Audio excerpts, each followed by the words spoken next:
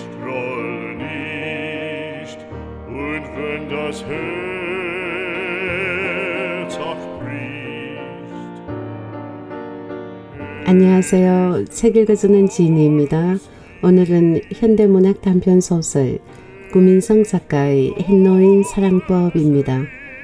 구민성 작가는 경남 밀양 출신이며 2015년 문해 감성의 동화 도자기와 막사발로 등단하였고 대표작에는 단편소설의 헛발질, 아버지 마음, 황혼연애 등이 있으며 동화에 아줌마 오른마 헤어 등 많은 작품이 있습니다. 작가는 저희 채널에 이미 소개해드린 아버지 마음 황혼연애 그리고 오늘 소개해드리는 햇노인 사랑법을 통해 주로 우리의 일상생활에서 소중한 가족 간의 정리와 꼭 필요하지만 노출하기를 꺼리는 노인성에 관한 심리와 갈등을 다양한 성격의 캐릭터를 등장시켜 사실적으로 묘사하며 올바른 삶의 방향을 제시하고 있습니다. 본 작품 햇노인 사랑법에서는 병든 아내를 둔 60대 남성의 성적인 갈망과 이성의 유혹을 어떻게 지혜롭게 헤쳐나가는지를 잘 보여주고 있습니다. 본 작품 외에 아버지 마음과 황혼연애도 연속해서 편집해 놓았습니다. 세 작품을 비교해 들으시며 심란한 현실 속에서 갈등하는 현대인의 심리를 따뜻하게 어루만져주는 작가의 작품 세계를 경험해 보시기 바랍니다. 그럼 즐거운 시간 되십시오. 햇노인 사랑법 지연이 구민성 1 진행자가 부드러운 목소리로 물었다. 여보세요? 어디 사시는 누구시죠? 나요? 봉천동에 사는 그냥 미스터 김이라고 해두지요. 가끔 익명으로 전하는 청취자도 있다. 특히 비뇨기과 방송에서는 더 그렇다. 네, 전문의 선생님께 궁금하신 걸 물어보십시오.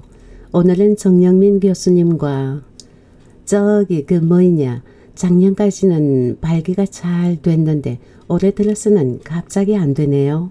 왜 그렇지요? 진행자의 말을 툭 끊고 들어오는 김 씨의 질문에 전문의가 물었다. 여보세요? 김 선생님. 실례지만 올해 연세가 어떻게 되시지요? 나이요? 이제 82살인데요. 진행자가 웃으면서 말했다. 하하하하. 김 선생님, 82세라면 대부분이 잘 안 되거든요. 아니, 아나운서님은 이 나이까지 살아보았습니까? 진행자와 정 교수가 할 말을 못 찾고 있는데 김 씨는 분명한 목소리로 말했다. 성욕이란 말이요. 나이보다 건강에 더 관계가 많지요. 젊은 사람도 안 내키면 안 해야 돼요.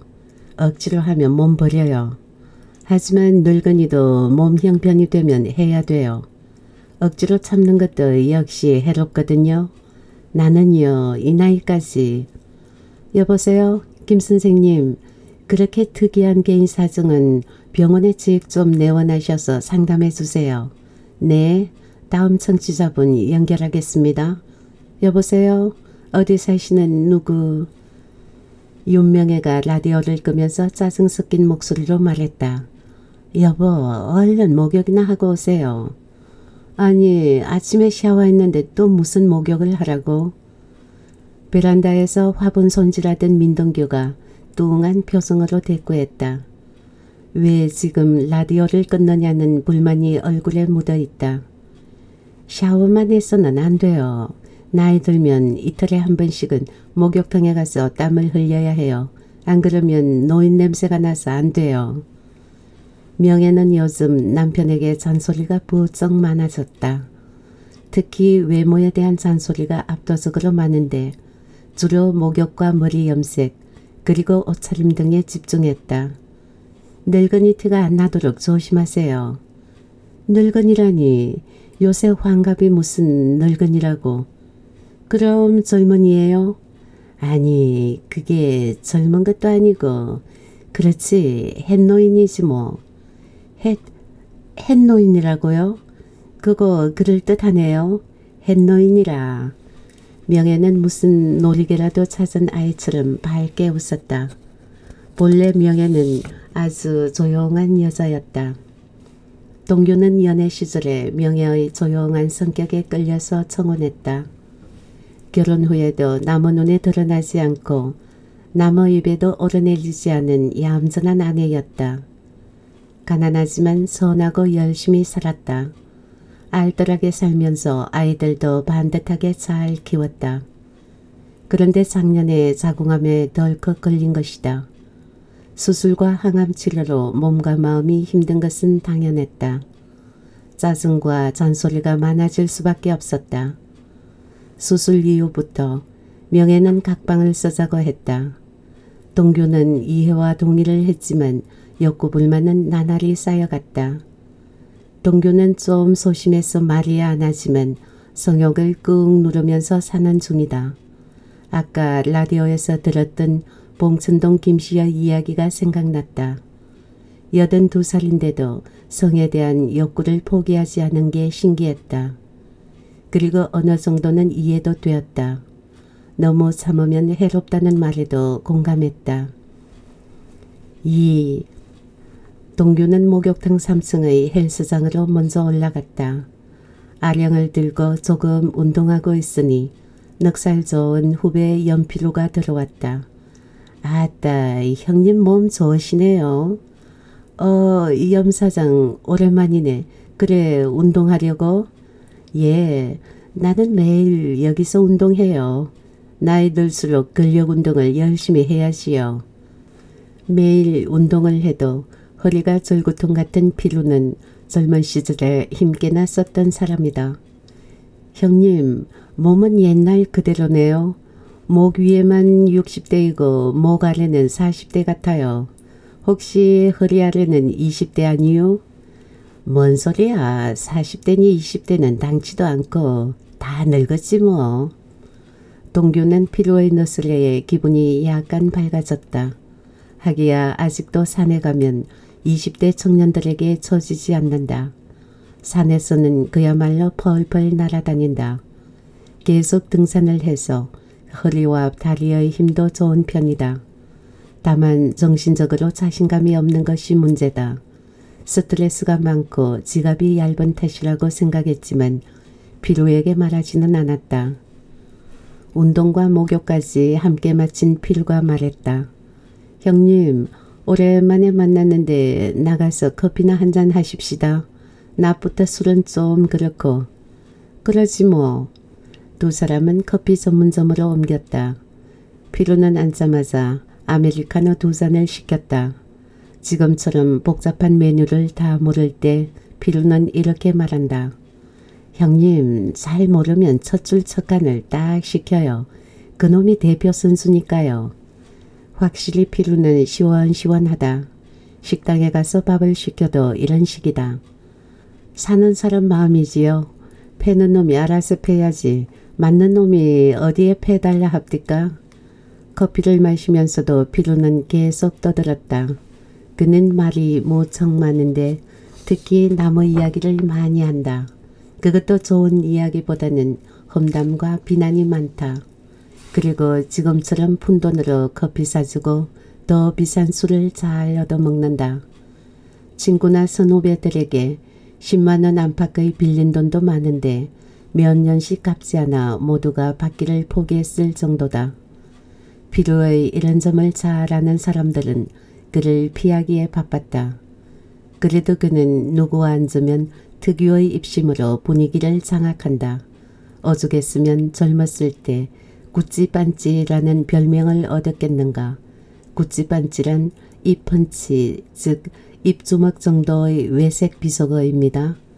형님 이제 소주나 한 잔 하십시다. 어 소주? 아까는 낮에 마시기가 좀 그렇다면서 동규는 술을 거의 마시지 않기 때문에 술자리까지는 가고 싶지 않았다.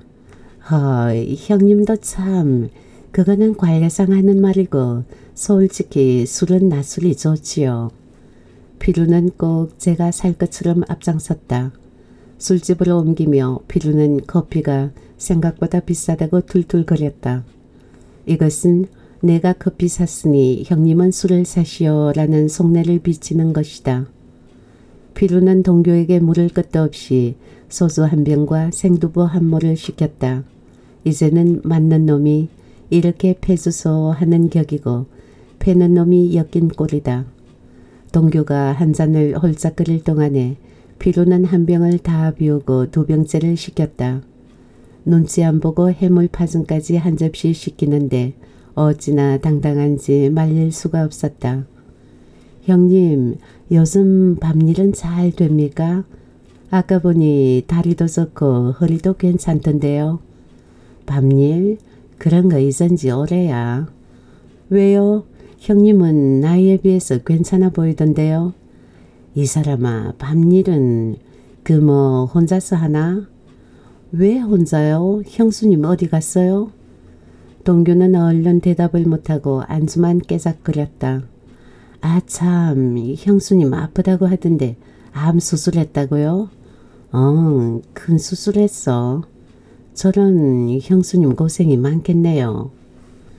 피루가 위로라고 한마디 하고는 소주를 한 병 더 시켰다. 동규는 소주를 한 잔 더 마셨다. 당뇨 때문에 술은 거의 안 마시지만 오늘은 영 마음이 이상하다. 김병에 효자 없다고 형님도 힘들겠네요. 나야 뭐 마누라 고생시킨 죄인이라 유구무원이지. 3. 해가 뉘연뉘연 넘어가는 시간이 되었다. 화장실에 잠시 다녀온 피루가 이번에는 소주 한 병을 더 시키고 골뱅이 무침까지 시켰다. 본래 입심이 좋은 사람이지만 술을 마시면 말이 더 많아진다.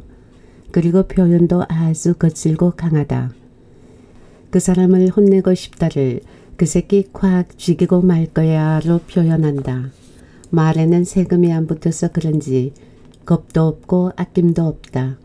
오늘 횡설수설 늘어놓는 필로의 말은 대충 이랬다. 남자는 금욕기간이 너무 길면 정신적으로 무척 해롭다. 스트레스가 많고 우울증에 걸릴 확률도 높아진다. 매사에 자신감이 없고 시들해진다. 옛날 왕이 전투에 이긴 장수에게 술과 여자를 상으로 주는 이유가 있다. 영웅 호걸은 주색을 즐긴다. 장수는 여자와 엉키면서 다시 에너지를 넣는다. 새벽 발기가 안 되는 남자에게는 돈도 빌려주지 않는다. 쓰지 않는 기능은 퇴화하기 마련이다. 타조는 날지 않다가 결국은 날 수 없게 되었다. 인간의 꼬리뼈도 쓰지 않으니까 없어진 것이다. 꽤 길게 이어지는 그의 말을 들으며 동규는 졸음을 참느라 애먹었다. 형님 나는요 며칠 그거 안 하면 실수를 자주 해요. 주차하다가 나무차를 걷거나 계단 내려가면서 자빠지기도 해요. 몸과 정신의 바란스가 안 맞아요. 그거 진짜로 희한하지요. 동교는 소주를 한 잔 더 마시며 생각을 모았다. 아 그런가? 그래서 내가 요즘 자신감이 없고 시들한가? 쓰지 않으면 퇴화한다고? 그래서 요즘은 새벽 발기도 잘 안 될까? 이제 피루는 거나하게 술이 올랐고 동규도 얼굴이 빨개졌다. 형님 나는요 너무 오래 참으면 이상해지는 방금 그 말 했잖아. 아니 그게 말이지요. 길을 가더라도 오는 년 가슴만 보이고 가는 년 엉덩이만 보여요. 다른 건 하나도 안 보여요. 역시 피로의 입시만 남달랐다. 같은 말이라도 그가 하면 더 실감나고 재미있게 들렸다. 말이 입에 착착 감기는 것이다. 오는 년 가슴 가는 년 엉덩이 그 참 재미있는 표현이네. 동교가 공감을 나타내니 피로의 일상 연설은 더 이어졌다. 변화에 적응해야 한다. 낙타는 사막에서 잘 다니기 위해 다리가 길어졌다. 또 모래바람을 극복하기 위해서 눈썹이 길어졌다. 이런 것은 생존을 위한 본능적인 변화 노력이다. 형님도 환경에 따라 변해야 한다. 형수님이 몸이 아프면 밖에서라도 해결해야 한다. 그냥 있으면 몸과 마음이 급격히 다운된다. 배터리가 완전히 방전되면 충전도 되지 않는다 등등 길기도 하다. 피루는 몸과 마음을 위해서 마치 섹스가 최고의 방법인 양 주장했다. 이봐 피루 그만 나가자고 목욕하고 나른한 데다 소주도 석 잔이나 마셨으니 피곤해. 아따 형님 누구는 목욕 안 했수. 그리고 술은 내가 거의 다 마셨고 그래도 나는 아직 쌩쌩하잖아요. 이게 남자의 파워라고요. 형님은 소주 석 잔에 흐물흐물하니까 그만큼 사갔다는 거요. 사갔다고? 내가? 아 사갔으니 이렇지요. 아니면 썩었거나. 피루의 도발적인 힐란에 동규는 정색하고 반격했다. 그럼 생생한 자네와 사건 내가 내일 산에 한번 가볼까? 그 말에 피루는 헛기침을 두어 번 하고 젓가락으로 안주만 찝쩍거린다. 피루는 작년에 동교와 함께 산에 갔다가 엄청나게 고생했던 기억이 되살아났다. 산에서 펄펄 날듯이 앞장서 걷던 동교의 모습이 눈에 보이는 듯 했다. 지난번 동창회 등반 대회에서도 동교보다 앞선 사람은 아무도 없었다. 하여튼 산에는 갈 시간도 없고요. 어쨌거나 형님도 변화를 위한 노력을 좀 해야지. 안 그러면 야 이게 누구야? 연필호 아닌가? 어 동교성님도 계시네. 바로 그때 김창기가 들어왔다. 형님을 성님이라고 부르는 창기는 체격도 크지만 목소리도 우렁우렁하다. 두주불사의 주량이라 매일 술집 서너 군데를 돌아다니며 마신다. 취하면 아무나 붙들고 싸우기도 잘한다. 특히 정치인이나 공직자의 비리 이야기만 나오면 자제력을 잃고 방방 뜬다. 그뿐 아니라 술만 마시면 마누라를 마구 때린다. 그러다가 재작년에 열살 아래 저남에게 흠신 두들겨 맞고 이혼까지 당했다. 어 창기 왔네. 오늘 형님과 한잔하는 날이야. 이리 앉아. 피루는 남이 계산하는 술자리에서는 아무에게나 앉으라고 한다. 게다가 창기는 술만 있으면 앉으라는 말이 없어도 앉는 사람이다. 동규는 슬그머니 일어서려다가 창기에게 잡혔다. 성님 어디 가요? 어 술도 많이 취하고 좀 피곤해서. 어허 성님 나는 아직 시작도 안 했는데 벌써 일어서시오. 나한테 무슨 유감이라도 있어? 동규는 창기에게 잡힌 손목이 얼얼했다. 그래 알았으니 이 손목이나 놓게. 창기가 합세하니까 피루난 술을 더 마셨다. 동규는 하품을 입에 물고 주로 듣는 쪽인데 두 사람은 죽이 맞아 떠들어댔다. 어이 창기 자넨 요즘 짝도 없이 어떻게 살아? 외롭지는 않아? 외롭긴 술도 많고 여자도 많은데 이야 마누라 하나 포기하니까 세상의 술과 여자가 모두 내 거야. 피로 사낸 죽었다 깨어나도 이런 맛을 모를 거야. 사. 사실을 그랬다. 상기는 이혼 1년 후에 그러니까 작년 가을에 흙보다 돌이 많은 뒷산이 공단으로 편입되면서 보상금을 27억이나 받았다. 재수없는 여편에 나가고 복이 들어왔다고 길길 웃었다. 뭉텅이 돈이 생겼으니 술과 여자가 모두 제 것인 양 큰소리 땅땅 치는 거였다. 그래도 누가 창기에게 술 얻어먹었다는 말은 들리지 않았다. 취기가 오른 두 사람은 성매매 방지 특별법에 대해서 열띤 토론을 했다. 다른 손님은 안중에도 없이 주거니 받거니 떠드는 이야기는 만리장성처럼 길었다. 어떤 경찰서장년이 앞장서서 성매매 방지 특별법을 만들었는데 아 이게 천하의 악법이야. 율락은 동서고금을 막론하고 있었지. 율락은 여성의 생존을 위한 하나의 직업이라고. 다만 납치, 구금, 강박 등으로 이루어지는 율락은 안 돼. 그건 인신매매이며 인격 탄압이거든. 또 미성년자도 안 돼. 하지만 성인 여성이 자유의사로 선택했다면 그 선택은 존중해 줘야 해. 그 일을 못하면 굶어 죽는다고. 솔직히 세상의 모든 마누라도 남편에게 매춘하는 거 맞잖아. 정부에서 윤락을 막으니까 돌출구를 못 찾는 남자가 아무에게나 성추행을 하지. 심지어 대통령을 수행해서 외국에 나간 놈도 젊은 년 찝쩍거리다가 개망신 당하고 잘렸잖아. 너무 막으면 안 돼. 자꾸 막으니까 어린이 성폭행도 일어난다고. 요즘 뉴스에 그런 일이 얼마나 많이 나오는가. 성욕은 아주 자연스러운 본능이야. 식욕과 수면욕과 함께 3대 욕구야. 꼴리는 사람은 해야 한다고. 그걸 막는다는 것은 인간의 기본적인 욕구를 뺏는 인권 탈취야. 이것은 국가가 국민에게 꼬상 부리는 거야. 그래서 결론은 성매매 방지 특별법은 없애야 한다고. 맞아. 누가 그걸 공약하고 대통령 나오면 난 무조건 찍어줄 거야. 피루가 큰 소리로 주장하고 창기도 화끈하게 동의했다. 띠리링 띠리링 졸고 있던 동규는 휴대폰의 신호음에 깼다. 어디 있느냐? 왜 아직 안 오느냐를 따지는 명예의 음성이 차갑다. 동규는 곧 간다고 대답하고 전화를 끊었다. 이럴 때 휴대폰은 자유를 속박하는 족쇄다.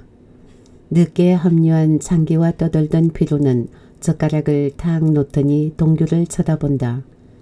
그러니까 형님도 형수님 건강이 그러시면 밖에서 간혹 여자를 만나요. 밖에서 여자를? 에이 난 그런 거 못해. 아 왜요? 허리 다리 힘도 좋겠다. 아직 5학년이면 얼마든지. 5학년이라니? 나 올해 환갑이야. 동규가 마치 잠을 털어내기라도 하듯이 눈을 크게 뜨며 말했다. 아 그러니까 5학년 11반이잖아요. 요새 그 나이면 청년이지 뭐. 허 5학년 11반이라니 그 참 편리한 계산이네.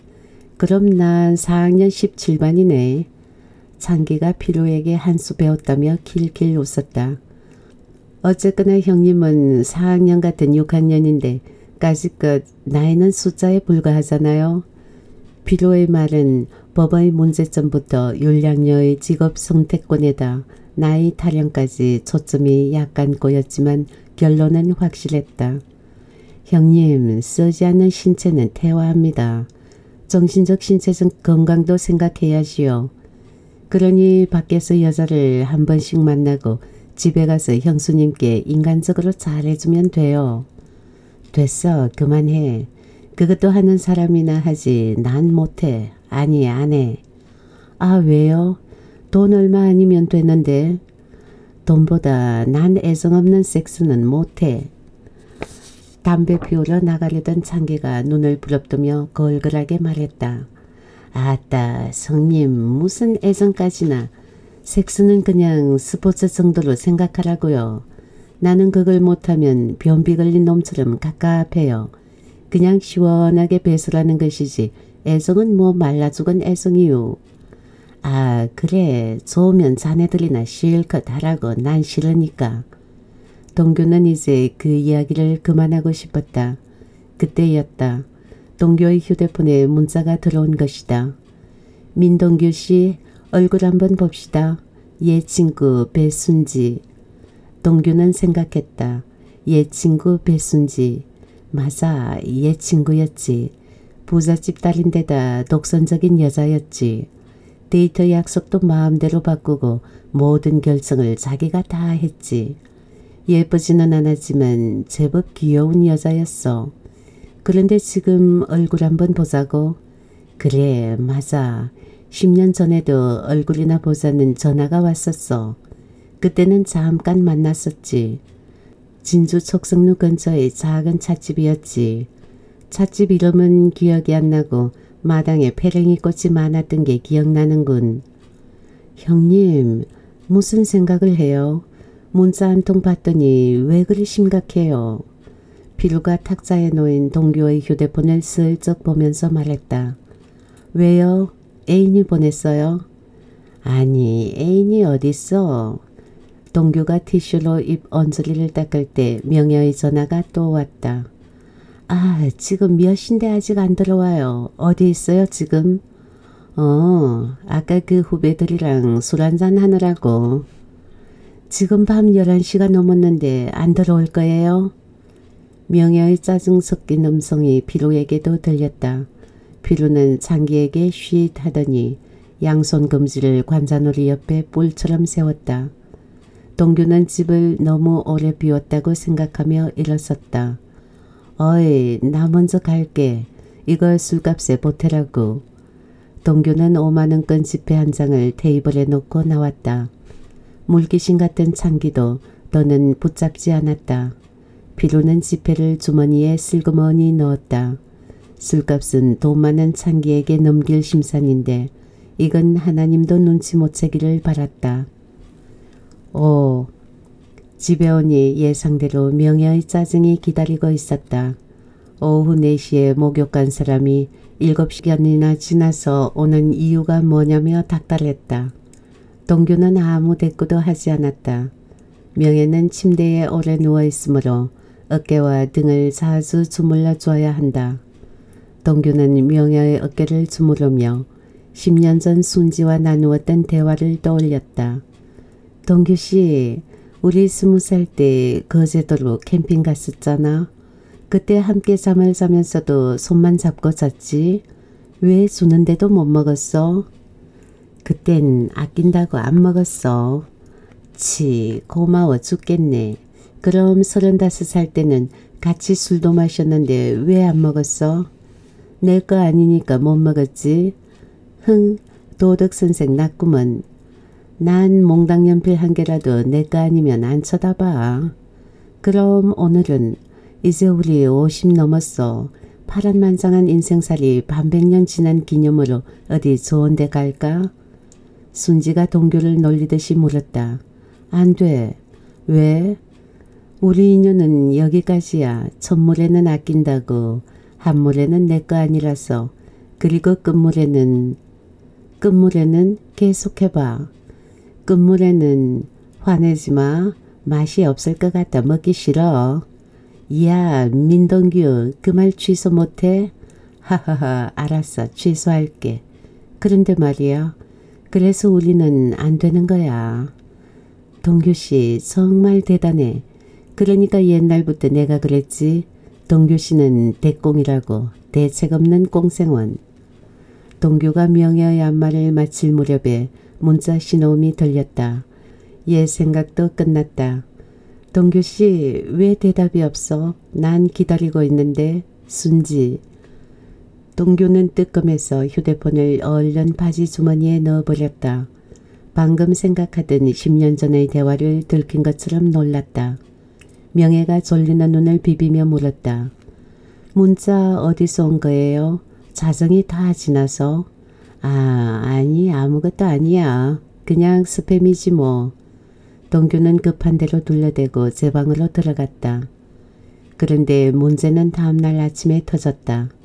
동규가 세수하고 나오니까 명예의 신경질적인 목소리가 날아왔다. 스팸이라고요, 동규씨? 왜 대답이 없어? 난 기다리고 있는데, 순지.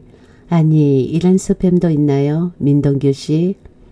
명예는 바로 윗줄의 문자도 읽었다. 뭐라? 민동규 씨? 얼굴 한번 봅시다. 옛 친구 배순지. 하참 가관이야. 목욕탕에 가서 7시간 걸린 이유가 이거였네. 그래 옛 친구 만났는데 겨우 7시간밖에 안 놀았어요. 아주 밤을 지새우지 그랬어요.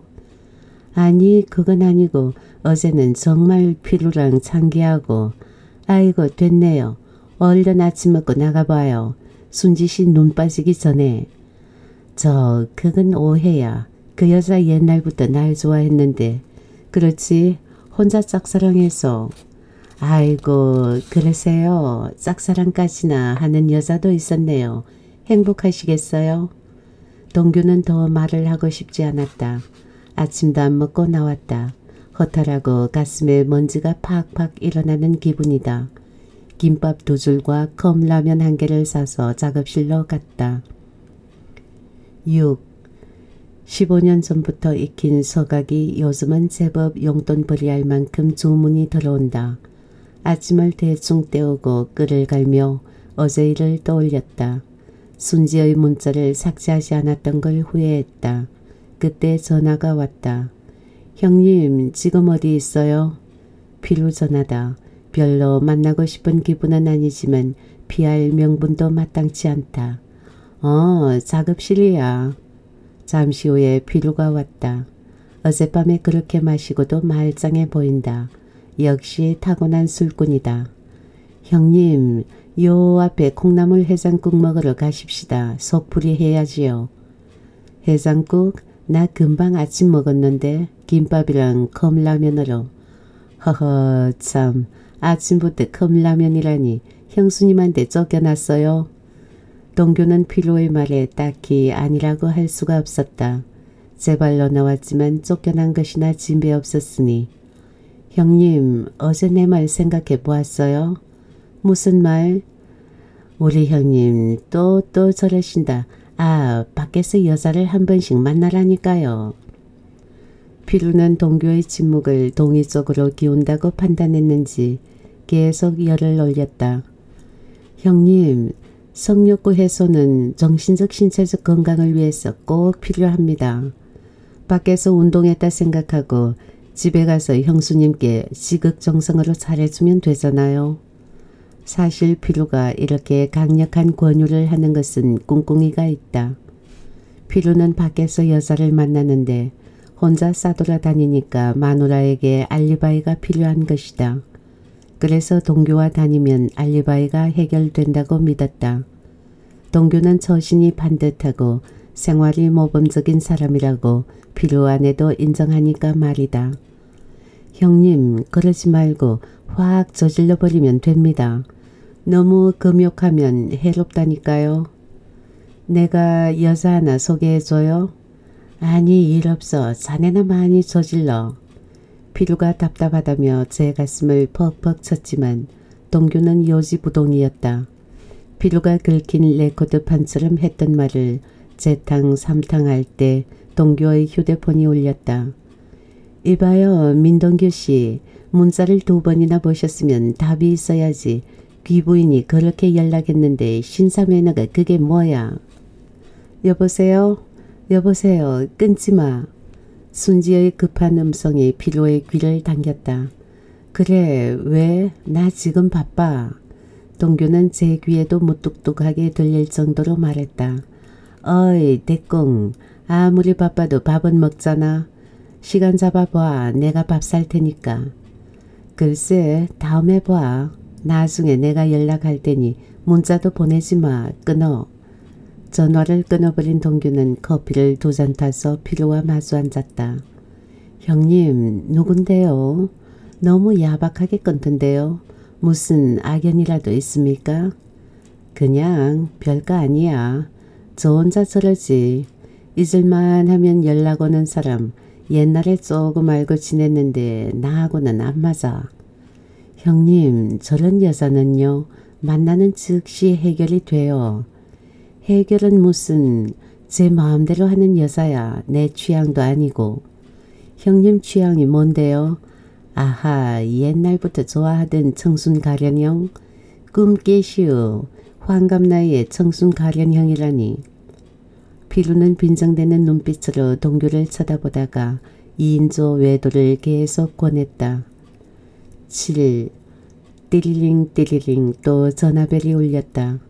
동규는 짜증이 나서 전화기를 거칠게 잡았다. 아 그런데 액정에 찍힌 발신이는 마눌님이었다. 여보 어디 있어요? 아침은요? 작업실 아침은 대충 먹었고 지금 내가 나갈까요? 당신 좋아하는 돼지국밥이나 먹으러 가죠 뭐. 이렇게 나오는 건 화해를 바란다는 신호다. 명예는 수술 이후부터 짜증만큼이나 변덕도 심하다. 아니 나중에 내가 전화할게. 주문받은 문패가 좀 급해. 끊어. 동규는 아침의 그 소동이 떠올라 마음이 편치 않았다. 그러다가 문득 생각난 듯이 휴대폰의 최근 통화와 메시지 정보에서 배순지의 이름을 삭제했다. 이런 거 남아있으면 또 꼬투리 잡힌다고 생각하니 휴대폰도 흉기처럼 보인다. 동규는 필요가 나간 후에 끈을 계속 갈았다. 그런데 그만 뻐끗해서 손가락을 베었다. 깊은 상처는 아니지만 이런 일이 가끔 일어난다.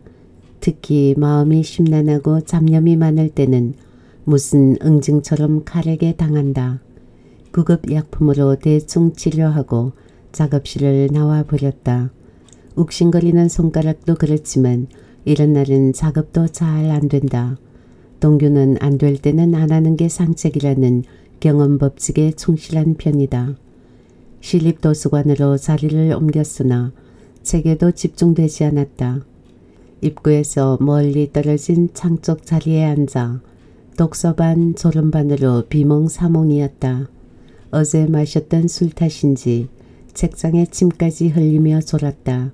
모략감이 스멀스멀 밀려와 책을 덮고 나왔다. 집에 오니 명예가 도끼 눈으로 노려보았다. 흥, 문패가 급하다고 나중에 전화한다고. 아무리 기다려도 전화가 안 와서 작업실에 갔더니 아 왔었어? 그래요. 문장가 놓고 배순지 만나러 갔나요? 아니 그게 도서관에 가서 졸다가 왔다는 말을 하려는데 명예가 잘라버렸다. 전화는 왜 안 받았어요? 어 전화? 도서관에서 진동으로 돌려놓고 잠깐 졸다가 그만둬요. 요새는 아주 거짓말 선수가 다 됐네요. 거짓말이 아니고 됐네요. 들통 안 나게 거짓말 연습이나 부지런히 해요. 요즘 명예는 화날 때 상대의 말을 끝까지 안 듣고 잘라버리는 버릇이 생겼다. 그리고 이럴 때 동교가 입을 닫아버리는 것도 새로운 습관으로 굳어졌다. 8. 지루한 장마가 7월 말까지 찔끔거리더니 8월이 되면서 꼬리를 감추었다. 날씨가 너무 덥다. 이런 날은 집보다 작업실이 낫다. 동규는 작업실 창문을 모두 열고 라디오를 크게 틀었다. 갈수록 볼륨을 높이는 것도 나이 탓이겠지 하며 손걸레를 두 번이나 빨아서 말끔하게 청소를 했다. 작업실이 넓어서 좋지만 청소 시간이 길어지는 건 피곤한 일이다. 친구 오상태가 작업실 근처에 왔다며 전화를 했다.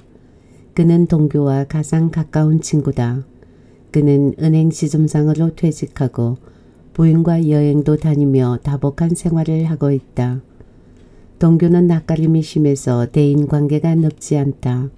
사람에 대한 호불호가 분명해서 아무나 얼른 사귀지 못하지만 좋아하는 사람이면 확실히 좋아한다. 친구 뭐하나? 어 청소했네. 어 어서와. 장마 끝에 하도 지저분해서 이 사람 내가 올 줄 알고 깨끗한 척했구만. 하하. 글쎄 텔레파시가 통했나? 상태는 지인의 부탁으로 서각을 주문했다. 윤동조의 서시를 양각으로 만들어 달라고 했다. 그리고 찻잔을 내려놓으며 말했다. 좀 피곤해 보이네. 어 조금. 부인 간병하느라 힘들지. 고생 많겠네. 고생은 뭐 자업자득이지. 자업자득? 그게 무슨 말이야? 내가 마누라 고생시켜서 병 생겼거든. 이것은 진심이다. 평소에도 동규는 그런 자책감을 자주 느끼고 있다. 아내가 아픈 이후로 서재와 처남들 만나기가 무척 불편하다. 야, 야, 그런 소리 하지 마라. 자네만큼 성실한 남편이 어디 있나? 남자들이 마누라에 먹이는 것은 대체로 서너 가지야. 술, 도박, 마약, 외도 등이지. 자넨 그런 짓을 일절 안 하잖아. 그러니까 참 괜찮은 남편이지. 괜찮긴 뭐가 괜찮아. 가난하고 능력 없는데. 그렇다고 밥 굶어? 애들도 잘 키웠고 그만하면 괜찮아. 성격이 좀 까다롭지만 요즘은 나이 들면서 많이 부드러워졌어. 부인에게 계속 잘해줘. 착한 사람인데 얼마나 힘들겠어. 동규는 상태의 말에 고통이 시큼해졌다. 그리고 말이야 며칠 후에 동창회 있지. 이번엔 꼭 참석해. 이젠 애들 결혼도 시켜야 하니까 자주 얼굴 비치는 게 좋아. 응, 그러지 뭐. 동규는 말로만 동의했지 갈 생각이 없었다. 별로 친하지 않은 사람이 친한 척 하는 게 귀찮고 도무지 재미가 없기 때문이다. 술 취해서 떠드는 인간들 쳐다보는 것도 질색이다. 그때 가서 적당한 핑계를 만들어 빠질 생각이었다. 그런데 상태가 뜻밖의 말을 했다. 그저께 장현이 전화 받았어. 동창회에 자네 데리고 나오래. 순간 동규는 가슴에 쿵 소리가 들리도록 놀랐다. 장현이 고등학교 때 사귀었던 첫사랑이다. 순지보다 먼저 만난 조용하고 말수가 적은 여자였다. 그러나 오래가지 못했다. 누군가 첫사랑은 무지개라고 했다. 아름답지만 빨리 사라지는 게 그렇단다. 동규는 장현이가 어떻게 변했는지 궁금했다. 어쩌면 현이와 따로 대화를 할 수도 있으리라는 기대감까지 은근히 생겼다. 9. 동규는 동창들과 대충 인사를 나누고 한쪽 귀퉁이에 앉았다. 대각선으로 건너편 자리에 현이가 보였다. 현이는 눈인사를 하더니 소주병을 들고 이쪽으로 왔다. 동규씨 오랜만이야. 내 술 한 잔 받아. 많이 변했다. 벌써 술에 취했는지 목소리도 크고 행동도 거침없었다. 동규는 받은 술잔을 내려놓고 다른 잔에 술을 따르려고 했다. 아니 싫어. 그 술부터 마시고 한 잔 줘. 원샷. 동규는 현이의 말대로 받은 술을 단숨에 마셨다. 요즘은 소주가 별로 쓰지 않다. 옛날처럼 캬 소리를 내면 오버액션이다. 동규가 그 잔을 현이에게 돌려주고 술을 따르는데 어떤 동창이 킬킬거리며 놀렸다. 야 그림 좋다. 친구는 옛 친구여 사랑은 첫사랑이여라. 동창들은 와 하고 환호를 지르거나 두 손가락으로 아랫입술을 비틀며 휘파람을 불기도 했다. 현이가 물었다. 어떻게 살았어? 많이 늙었네. 늙을 때도 됐지 뭐. 근데 나만 늙었나? 동규는 주위를 둘러보았다. 역시 자신이 제일 늙어 보인다 싶어 씁쓸했다. 현이는 나중에 따로 잠깐 보자는 말을 남기고 다른 자리로 옮겼다. 그런데 현이는 술병과 잔 하나를 들고 남자들만 찾아다닌다.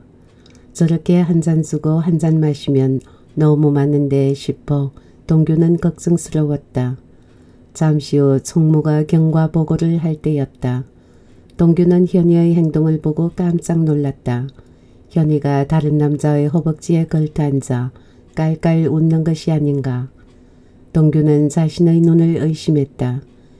야, 저 여자가 정말 장현이 맞나? 그렇게 얌전하고 차분하던 여자가 왜 저렇게 변했을까? 역겨운 행동이다. 더 보기 싫어 밖으로 나와 버렸다. 동규가 식당 바깥의 자판기에서 커피를 뽑아 마실 때 상태가 옆에 와서 묻는다. 놀랐지? 장현이 행동. 아마 너 보라고 일부러 그런 거야. 그만해. 나 저런 여자 관심 없어. 술을 먹든 쥐약을 먹든 커피 얼른 마시고 들어가자. 아니 나 갈 거야. 작업실에 일이 많아. 여기서 낭비할 시간이 아까워. 동규는 상태에게 동상회비를 맡기고 나와 버렸다. 식당 앞에서 한참을 기다렸지만 택시도 잘 잡히지 않았다. 공연이 화가 나고 누구라도 패주고 싶었다. 기분이 정말 고약하다. 흔든 놈에게 비박까지 쓴 기분이다. 앞으로는 동상회에 절대로 참석하지 않겠다고 다짐했다. 10. 작업실의 라디오를 크게 틀었다. 마침 나훈아의 애정이 꼽히던 시절이 흘러나왔다. 첫사랑 만나던 그날 얼굴을 붉히며 철없이 매달리며 춤추던 사랑의 시절. 동규는 낮은 소리로 따라 부르며 노랫말을 생각했다. 띠리링 띠리링 휴대폰에 생소한 번호가 떴다. 누굴까? 여보세요? 어이 동규씨 어디야? 왜 도망쳤어? 장현이다. 많이 취했는지 말소리가 꼬인다. 내가 말이야 자기 보고 싶어서 왔는데 끊어 나 지금 바빠. 동규는 전화를 끊어버렸다. 조금 후에 다시 벨이 울렸지만 받지 않고 무음으로 돌려버렸다. 작업도 잘 되지 않았다. 글자에 회가 나가 떨어져 나갔다. 이런 날은 실수도 잦다. 커피를 한 잔 마셨다. 가까운 보도산에나 가려고 나섰는데 피루가 들어왔다. 형님 왜 전화를 안 받아요? 어 그냥 작업할 때는 무음으로 돌리거든. 피루는 제 손으로 믹스커피를 타서 자리에 앉았다. 형님 내가 형님 생각해서 좋은 여자 하나 골랐는데요. 좋은 여자 골랐으면 자네가 데리고 놀아. 동규가 평소와는 달리 좀 쌀쌀맞게 말했지만 피루는 줄기차게 너스레를 떨었다. 휴대폰에 저장된 사진도 보여주려고 했지만 동규는 외면했다. 피루는 어딘가로 전화하더니 작업실의 위치를 설명했다. 그리곤 여자가 이리 오고 있다며 특유의 입심으로 말을 이었다. 형님처럼 그렇게 살면 빨리 늙어요. 옛날의 권력가들은 회춘 비법으로 젊은 여자를 가까이 했잖아요. 즐기면서 살아도 짧은 인생인데 그게 뭡니까? 참 답답한 양반이네요. 제발 좀 솔직하게 삽시다. 그래 형님이 애인 하나 만든다고 세상이 뒤집혀요?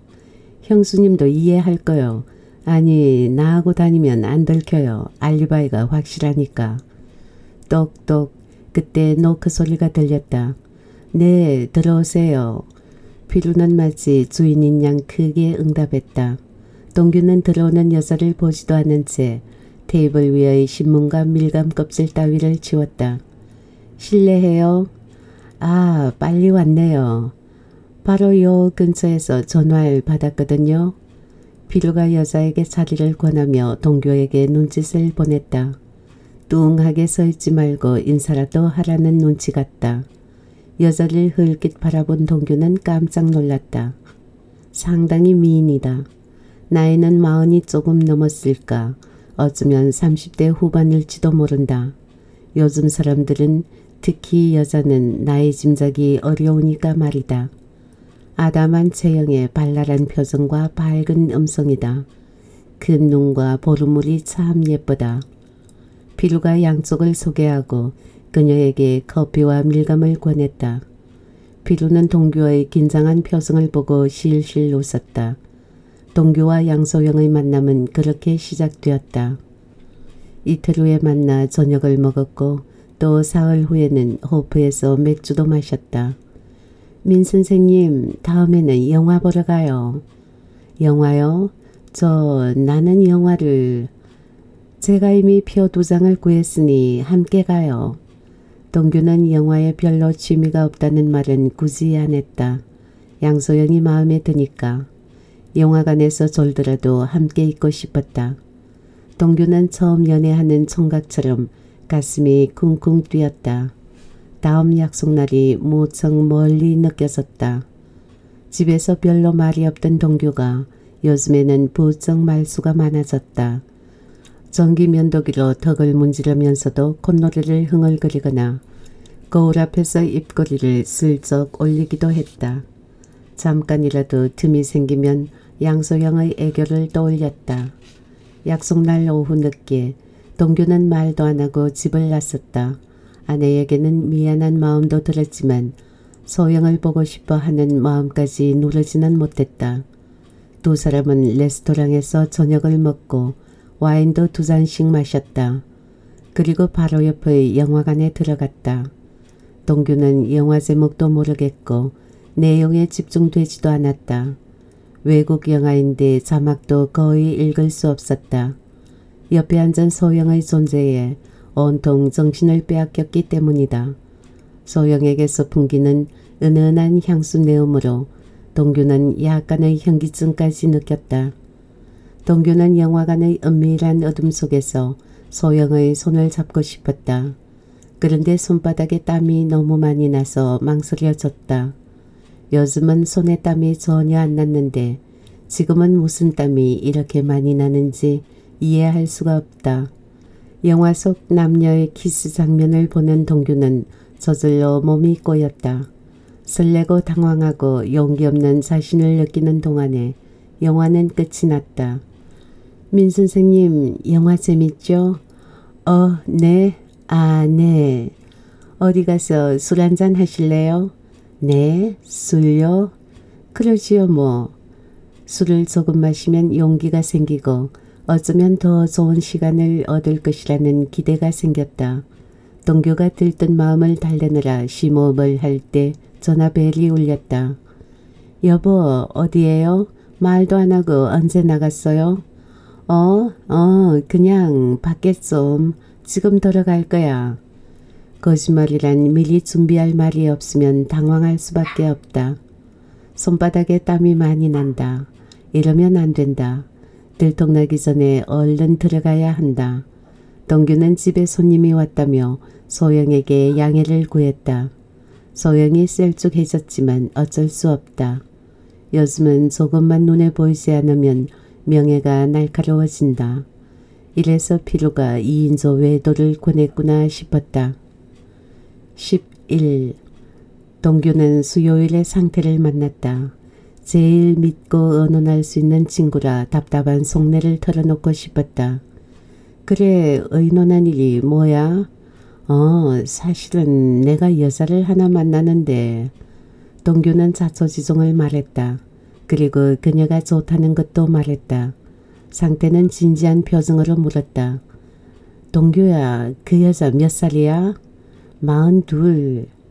가족은 남편은 혼자 산대 2년 전에 이혼하고 40대 초반의 미인이라 보르물도 예쁘고 연한 배처럼 물기 촉촉한 여자 게다가 싱글 그런 여자가 머리 허연 꼰대를 좋아한다고? 혹시 꽃뱀 아닐까? 조심해. 아니 조심보다 아예 시작을 하지 마. 상태야. 그런데 그게 말이야. 나 그 여자 진짜 좋아해. 매일 보고 싶다고. 머리 허연 꼰대지만 요새 노래처럼 내 나이가 어때서 사랑하기 딱, 딱 그만해. 내가 보기엔 자네가 상처를 많이 받을 것 같아. 요즘 젊은 것들이 어떤 줄 알아? 물질 앞에 진정한 사랑 따위는 없어. 하지만 소영이는 여자가 먼저 접근해서 모텔로 가면 젊은 남자가 쳐들어와 난리를 치지. 꼼짝없이 봉변당하고 돈 뺏기고 하는 거 TV에 사주 나오잖아. 못 봤어? 말이라서 그렇지 실제로 당해봐. 세상에 그렇게 쪽팔리는 일이 또 있겠어? 동규는 힘이 쭉 빠졌다. 애초에 상태의 허락이나 동의를 기대한 건 아니었다. 친구에게 허락받고 바람 피우는 사람이 어디 있나. 그래도 이런 말을 듣고 보니 계속 진행하기가 겁난다. 그리고 동규 사내도 좀 생각해봐. 명혜 씨가 저렇게 아파서 고생하는데 남편이란 사람은 어디에다 정신 팔고 있는 거야. 그게 말이나 되냐고. 동규는 아무 말도 못하고 한숨만 푹 쉬었다. 하여간 자네가 얼른 끝내지 않으면 내가 그냥 안 있을 거야. 명혜 씨에게 알리고 자네 애들에게도 말할 거니까 알아서 해. 상태의 만류는 아주 강경했다. 그러면 충분히 이런 경고를 하고도 남을 사람이다. 그리고 말로만 겁주는 게 아니고 행동으로도 실천할 수 있는 사람이다. 12. 금요일 오후에 비루가 작업실로 왔다. 실실 웃는 게 무언가 꿍심이 있어 보였다. 형님, 소영 씨와 친구가 내일 같이 놀러 가세요. 네 명이 백양산 단풍놀이나 가시오 뭐. 백양산? 전라도까지? 예, 시간 보아 1박 해도 괜찮고요. 동규가 망설이는 눈치를 보이자 필요의 끈질긴 설득이 계속되었다. 형님, 세상 일이란 너무 어렵게 생각하면 자꾸 꼬여요.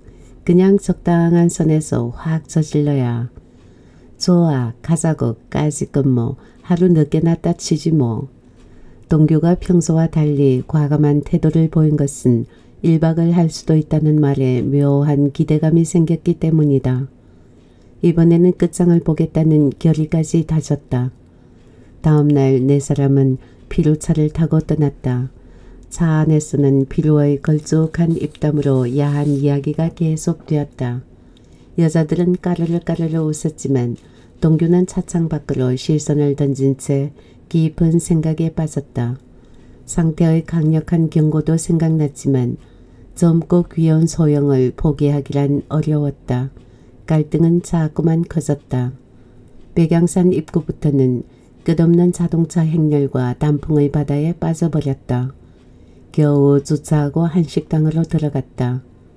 네 사람은 더덕구이 정식과 동동주로 점심을 먹었다. 그리고 두 사람씩 나누어 산책을 나섰다. 동교와 소영은 숲길을 걸었다. 소영이 동교의 팔짱을 끼었는데 멀리서 보는 피로 눈에는 애교 많은 딸처럼 보였다. 동규는 소영의 화장품 냄새에 가슴이 뛰었다. 오랜만에 느껴보는 두근거림이 낯설기도 했지만 좋았다. 짙은 단풍 빛깔에다 동동주까지 마셨으니 동규의 얼굴은 더욱 빨개졌다. 다른 사람들이 자꾸 보는 것 같아 쑥스러워진 동규가 앞장서서 커피 전문점으로 들어갔다. 구석진 자리에 앉은 동규는 피루말처럼 젖줄 척간에 쓰인 아메리카노를 시켰고 소영은 카푸치노를 시켰다. 민 선생님, 지난번에 제가 공인중개사라고 말씀드렸죠? 소영이 불쑥 말하고 동규는 머리를 갸우댔다. 어? 그런 말을 했던가? 언제? 나는 처음 듣는데. 동규는 약간의 의문과 당혹감을 느꼈다. 소영은 바짝 당겨 앉더니 스마트폰의 사진을 보여주었다. 이게요 8억인데 지금 잡으면 6개월 이내에 3억 정도 벌어요. 이거 확실한 물건이니까 꼭 잡으세요. 동규는 가슴이 철렁했다. 그러나 내색하지 않고 짐작하게 생각을 했다. 아, 이 여자가 이제 보니 나를 이용해서 부동산을 딱 잘라야지. 까딱하면 민 선생님 저를 믿고 잡아보세요. 절대로 후회 안 하실 거예요. 소영씨 나 그런 돈 없어요. 어머 그러세요? 그럼 이 물건은 그렇다 치고 스마트폰에서 손가락을 바삐 움직이던 소영이가 다른 사진을 골랐다. 이건요 4억이면 잡을 수 있는데 진짜 아까운 물건이거든요. 보세요. 소영이 동구의 코앞까지 스마트폰을 갖다 대며 더 당겨 앉았다. 확실한 거나 아까운 거나 나는 못 사요. 돈이 없어서. 소영은 아예 자리를 옮겨 찰싹 붙어 앉았다. 그리고 팔짱을 끼며 말했다. 민 선생님, 사실 제가 이 물건을 사고 싶은데 돈이 조금 모자라거든요. 1억만 빌려주시면 6개월 후에 이자 3천을 얹어서 깔끔하게 돌려드릴게요. 동규는 소영의 화장품 냄새로 가슴이 뛰었지만 긴장을 풀지는 않았다. 소영씨 나는 이런 이야기 싫어요. 솔직히 부동산 투기에는 관심도 없고 능력도 없어요. 동규가 굳은 표정으로 단호하게 말하니 소영의 목소리에도 힘이 실렸다. 어머 민 선생님 이건 투기가 아니고 투자라고요. 무슨 말씀을 그렇게 하세요? 섭섭해요 정말.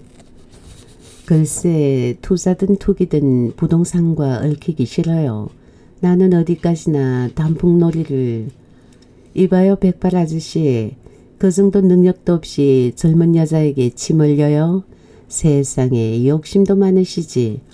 소영은 신경질적으로 비로에게 전화했다. 염 사장님 어디 계세요? 나 집에 들려줘요. 벌써요? 아니 왜요? 이 아저씨랑 같이 못 놀겠어요. 지금 주차장으로 오세요. 돌아오는 길에 피로의 운전은 거칠었고 일행은 모두 입을 다문 채 라디오만 떠들었다. 13. 며칠 후에 상태가 작업실로 왔다.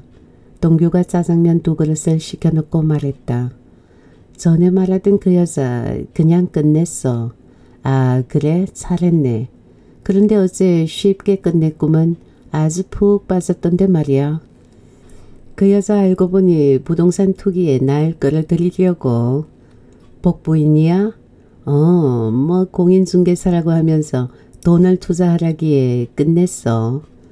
동규는 무심한 표정으로 백양산의 일을 말했고 상태는 눈을 반짝이며 말했다. 그거 보라고. 젊은 여자가 우리 같은 사람에게 접근할 때는 무언가 있다고. 조심해야지. 늙음하게 망신당하지 않게 말이야. 처음부터 그런 목적을 갖고 나를 만났던 모양이야. 중개인이라는 말도 처음엔 없었는데 했다고 우기고. 됐어. 있어버려. 골목에서 걔한테 물렸다 치고. 물리기 전에 내가 피했잖아. 그래 맞네. 그 정도에서 끝냈으니 그나마 다행이야. 두 친구는 짜장면을 맛있게 먹었다. 마음이 편해야 음식 맛도 좋다며 마주보고 웃었다. 백양산 이후로 피로는 코빼기도 안 보이는데 오늘은 뜬금없이 장기가 왔다. 성님 지나가다가 들어왔어요. 잘 지내요? 응 그냥 그렇지 뭐. 장기는 서각 작품을 이리저리 구경하다가 본론을 말했다. 성님 나도 이것 좀 배우면 안 돼요? 서각을? 예 이거 재밌겠는데요. 장기가 호기심 어린 눈으로 끌과 망치를 들여다보며 말했다. 나는 권하고 싶지 않아. 다른 취미를 찾아봐. 왜요? 이거 하면 맨 먼저 손목에 문제가 생겨. 작품 하나에 끌지를 수백 수천 번씩 하는데 한 작품 끝내면 침이나 물리치료를 받아야 해. 나이 들면 그냥 있어도 관절이 약해지는데 망치질까지 많이 하니까 당연하지. 게다가 엔진톱, 전기대패, 그라인더, sanding paper 같은 공구는 고속 회전이라서 위험하고 먼지도 엄청 마시거든. 그럼 뭐 하면 좋을까요? 술, 담배 끊고 나서는 심심해 죽겠는데요. 뭐, 술, 담배 다 끊었다고? 정말이야? 예, 벌써 5개월 넘었어요. 간이 엉망이라고 의사가 어찌나 겁을 주던지. 맞아, 간이 안 좋으면 술, 담배 모두 끊어야지. 동규는 창기의 거칠한 낯빛과 작아진 목소리를 살피며 고개를 주워거렸다. 이제 여자도 재미없고 있는 돈이나 다 쓰고 죽어야지요. 죽긴 왜 죽어. 아직 괜찮아 이 사람아. 동규는 창기를 진심으로 돕고 싶었다. 어딘가에 집중할 수 있는 취미생활이 필요하겠다고 생각했다. 나야 이미 배운 도둑질이라 나무를 깎지만 새로 시작할 사람에겐 생활 도자기를 권하고 싶어. 나이 들면 흙 주무르고 손 많이 쓰는 게 좋아. 또 젖은 흙을 만지니까 먼지도 없어. 날카로운 끌이나 전동 공구를 안 쓰니까 위험성도 없거든. 직접 만든 막사발이나 머그잔 같은 소품은 선물하기도 좋지. 성님이 추천하는 거니까 당장 시작하지요. 얼마 전에는 시청에 사는 컴퓨터 교실에도 석 달 다녔어요. 모르는 여자와 채팅도 해봤는데 그거 재밌던데요. 건맹이던 창기로서는 별천지를 경험했던 것이다. 그는 취미 추천에 대한 보답이라며 동교에게 몇 개의 사이트를 알려주었다. 14. 동규는 저녁을 먹고 제 방에서 컴퓨터를 켰다. 장기가 일려준 사이트에 접속해보니 젊은 여자들의 사진이 넘쳤다. 이성 교제를 원한다는 사연과 나이, 신체 사이즈까지 나와 있었다. 동규는 가까운 김해시 여성을 택했다. 나이는 38세, 임혜지, 함께 여행할 남성을 원한다고 했다. 동규는 내일 만나자는 쪽지를 남기면서 가슴이 더워졌다. 사진과 인적사항은 사실과 다를 수 있다. 그런 것을 고지고대로 믿는 사람은 순진하거나 초짜라는 증거다. 그런데 동규는 순진한 초짜라서 그걸 다 믿으려고 달려든다. 다음날 동규는 상태 만난다며 집을 나섰다. 이제는 거짓말도 태연하게 한다. 미리 준비만 하면 별것 아니라 생각했지만 아내에게 미안한 마음도 조금은 있었다. 약속 장소에서 만난 혜진은 닭고공처럼 통통 튀는 여자였다. 오빠야 머리칼 멋져요. 근데 염색은 하지 마세요. 은발이 좋아요 오빠야. 코맹맹이 소리가 어색하지 않고 행동거지가 귀엽다. 먹는 모습도 예쁘다. 혜진은 입이 계속 바쁘다. 말이 무척 많고 궁극질도 많이 한다. 쉴 새 없이 입을 움직인다. 오빠야 이 속발 참 맛있어요. 오빠야도 얼른 드세요. 안 그러면 제가 다 먹어치워요. 그리고요 다음엔 돈가스 먹고 그 다음엔 아귀찜 사주세요. 키도 자그마하고 약간 마른 몸인데 얼마나 먹는지 모르겠다. 또 두 번째는 친구도 데리고 나왔다. 예, 미라야. 우리 오빠야 참 좋지. 나이는 좀 많아도 마음이 넓어서 짱이야. 꼭 우리 외삼촌 같아. 정이 많아 맛있는 것도 엄청 사주거든. 그리고 말이야. 다음에 너도 남자 만날 때 날 데려가. 우린 영원한 우정을 맹세했잖아. 그치? 혜진은 떠들며 먹고 친구는 끄덕이며 먹는다. 그녀들이 갈비와 냉면까지 개걸 스레 먹는 동안에 동규는 두 여자를 하염없이 바라본다. 저희끼리 찬을 쨍쨍 부딪히며 술도 잘 마신다. 동규가 두 잔 마실 동안 이 여자 둘이서 세 병째를 땄다. 그뿐만 아니라 혜진은 거짓말도 많이 한다. 처음엔 독신녀라고 하더니 다음에는 남편이 외국 출장을 떠났단다. 동규가 타는 심정으로 모텔에 가자니까 아이가 학원 마치고 올 시간이라 집에 들어가야 한단다. 아이가 없어서 입양하고 싶다는 말을 처음에 했는데 말이다. 혜지의 입에 걸리는 것은 먹는 것과 숨소리 빼고 모두 거짓말 같다. 혜지의 반복되는 거짓말에 질려버린 동규는 골똘히 생각을 모았다. 나를 안 만나는 날에는 다른 남자 만나서 얻어먹고 거짓말이다 늘어놓겠지. 상태 말처럼 이런 여자가 꽃뱀일지도 모른다. 실컷 사먹여놓고 결정적인 순간에 깡패 같은 놈에게 당할지 누가 아는가. 이상한 사진 찍혀서 목돈 요구하는 협박이라도 받으면 어쩌나. 애성도 없고 신뢰감도 없으니 피곤할 뿐이다. 김해와 밀양을 오가며 다섯 번이나 만났지만 손도 한 번 못 잡고 끝내버렸다. 동규는 안 되는 것은 억지스럽게 하지 않는 사람이다. 동규는 파김치처럼 피곤했다. 명예에게 자주 거짓말하는 것도 스트레스가 되고 혜지의 거짓말을 계속 듣는 것도 스트레스였다. 집에서 짜증 부리는 횟수가 많아지니까 명예가 걱정했다. 여보 그렇게 짜증 부리면 몸 상해요. 내가 넘어지고 업고 달려갈 사람은 그래도 당신뿐인데 같이 아프면 안 돼요. 걱정하지 마. 아직은 괜찮으니까. 동규는 그렇게 말을 했지만 작년과는 몸이 확실히 다르다고 느꼈다. 여보 그러지 말고 한 이틀 여행이나 다녀오세요. 마침 병규가 집에 있으니까 괜찮아요. 여행은 무슨 아니요 그냥 잠깐 바람이나 쐬고 오세요. 여비 좀 드릴 테니. 명예는 요즘 남편의 늘어진 어깨가 안쓰러웠고 동규 역시 너무 답답해서 하루쯤 집을 떠나보고 싶은 마음이 들 때도 있었다. 이튿날 아침에는 명예가 동규의 구두를 말끔하게 닦아놓고 옷도 챙겨주었다. 당신은 이 자주색 난방이 잘 어울려요.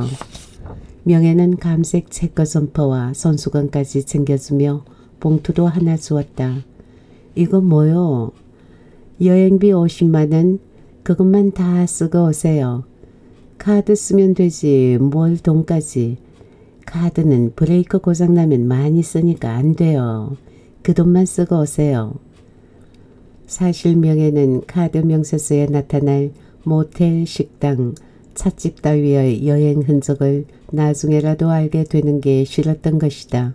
아니 남편이 그런 부담을 느낄지도 몰라서 그랬다. 15. 동규는 자동차에 기름을 가득 채우는 동안 내비게이션에 불국사를 찍었다. 운전하며 트로트 메들리를 들고 크게 따라 불렀다. 동규는 음치라서 좀채 노래를 부르지 않지만 혼자 운전할 때는 조금씩 따라 부른다. 특히 졸음이 올 때는 바락바락 고함지르며 핏대를 올린다. 여행은 자유롭게 해야 좋은데 그 중에서도 혼자 멋대로 노래 부르는 자유가 어뜸이라고 생각했다. 비록 이틀이지만 혼자 돌아다니는 게 정말 좋다. 볼일 보러 가는 길이 아니므로 서두를 이유도 없다. 차를 천천히 몰며 낯선 풍경을 살피는 여유. 그 여유를 즐기기 위해서는 지방도로가 고속도로보다 좋다. 경주에서 여기저기 구경을 했다.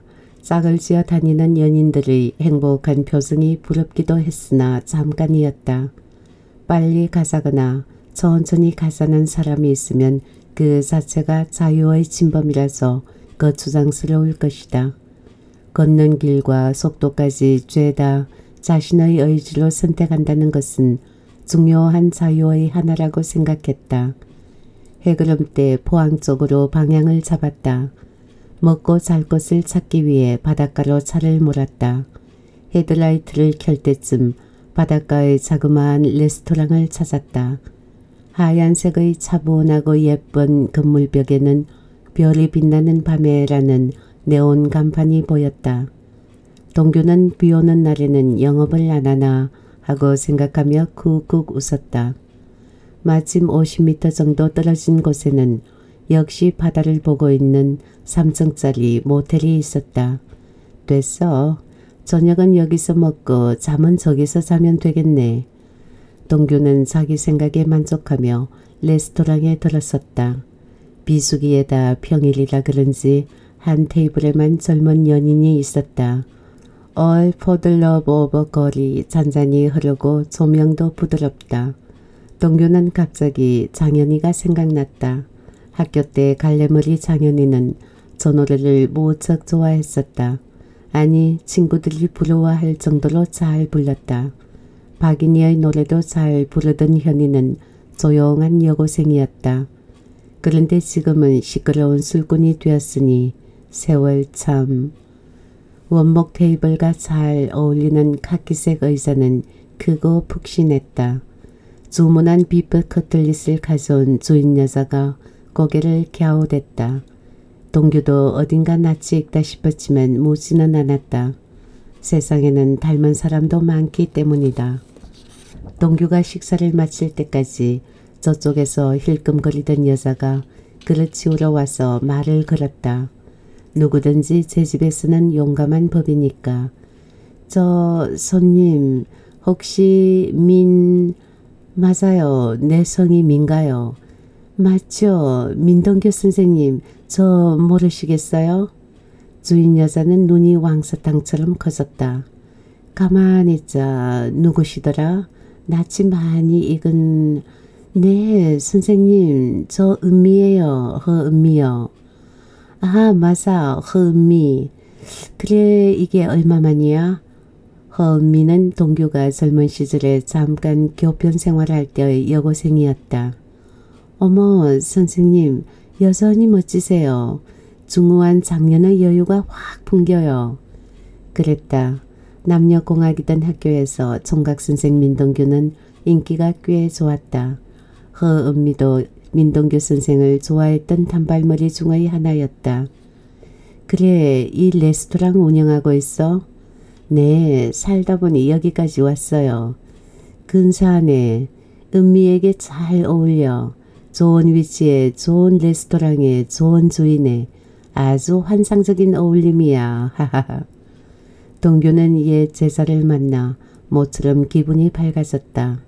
오늘은 시간도 많고 자리도 조용하고 편안히 마음이 느긋해졌다. 마침 다른 젊은 손님이 들어왔기에 은미가 주문을 받으러 갔다.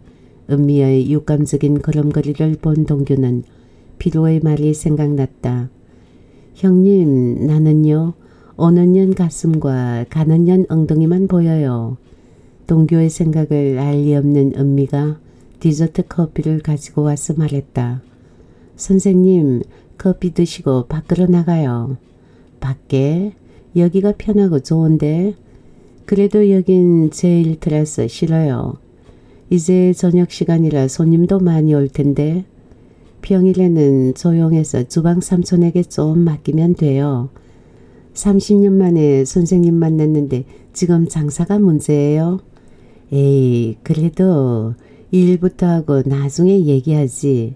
나 오늘 시간 많으니까. 16. 그러나 은미는 주섬주섬 챙기더니 동규를 밀어냈다. 은미는 레스토랑과 모텔의 사이에 있는 횟집으로 동규를 안내했다. 두 사람은 생선회와 술을 나누며 옛날 이야기에 푹 빠졌다. 숙제를 하지 않아 혼났던 이야기, 선생님을 놀렸던 이야기, 은미는 친구들과 선생님들로부터 허은미처럼 불렸다는 이야기, 어떤 친구는 어디에 살고 누구는 교통사고로 죽었고 한참 이야기를 나누다 보니 밤 10시가 되었다. 선생님, 오늘은 옆에 있는 모텔에서 주무세요. 제가 자리 보아드리죠. 동규는 가슴이 철렁했다. 자리를 보아준다니 그건 방에 함께 들어간다는 말이라 갑자기 낭패함이 느껴졌다. 제자와 모텔에 간다는 게 말이나 되는가. 그건 엄청난 탈순이라고 생각되어 낯이 화끈했다. 앞에 앉은 은미를 바로 보기가 힘들었다. 선생님, 여기 잠깐만 기다리세요. 제가 얼른 가서 주방장 퇴근시키고 문 잠그고 올게요. 은미는 동교의 대답도 듣지 않고 카운터에 가서 계산을 치르고 나갔다. 혼자 기다리는 동규는 자리가 불편하고 입장이 무척 난감했다. 모텔에서 옛 제자와 단둘이 밤을 보낸다는 게 영 어색했다. 아니 어색한 정도가 아니라 죄책감이 강하게 엄습했다. 이건 아닌데 이러면 안 되는데 순간 피로의 얼굴이 다시 떠올랐다. 형님 눈 딱 감고 저질러 버려요. 너무 참으면 몸 상해요. 그 위에 상태의 성난 얼굴이 오버랩되더니 따끔한 경고가 귓전에 맴돌았다. 당장 그만둬. 안 그러면 명예씨에게 알리고 자네 애들에게도 말할 거야. 아버지에게 실망하는 아이들의 싸늘한 눈빛도 떠올랐다. 동규는 머리를 세차게 흔들었다. 은미가 오기 전에 얼른 이 자리를 피하려고 했다. 동규는 주차장으로 급히 나갔다. 벌떡거리는 가슴을 심호흡으로 진정시키며 차를 몰았다. 조금 가다가 갓길을 멈추어 내비게이션을 눌렀다. 우리 집. 손가락이 약간 떨렸다. 계속 심호흡을 해서 조금 진정시켰다. 그래 집에 가자. 동규는 뒤에 추격자라도 오는 것처럼 급히 차를 몰았다.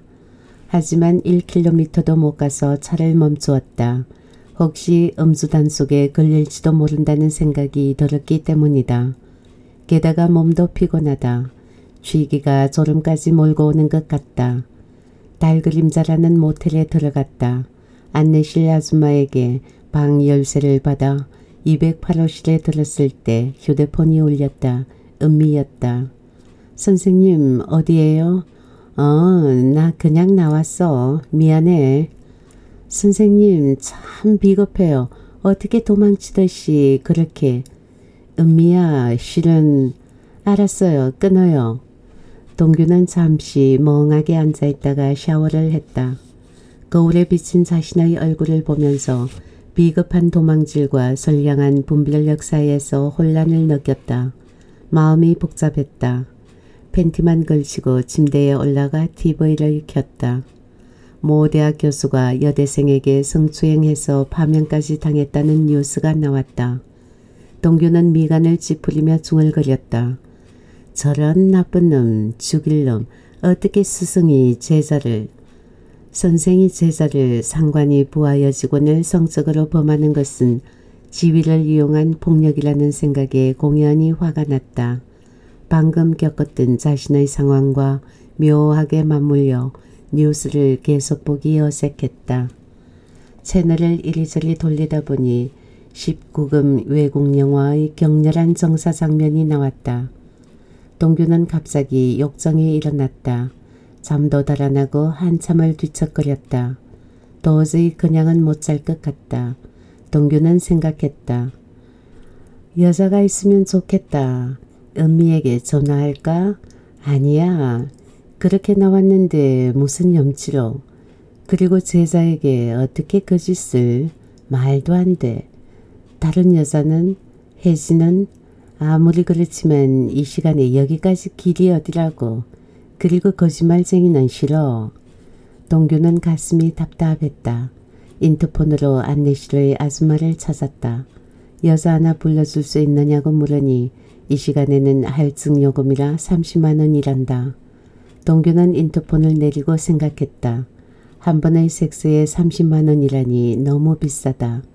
아내에게 받은 여행비가 있어도 이건 아니다. 30만 원이 애들 이름인가.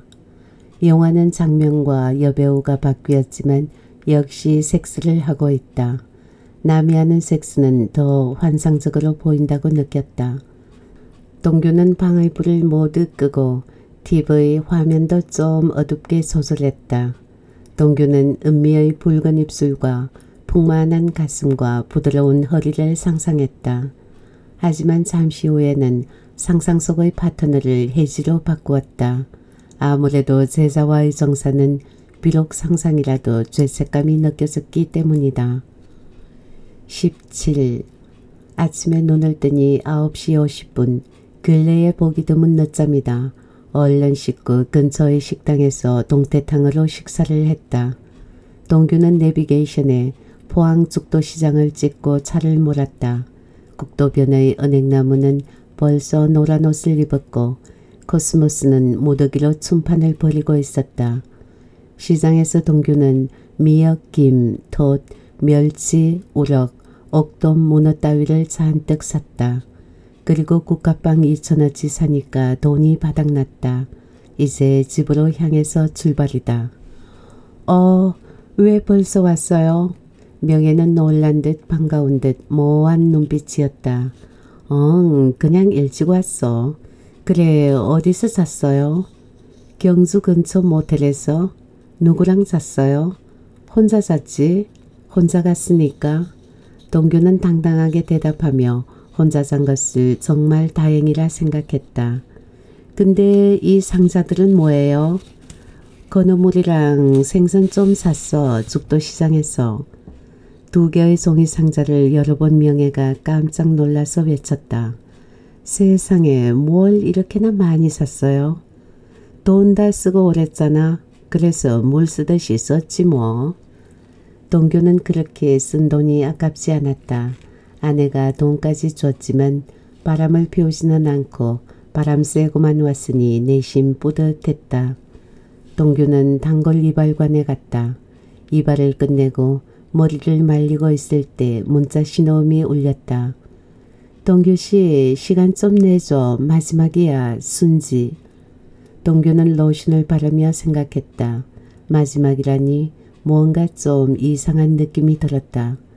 외국 이민이라도 가나 아니면 뉴스에 가끔 나오는 황혼 자살이라도 동규는 이발관에서 나오며 순지에게 전화를 걸었다. 나야 동규. 어허 드디어 낚았네. 전화 고마워. 고맙긴. 근데 마지막이란 건 무슨 뜻이야? 아 그거? 전화로 말하긴 좀... 그래 어디서 볼까? 음 표충사의 청산장이라고 알지? 오후 6시에 거기서 봐. 알았어 나중에 봐.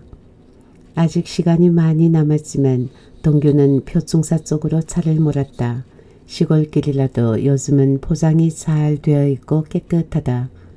언덕에 보이는 감나무와 온나무의 잎들이 가장 붉고 아름답다. 거저께 내린 가을비로 계곡에는 물이 불어 있었다. 청산장은 오래된 한식당인데 2층에 레스토랑이 있어서 전통과 현대적 감각이 잘 어우러진 집이다. 1층 한식당에는 단체 손님들이 많아 2층으로 바로 올라갔다. 창쪽 의자에 앉아 순지에게 문자를 보냈다. 2층 레스토랑으로 바로 오면 돼. 알았어. 나도 30분 일찍 도착할 거야. 동규는 최근 통화와 메시지 정보에서 순지의 이름을 모두 지웠다. 두 번 실수하면 바보라고 생각하며 삭제하고 확인까지 했다. 카운터에서 빌린 신문을 읽으니 졸음이 몰려왔다. 창으로 들어오는 햇살이 포근하여 깜빡 졸았다. 18. 5시 35분 순지가 들어왔다. 환갑의 여자답지 않은 옷차림이다. 무릎 쪽이 낡은 청바지, 헐렁한 자주색 스웨터, 빨간 운동화, 잠자리 날개처럼 얇은 스카프, 그리고 노란색의 홀쭉한 배낭, 머리에는 챙이 제법 넓은 모자를 썼는데 머리칼은 보이지 않고 얼굴만 보였다. 젊은 아가씨 같은 차림새가 전혀 어색하지 않고 오히려 자연스럽다. 저 여잔 누가 뭐라 하거나 말거나 제멋대로라고 생각하며 픽 웃음이 나왔다. 하지만 멀리서 볼 때만 발랄했다. 오랜만이야 동교씨. 순지가 악수를 청했다. 부드러운 손이지만 약간 차갑다. 가까이서 보니 낯빛도 어둡다. 며칠 몸살이라도 심하게 앓은 사람 같다. 어디 아파? 늘 용감하던 사람이 왜 그렇게 힘이 없어?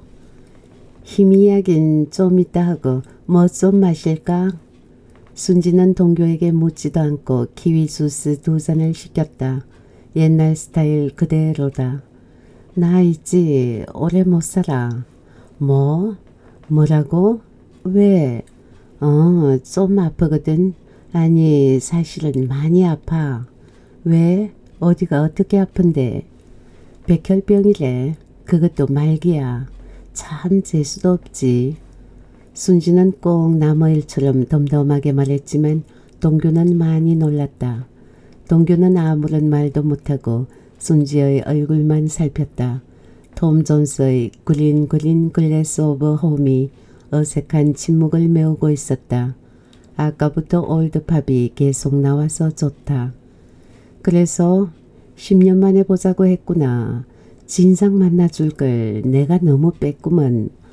동규는 분위기를 조금이라도 바꿀 요량으로 농담조로 말했다. 흥, 그래도 네 번 만에 만나주니 감지덕지네. 열 번쯤 찍어야 할 나무라고 각오했는데 말이야. 순지도 분위기를 생각해서인지 가볍게 받았고 약간의 싱거운 농담이 오갔다. 주스를 한 모금 마신 순지가 정색을 하고 말했다. 동규 씨, 나 지금 내 인생을 정리하는 중이야. 젊었을 때는 주식과 부동산 사업으로 돈방석에 앉았지. 그러나 남편이 친구의 보증을 서서 거의 다 날렸어. 도박과 술에 빠졌던 남편은 젊은 여자와 살림도 차렸지. 그렇게 애먹이던 남편이 폐암에 걸려 돌아왔지만 1년 만에 죽었어. 아이고 그랬나? 힘들었겠네. 동규는 침울한 눈빛으로 순지를 바라보았다. 난 미국에서 사업하는 아들에게 아파트까지 팔아보냈지. 프랑스에서 공부하는 딸에겐 17평짜리 서민 아파트 전세금만 남기고 다 보냈어. 그런데 지금은 남편도 자식도 곁에 없어. 잘 나갈 땐 돈방석이었는데 지금은 땅이 꺼진 것 같아. 애들은 자주 안 와. 걔들은 엄마에게 뜯어갈 돈이 없으니 안 오네. 나도 안 기다리고. 앞으로 그럼 어떻게 할 거야? 일주일 후에 요양병원에 들어가기로 했어. 아파트 전세금 빼서. 순지는 말을 잊지 못하고 창 쪽으로 눈길을 돌렸다. 마음 단단히 먹어 약한 생각하지 말고 천하의 배순지가 잘 이겨낼 거야. 동규 씨 옛날 얘기 하나 해줄게. 평생 말하지 않으려고 했는데 옛날 우리 사귈 때 벌써 40년이 흘렀네.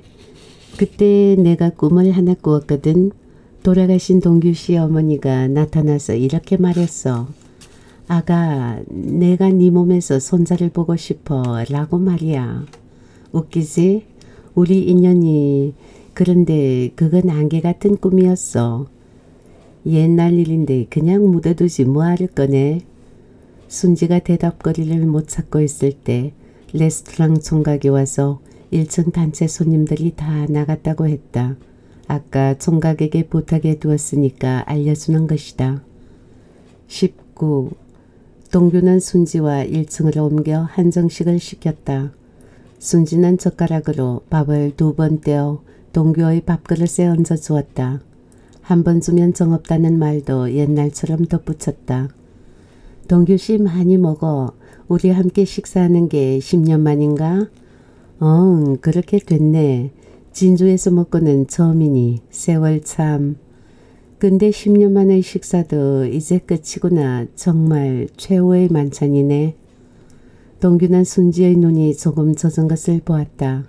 동규가 먼 쪽에 있는 고추김치를 집으니 순지는 그 접시를 동규 쪽으로 옮겨 주었다. 동규가 콩잎 장아찌를 떼기 어려워하자 순지가 젓가락으로 잡아주었다. 순지는 지금 동규의 식사를 돕고 있다. 동규는 생각했다. 맞아. 순지는 옛날에도 이랬어. 밥상에서는 착한 독재자였지. 순지가 고등어 살찜을 떼어 동규의 숟가락에 얹어주며 말했다.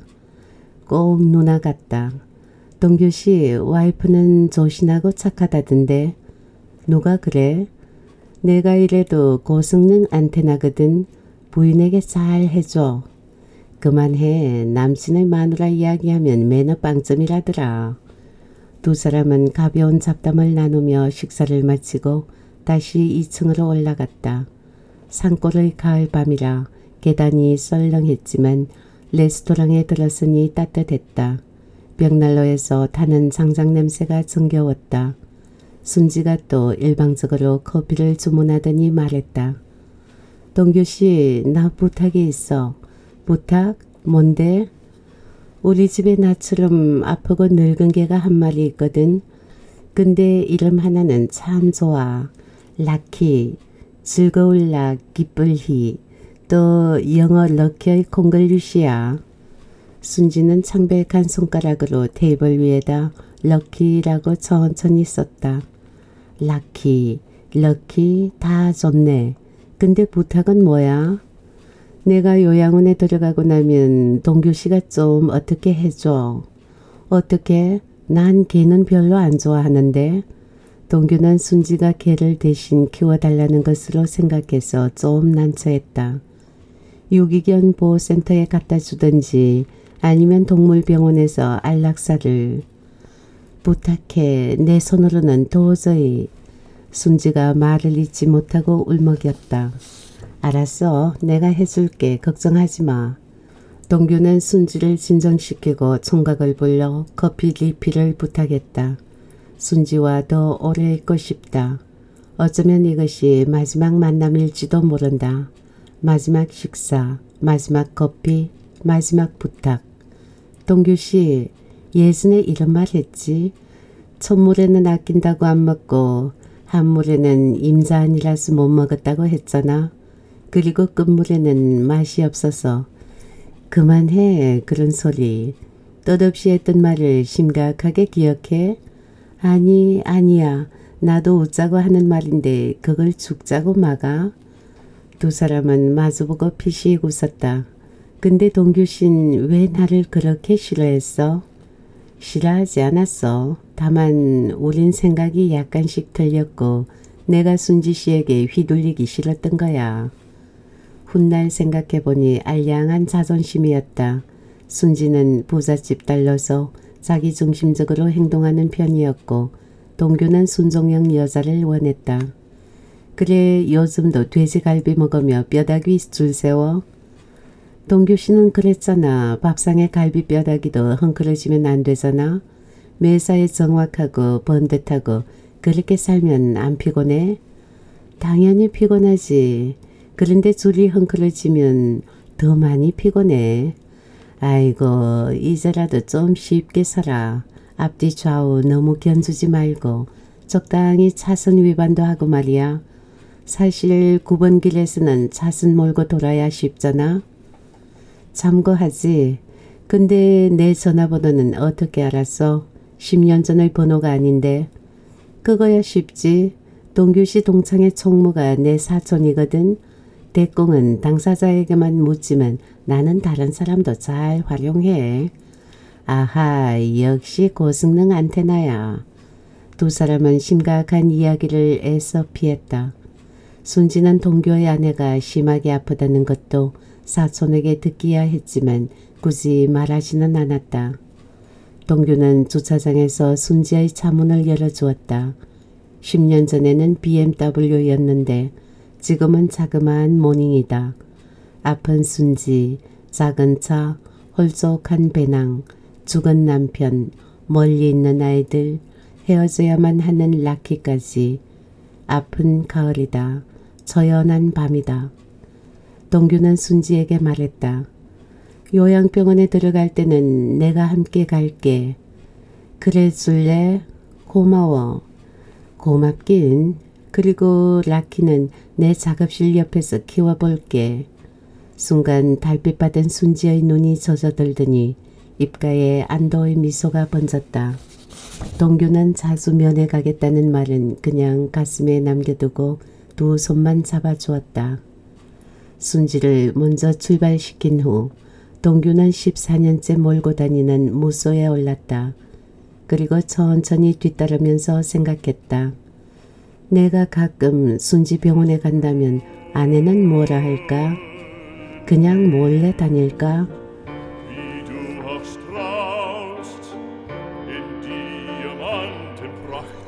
아버지 마음 지연이 구민성 Deines Herz 1 여보 경희 엄마 눈 떠보소. 조이루는 아내의 팔을 가볍게 흔들었다. 배영부는 눈을 가늘게 뜨고 남편을 올려다 보았다. 와예 이거 병원 앞쪽 집에서 샀는데 한 그릇 먹어보소. 거기 뭔데요? 아 전복죽이요. 아 그 비싼 걸 뭐 하려고 샀어요? 배영부는 눈을 동그랗게 뜨며 지청구를 놓았다. 비싸긴 뭐 이거 먹으면 힘이 좀 날 거요. 그래야 약 효과도 좋지. 조이루는 아내를 이렇게 앉히고는 숟가락을 들려주었다.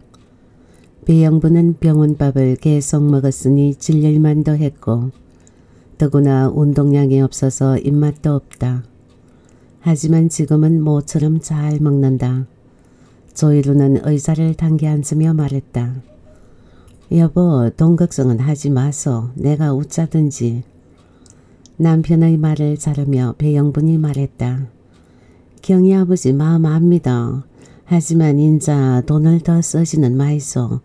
어차피 지는 오래 못 살아요. 거기 무슨 소리요. 와 그래 약한 말을 하오. 의사 선생님이 어제 그렇게 의사가 뭐라 하든 나는 당신 못 보내요. 내 말 믿고 마음 굳게 가지소. 죽이라도 많이 먹고. 배영분이 깨끗이 비운 죽그릇을 보며 말했다. 죽이 참 고소하고 맛있네요. 고맙습니다. 배영분은 이렇게 맛있는 식사를 앞으로 얼마나 더 할 수 있을까 하는 생각이 불쑥 들었다. 조이루는 아내에게 보리차를 건네며 착 가라앉은 음성으로 말했다. 미안하오. 서울 큰 병원이나 외국 병원에라도 가고 싶지만 내가 무능해서 아닙니다. 경희 아버진 충분히 했어요. 당신 마음은 제 가슴에 다 담고도 넘칠 정도니까요. 배영부는 진심으로 고마워했지만 조이루는 마음 깊이 미안함을 느끼고 있었다. 모처럼 기운이 좀 나아지고 정신도 맑아진 배영분의 얼굴에 엷은 미소가 번졌다. 경희 아버지 나중에 지 정신이 흐려지기 전에 미리 하는 말이니까 잘 있어. 배영부는 말을 잠시 멈추고 보리차로 입술을 적셨다. 무슨 말인데 그렇게럼 뜸을 들이요? 이 조이루는 아내의 대답을 은근히 졸랐다. 지가 죽더라도 우리 애들 육남매를 절대 흩티지 말고 당신이 다 챙겨서 키워주이소. 우리 애들 다 착합니다. 당신 닮아서 어질고 순하지에.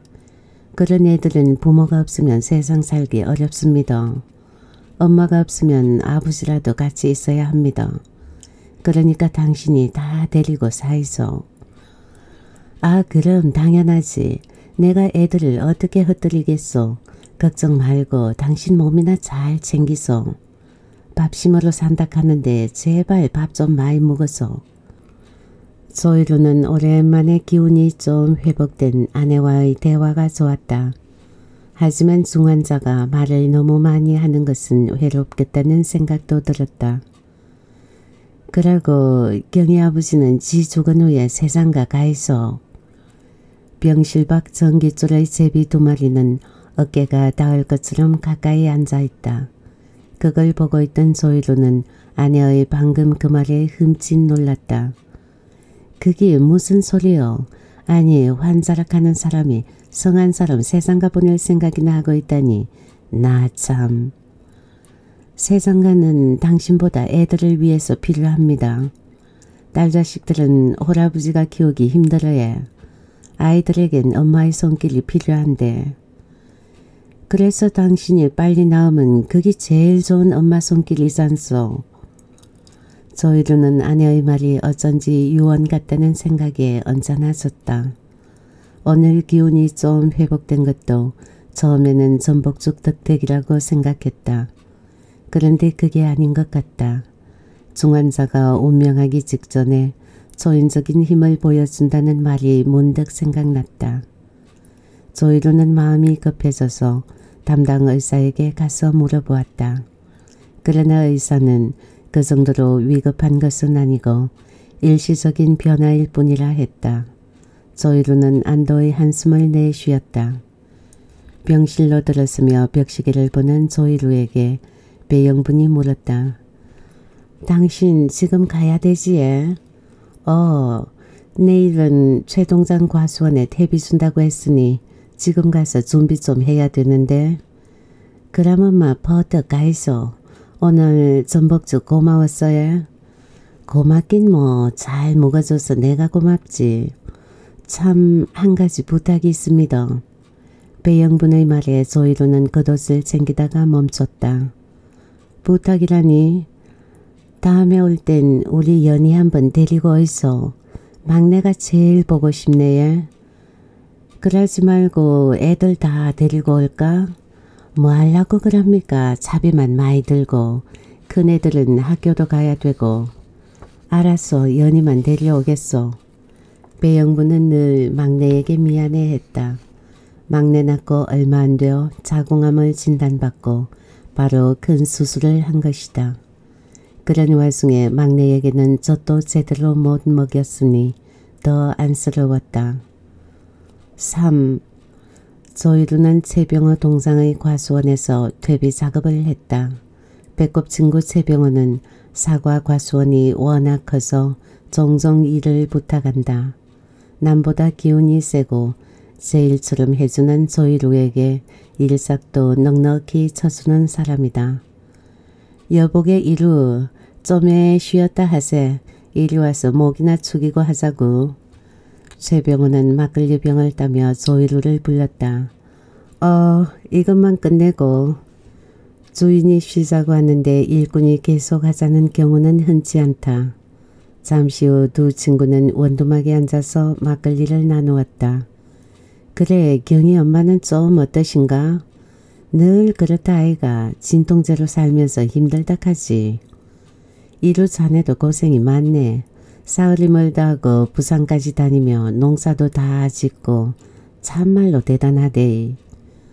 산내면에서 시외버스로 터미널까지 가서는 시내버스로 바꾸어 타고 밀양역에 간다. 완행열차로 부산역에 내려 또 시내버스 타고 병원까지 간다. 이렇게 하면 좋기 4시간이 걸린다. 당일로 왕복하자면 빨라도 8시간 이상의 이동시간이 걸린다. 내가 뭘 한다고 마누라가 고생이지 나야 뭐. 아니다. 애들 여섯 가지 다 돌보며 나는 말만 들어도 힘들대. 누구나 닥치면 다 할 수 있는 기라. 사람 일인데 뭘 못하겠노. 최병호가 정색하며 말을 이었다. 여보게 이루 내 말 곡해 하지 말고 잘 들어보래. 저기 큰딸 경이가 올해 몇 살이고 16살 아이가 각 중에 그건 와문노? 저기 우리 외삼촌 그와 자네도 알제 황부자라고 밀양 읍내에서 아이스케이크 공장하던 어른 아 그래 알지 우리 어릴 때 공장에 가서 아이스케이크도 얻어 먹었지 조이루는 목소리 크고 무서워도 아이스케이크는 많이 주던 황부자가 생각났다. 그 외삼손이 올해 일흔인데 경위를 그대게 보내면 어떻겠노? 경위를 그대게 보내다니 그게 무슨 말이고. 조이루는 의심의 눈으로 최병호를 바라보았다. 어, 우리 외숙모가 많이 아프거든. 자녀들은 모두 도시로 나갔거든. 그래서 그 어린이 무척 힘든 모양이대. 이런 노인이 빨래, 청소, 음식까지 다 하기도 어렵고 외숙모가 아직은 살아있으니 재혼도 못하고 그럼 사람 쓰면 안 되나 부자니까 얼마든지 안 돼. 그 양반은 남을 잘 믿지 못해 견디는 사람이 없어. 그런데 경희는 자네가 잘 가르쳐서 착하잖아. 가서 살림 도와주면 야간 학교도 보내주고 월급도 많이 받을 거대. 그 양반은 부자니까. 그래서 우리 경희를 그대게 식모살이 보내라는 말이가 시방. 아니 그게 그러니까 식모가 아이고 자네가 부인 병원비도 많이 들고 어려우니까 또 큰딸은 살림미천이라고 그래 혹시 도움이 될까 싶어. 최병호는 무척 난처한 표정으로 얼버무렸다. 그만두래 도움되지 않으니께. 조이루는 자기 귀에도 냉정하게 들릴 정도로 잘라 말했다. 아 그래 미안하네.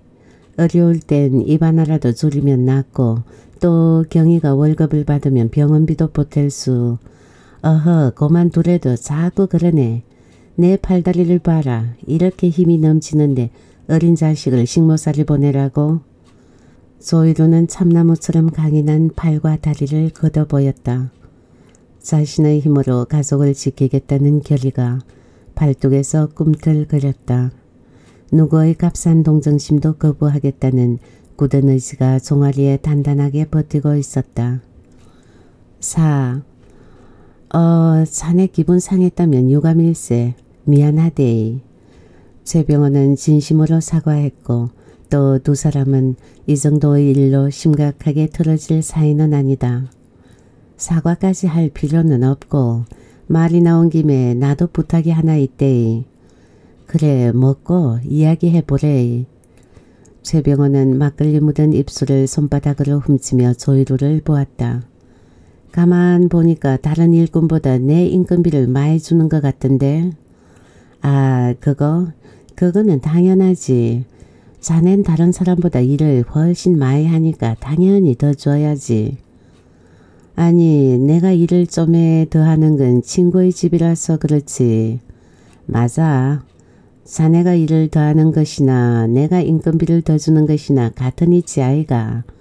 힘센 사람이 집 많이 들고 집 많이 들면 밥 더 먹어야지. 이거는 능력급이라 한데. 최병호는 당연한 이치를 말했지만 조이루는 소니의 차별에 부담을 느꼈다. 두 친구는 해가 질 때까지 술잔을 주고받으며 여러 가지 이야기를 했다. 특히 조이루의 생활 문제에 집중했다. 최병호는 전에 자기가 권했던 보험에 가입하지 않았던 조이루를 나무랐다. 와 그때 보험 안 들었노. 내가 몇 번이나 말했지. 우리 처남 있지. 읍내에서 주유소 하는 변정길 말이야. 그 사람은 내가 권하는 보험에 들었는데 대장암 수술비에 입원비까지 다 받았다이가. 지 마누라캉 애들도 모두 보험 들었는데 진짜 든든하다 카더라. 그래 나도 지금은 후회하고 있네. 하지만 그 당시에 우짠지 돈을 뺏기는 느낌이 들더라고. 속는다는 생각이 계속 드는 거야. 실제로 보험 아줌마들의 사기 사건도 뉴스에 많이 안 나왔나. 어쨌기나 지금의 입장은 치료비, 입원비 모두 생돈을 다 내니까 자네가 그만큼 힘들지. 할 수 없지 뭐. 열심히 일해서 해결해야지. 최병원은 친구를 걱정했고 조이루는 친구에게 고마움을 되새기는 술자리였다. 오, 조이루는 1분 1초를 아끼며 열심히 일했다.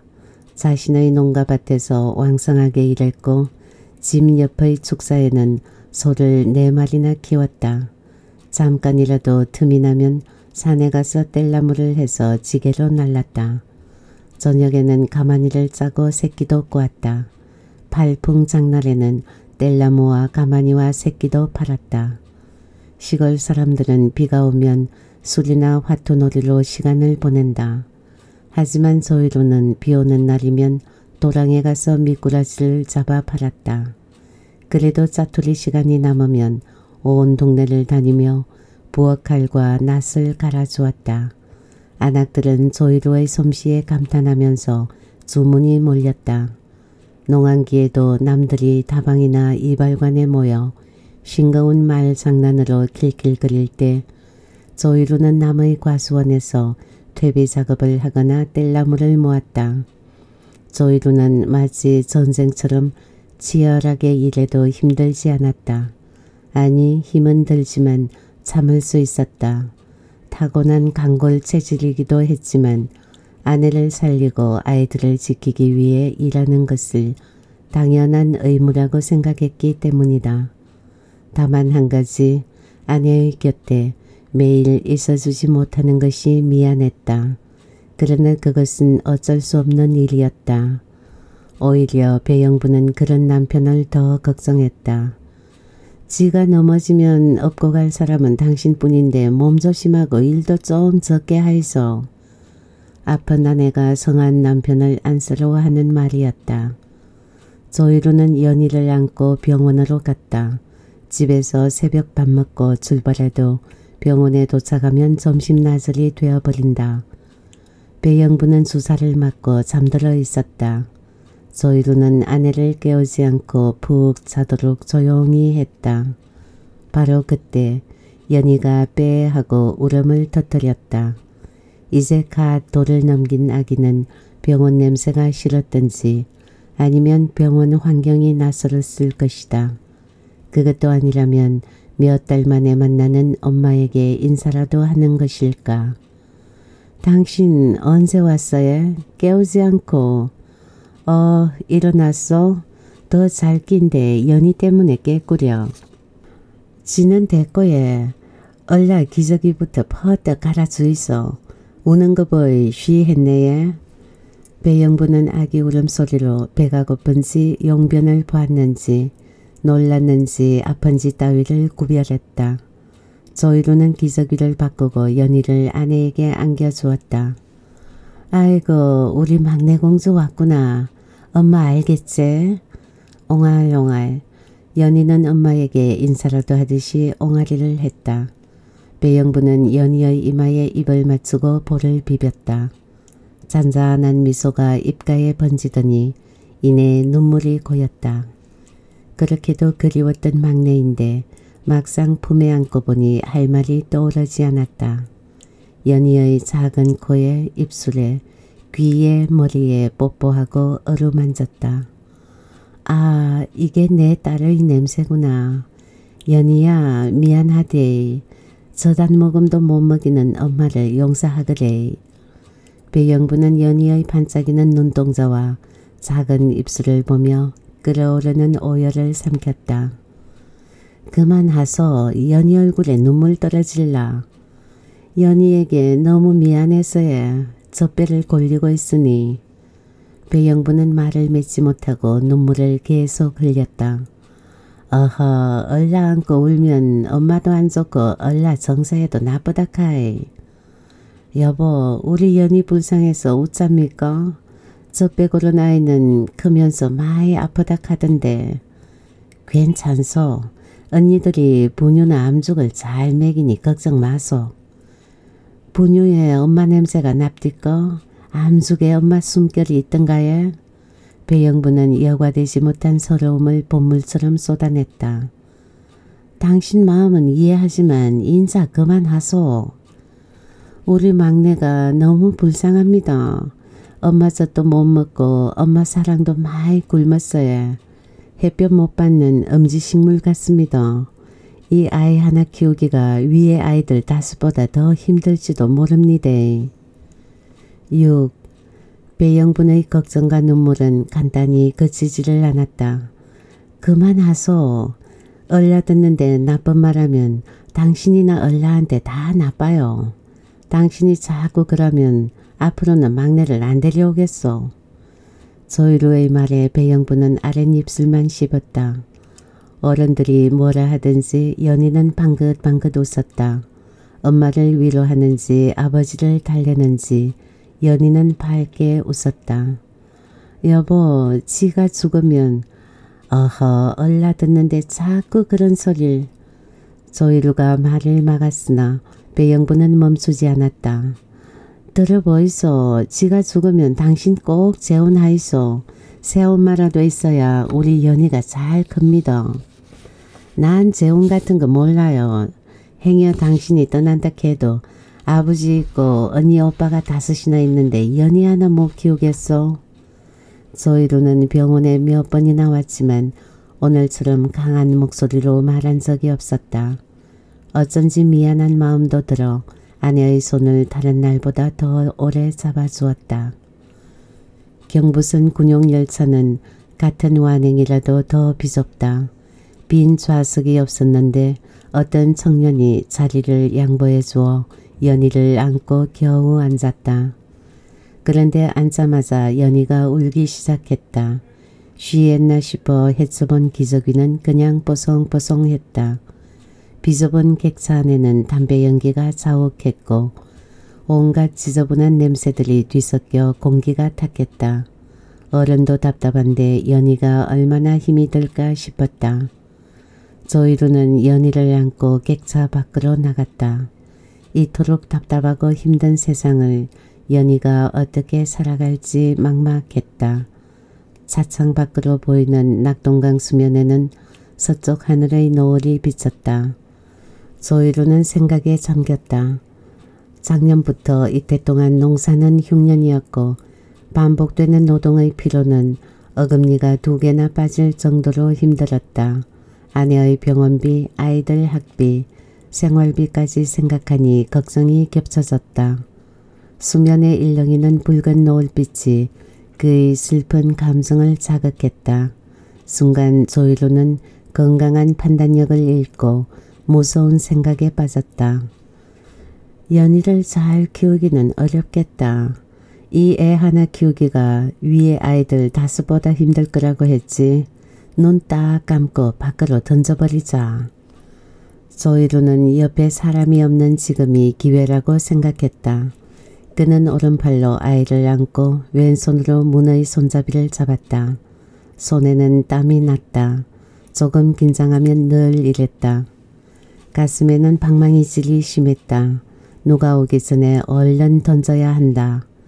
바로 그때 강물에 물오리 다섯 마리가 날아왔다. 네 마리의 새끼들이 어미오리 뒤를 졸졸 따르며 헤엄쳤다. 평화롭고 사랑스러운 가족이다. 아, 미물도 제 새끼들을 끌고 다니는데 내가 지금 무슨 생각을 하고 있나.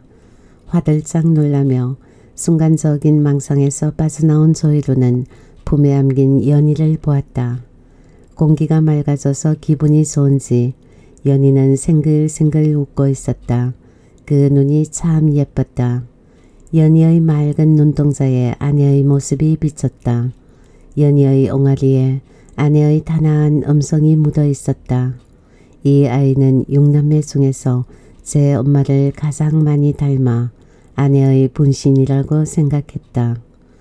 그래, 내가 잠깐 바보 같은 생각을 했구나.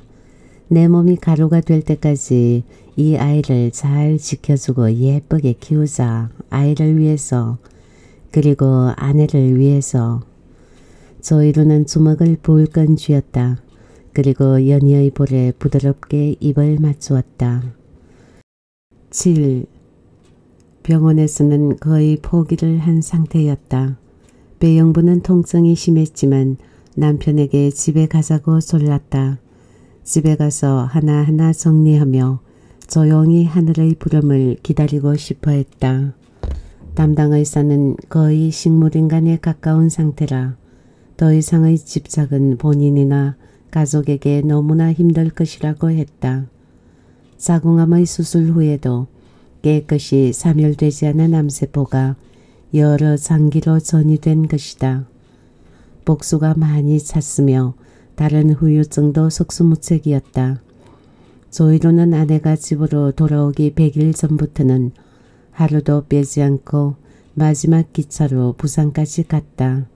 아내 곁을 지키다가 이튿날 새벽 첫 기차로 밀양에 왔다. 그러면서 집안일과 농사일을 다했다.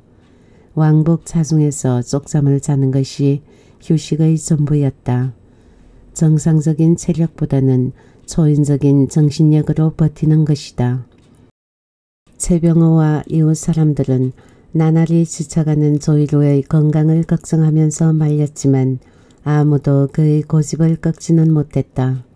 마치 세상에서 자신이 할 일은 이것뿐이라고 생각하는 사람처럼 묵묵히 감당했다.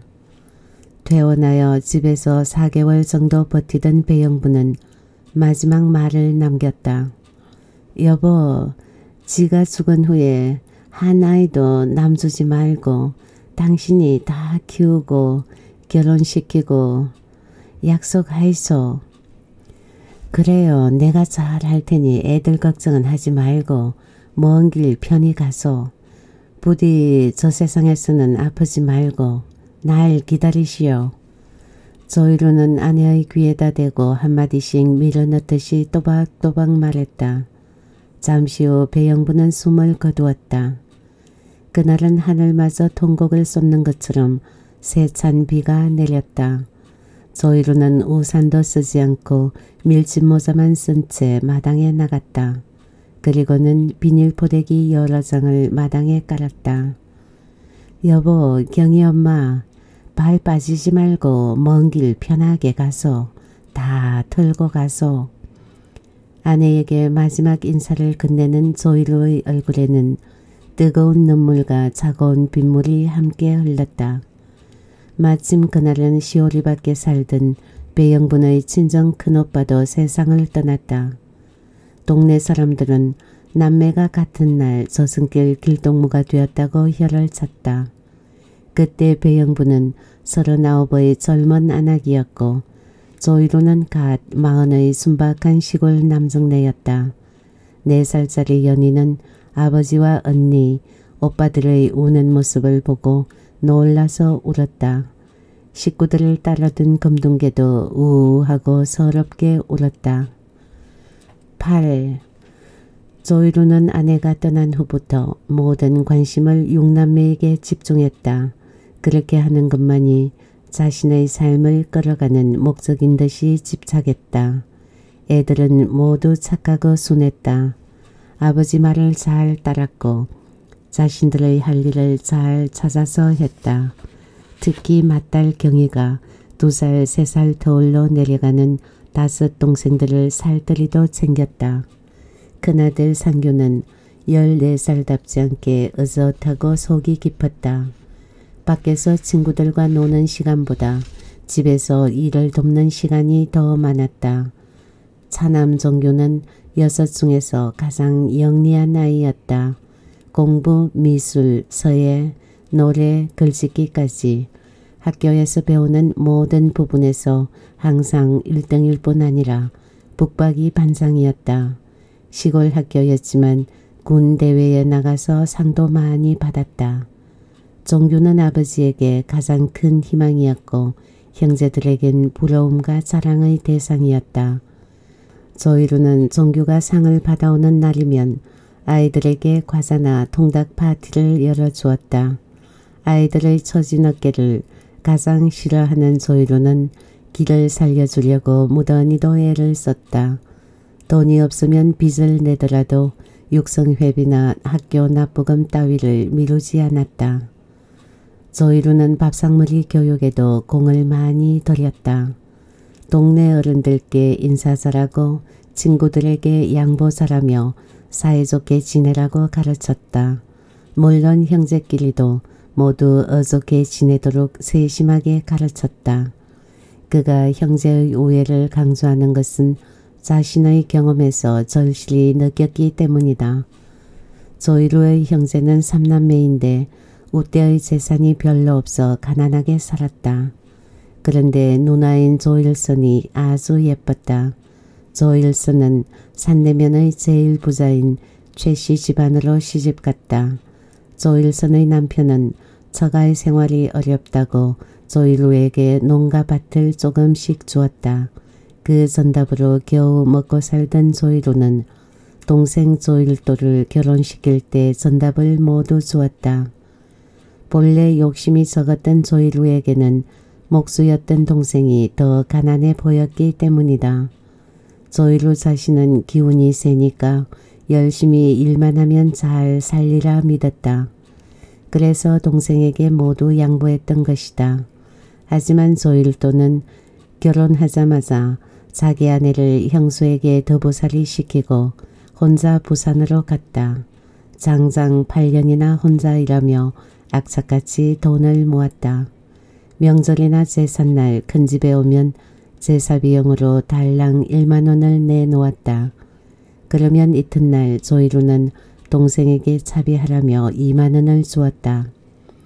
그렇게 아내까지 형수에게 맡겨놓았던 조일도는 형수가 큰 수술을 받고 병원에 입원해 있는 2년 동안 단 한 번도 문병 오지 않았다. 어느 날 조일루의 처남이 화를 내며 자영과 사돈을 비난했다. 자영 사람이 어째 그렇습니까? 사돈이 정말 안 오면 나도 자영을 안 볼랍니다. 알아서 하이소. 처남의 소설에 조이루는 동생에게 차비까지 준다면서 제발 한 번만 문병 오라고 통사정을 했다.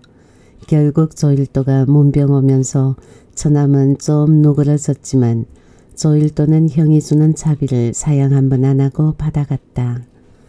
조일도는 여섯 명의 조카들에게 사탕값 10원 한 장도 준 일이 없다. 그는 자신의 아이들에게도 얼음처럼 냉정했다. 아이들은 어릴 때부터 배를 골아서 그런지 큰 집에 오기만 하면 개걸스럽게 먹어댔다. 조이루는 그런 모습을 보며 동생 원망도 했지만 육남매에게 사람의 도리를 가르치는 타산지석으로 삼았다. 양보하고 베푸는 사람은 자식들의 심성도 좋아진다고 믿었다. 조이루는 아이들에게 단 한 번도 가시나 이놈아 저놈아 같은 말을 하지 않았다. 당연히 매질도 안 했다. 생활 태도에 대해서 엄마 있는 집의 아이들보다 더 반듯하게 가르쳤다. 9. 하루는 경희가 순이에게 빗자루를 가져오라고 시켰다. 순이는 바로 아래의 명희에게 시키고 명희는 또 막내인 연희에게 심부름을 시켰다. 하지만 연희가 싫다고 버티었다. 경희는 새 여동생을 불러놓고 빗자루로 손바닥을 한 대씩 때렸다. 연희는 일 마치고 돌아온 아버지께 울면서 열려바쳤고 조이로는 경희를 불러 크게 꾸짖었다. 하지만 조이로는 우는 맞다를 그냥 두지 않았다. 가까이 오게 해서 눈물을 닦아쓰고 손을 꼭 잡으며 격려하는 것을 잊지 않았다. 경희야 엄마 대신으로 네가 고생하는 거 아버지가 다 알고 있대. 힘들겠지만 조금만 참고 동생들 아껴줘라. 곧 우리도 잘 살게 될 기다. 알았지? 경희는 한생 처음 혼났지만 크게 서럽지는 않았다. 그만큼 조이루는 따뜻한 아버지였다. 조이루는 다섯 살짜리 연희를 업고 한 시간이나 걸어서 처가에 갔다. 아내가 죽으면 처가 걸음이 뜸한 것이 보통이지만 그는 사람의 인연을 무척 소중히 여겼다. 장인과 장모의 기일에는 언제나 정갈한 한복 위에 두루마기까지 갖추어 입고 갔다. 아내 없는 처가 나들이에 막내딸만 업고 가는데 연희는 그런 날이 좋았다.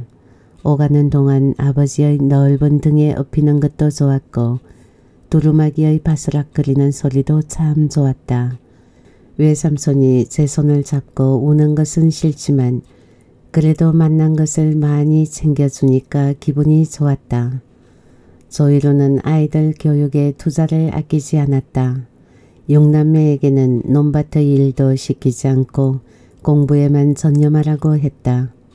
경제적인 어려움은 모두 자신이 감당했다. 조이루는 남의 소를 베내기로 더 키웠다. 이런 새벽부터 밤늦게까지 바쁘게 일했다. 아내의 병원비를 대느라 빚이 늘어났다. 농가 밭을 팔지 않고 온전히 지키며 여기저기서 돈을 빌렸었기 때문이다. 그가 워낙 성실하니까 말만 하면 이웃들이 돈을 잘 빌려주었다. 그 중에서도 최병호는 더욱 파격적이었다. 그는 조이루에게 이자도 받지 않았다. 가까운 친척이라도 최하 월 2부인 사채 이자는 평균이 2부월이었다. 좀 비싼 사람은 3부도 받고 급전이면 5부까지 받는 사람도 있었다. 최병호는 조이루에게 언덕처럼 믿어온 친구였다. 그런 까닭에 조이루는 돈이 생기면 최병호의 돈부터 먼저 갚았다. 비싼 이자부터 먼저 갚고 싼 이자를 뒤에 갚는 것이 인지상정이지만 조이루는 최병호의 무이자 빚부터 갚았다. 최병호는 자영증조차 받지 않았다. 처음에 조이루가 남들에게 써주듯이 자영증을 써줄 때 최병호가 말했다. 자넬 못 믿으면 이따위 종이 조각을 우째 믿겠노. 최병호는 웃으며 자영증을 찢어버리고는 조이루의 손을 힘껏 잡았다. 자네 이 손이 진짜 백이 자영증인기라. 최병호는 선량한 미소를 지었고 조이루의 눈에는 물기가 어렸다. 10.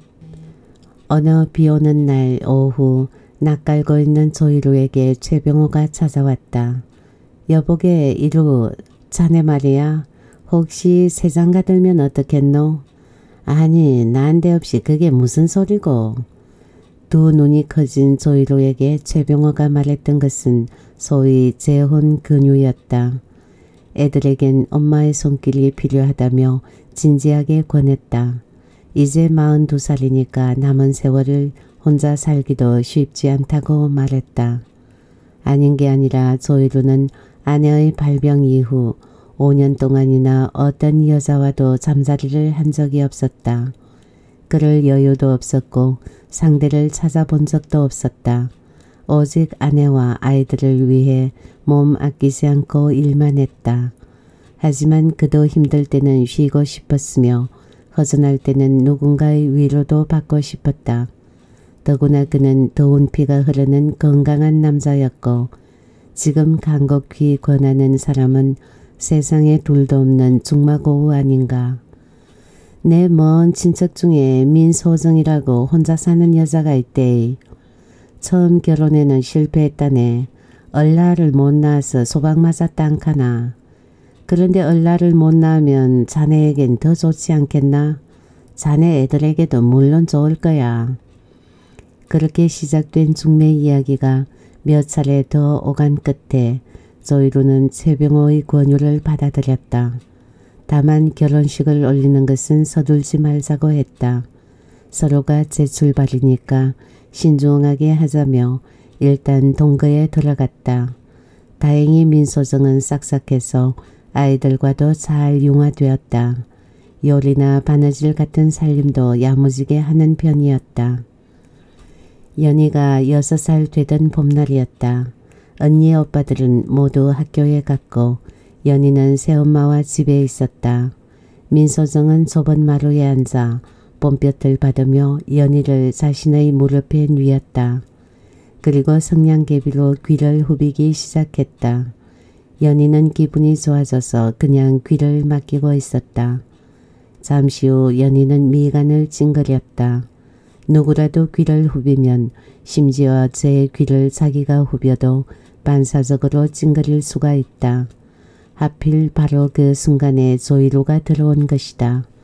대문에 들어오면서 보니 연희가 찡그리고 있는데 방금이라도 울음보가 터질 것 같이 보였다. 뭐야 당신 지금 애한테 무슨 짓 하는 거요? 조이루는 평소와는 전혀 딴판으로 고함을 질렀다. 어린 막내딸을 학대하는 것으로 생각하여 과잉 반응을 보인 것이다. 민소정은 너무 당황했다.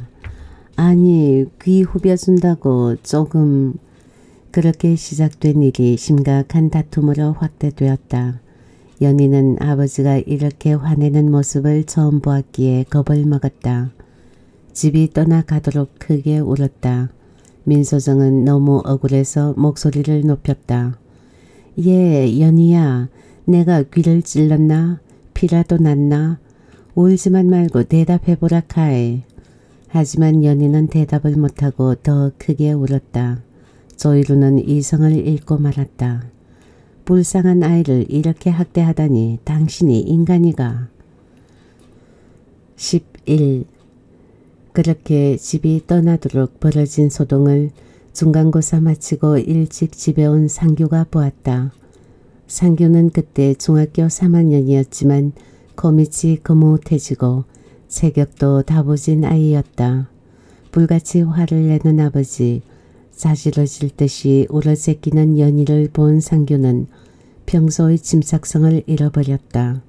앙칼지게 악다구니를 쏟아내는 민소정에게 달려들어 밀고 때렸다. 민소정도 그냥 당하고만 있지 않고 같이 엉켜서 몸싸움을 벌였다. 가까스로 조이루가 말려서 크게 다친 사람은 없었다. 하지만 이 일을 시작으로 조이루와 민소정의 관계는 싸늘하게 식어갔다.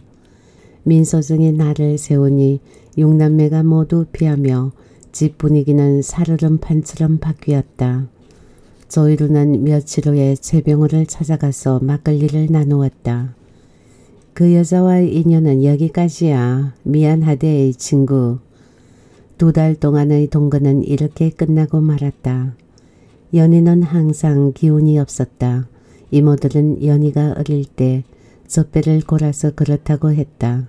하지만 연희는 젖배보다는 마음의 그늘이 더 심각했다. 봄에 귀 후빌 때 아프지도 않았고 피도 안 났다고 말했어야 했다. 그랬으면 아버지와 새엄마가 안 싸웠을 텐데 하고 혼자 소가리를 했다. 토요일 일찍 집에 온 종교에게 연희가 살짝 말했다.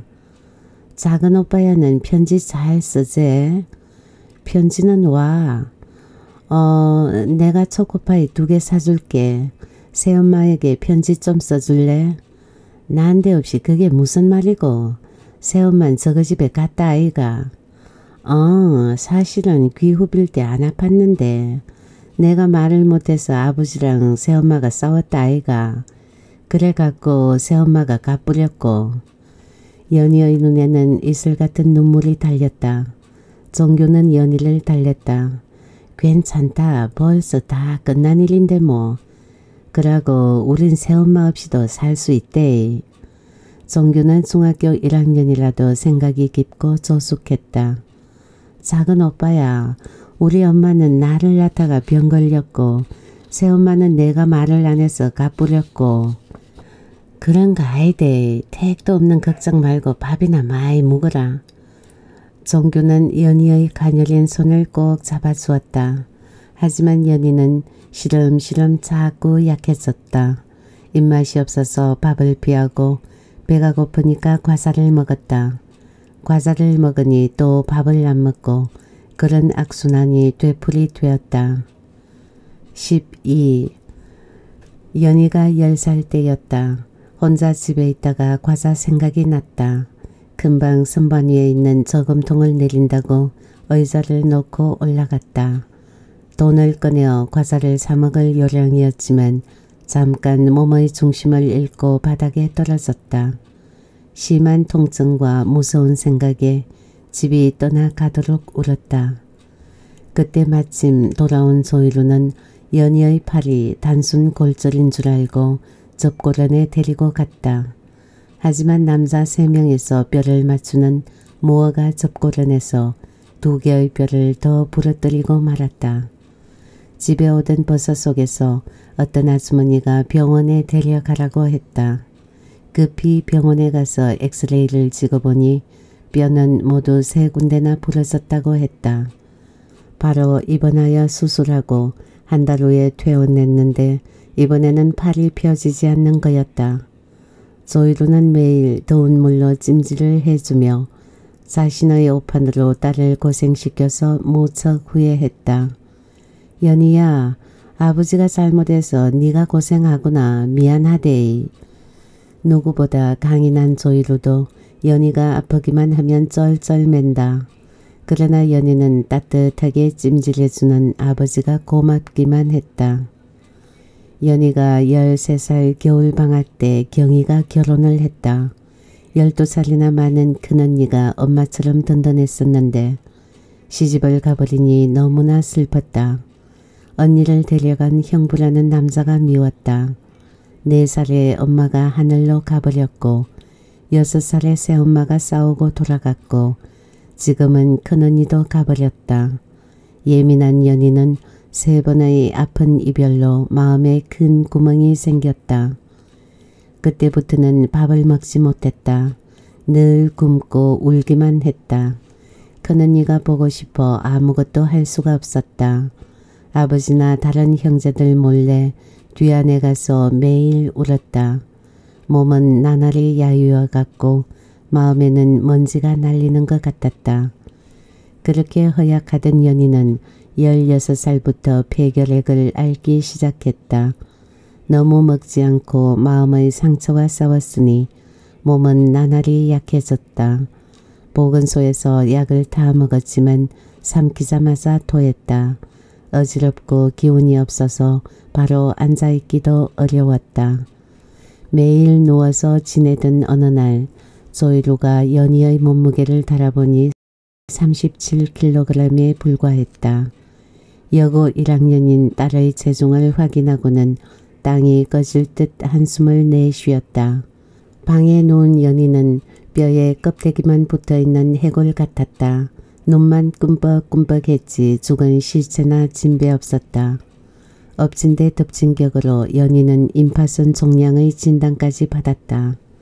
목에 아홉 개의 혹이 생겼다. 하지만 기본적인 체력이 너무 약해 수술이 불가능하다고 했다. 급한 대로 보건소의 약을 먹으며 멀건 미염으로 연명했다. 숨만 붙어 있었지 도무지 사람 꼴이 아니었다. 조이로는 불안했다.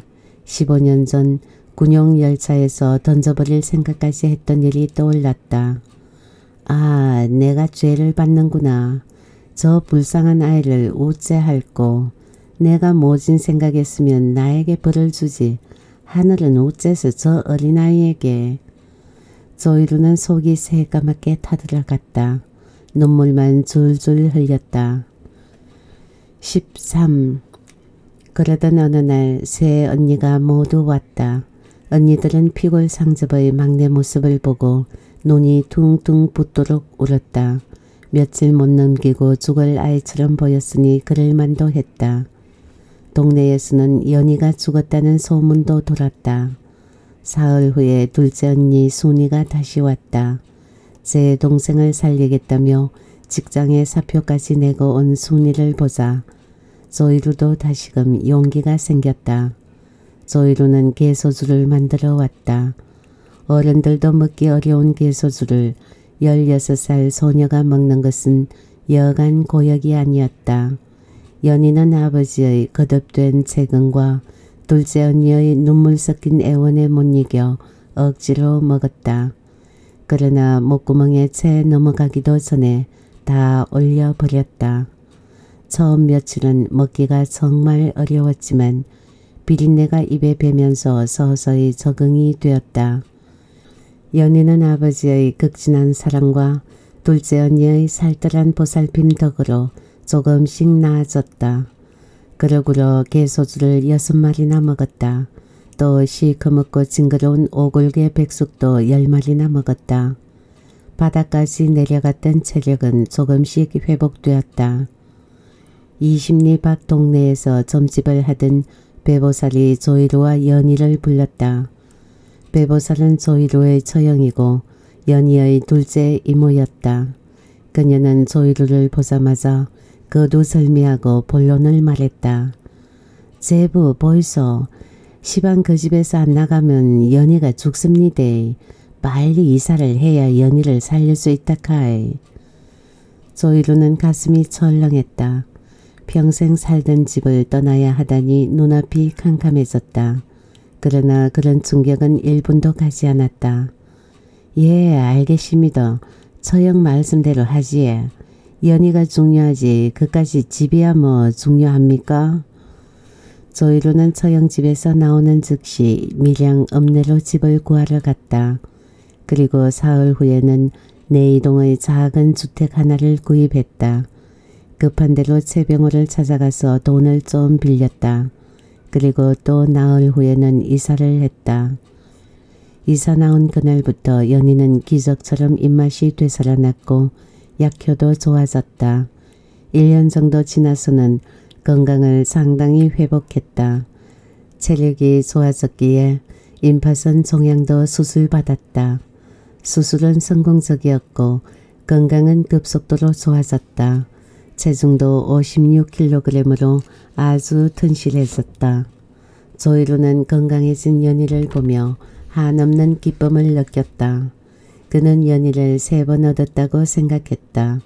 처음은 출생이고 두 번째는 군용열차에서였고 이번이 세 번째인 것이다. 막내는 아내가 제일 걱정하던 아픈 손가락이어서 더 애틋했다. 하루는 셋째 명희가 친구에게서 고양이를 얻어왔다. 모두가 예쁘다고 좋아할 때 조이루가 들어왔다. 이거 먹고 고양이라에 너무 이뻐서 친구한테 얻어왔습니다. 안 된다. 다 항상 돌려주고 오래. 와예 고양이가 어쨌다고 그럽니까? 네 정신이 있나 없나? 고양이는 방에도 들어오는 짐승인데 털 날리면 연희한테 해로운 거 모르나? 그랬다. 조이루는 호흡기 약한 연희를 걱정했던 것이다. 결국 고양이는 그날 밤으로 되돌려 보내고 말았다. 14. 조이루는 경제적인 어려움에 빠졌다. 아이들이 크면서 학비 부담도 비례적으로 늘어났기 때문이다. 아내의 병원비 빚은 몇 년 전까지 가까스로 갚았지만 연희의 치료비와 수술비도 만만치 않았다. 경희야 시집을 갔지만 다른 아이들은 한창 돈이 들어갈 시기였다. 50대 중반으로 접어들며 힘도 예전 같지가 않았다. 어금니는 모두 빠졌지만 들리 주문을 할 여유가 없었다. 조이루는 채병호를 찾아가서 의논했다. 시골의 농토와 소를 모두 팔아서 빚부터 갚을 생각이니 소개를 좀 해달라고 부탁했다. 최병호도 무척 섭섭해했지만 달리 방법이 없음을 잘 알았다. 조이루와 헤어진 최병호는 마을 회관 옆의 이발관에 갔다. 시골 이발관은 이발 외에도 온갖 정보가 교류되는 공간이다. 마을 남정네들의 놀이터와 사랑방이기도 했다. 최병호는 이발관에서 조이루의 농토와 소를 판다고 말했다. 그 말을 들으며 유달리 눈빛이 변하는 사람이 있었다. 최병호보다 세 살 아래인 김희동이었다. 김희동은 군대 시절에 수색 근무하다가 쥐레를 밟아 한쪽 다리를 잃은 사람이다. 제대를 했지만 상위 용사이며 특별한 기술도 없는 그는 일자리를 구하지 못했다. 농토는 본래 없었지만 있다 한들 농사지을 몸이 아니었다. 여기저기 얼굴 통하는 사람들에게 얻어먹거나 빌려서 썼다. 하지만 처음에는 불쌍하다고 적선하듯이 도와주던 사람들도 어느 순간부터는 줄어들었다. 외상술도 꼬리가 길어지니 술집에서조차 냉대했다. 먹고 살 길이 막막해진 그는 급기야 남의 물건에 손을 대기 시작했다. 작게 시작했던 좀도둑이 차차 큰 도둑으로 변하며 교도소에도 들락거리게 되었다. 그는 교도소에서 다른 죄수들이 배우는 목공 기술 따위를 배우지 않았다. 그걸 배운다 해도 다리를 제대로 못 쓰는 사람에게 일자리를 주는 곳은 없을 거라고 생각했기 때문이다. 그는 교도소 안에서 고참들로부터 도둑질을 제대로 배우기 시작했다. 대문이나 현관 열쇠를 여는 방법을 배웠고 금고 다이얼 여는 방법도 배웠다. 줄감에서는 여러 방법으로 자물쇠 여는 연습도 많이 했다. 본격적으로 도둑질을 하면서 그의 돈 씀씀이도 커졌다. 사람들은 그의 소행을 알지만 자신에게 직접적인 피해가 없으면 모른 척했다. 그가 불쌍하기도 했지만 괜히 건드렸다가는 보복당할지도 모르기 때문이다. 김희동은 다섯 번 성공하면 한 번 잡히는 정도로 성공률이 비교적 높았다. 이미 전과 육범인 그는 교도소에 또 들어가는 게 겁나지 않았다. 그에게는 교도소 안이나 밖이나 별 차이가 없었다. 다만 안에서는 술, 담배를 할 수 없다는 것이 불편하고 불만스러웠다. 그런데 그는 교도소에 수감되기만 하면 혈색이 좋아졌고 사람들은 그에게 깜빵 체질이라고 농반증반으로 말했다. 15. 그런 김희동이 장날 조이루를 찾아왔고 습관대로 형님을 혀임으로 발음했다. 혀임예 살기가 힘들지에. 어 그냥 그렇지 뭐. 조이루 역시 다른 사람들처럼 김희동이 반갑지 않아서 대면대면했다. 혀임도 돈이 좀 필요하다 카대에. 김희동은 마른 입술을 혀로 핥으며 단도직입적으로 물었다. 그리고 바짝 당겨 앉으면서 목소리를 낮추었다. 혀임예, 나하고 손잡으면 아니 나를 좀에만 도와주면 묵고 사는 걱정은 끝이 납니다. 손을 잡다니 자넬 도와준다고 그게 무슨 말이고. 조이루가 미심적인 눈빛으로 묻자 김희동이 미리 연습이라도 한 것 같은 목소리로 설명을 시작했다. 그는 교도소 수감 횟수가 많아질수록 언변도 좋아졌다. 혀임예 잘 들어보이소. 읍내에 동선 가구점 알지에? 그 가구점 정사장이 직원들 월급 주는 날이 매월 15일인데 하루 전에 은행에서 돈을 찾아 금고에 넣어두거든요. 이튿날 월급 준다고. 가만 희동이 자네 지금 무슨 말을 하노? 조이루가 단호한 목소리로 김희동의 말을 끊었다. 어허 혀임네 그냥 들어보라 카이.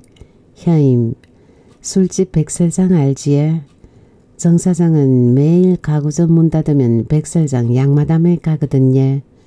그 양마담이 정 사장 애인이고 정 사장은 마누라 죽기 전부터 양마담과 연애했는데 조이루는 약간 짜증스럽게 입술 끝을 비틀며 김희동의 말을 잘랐다.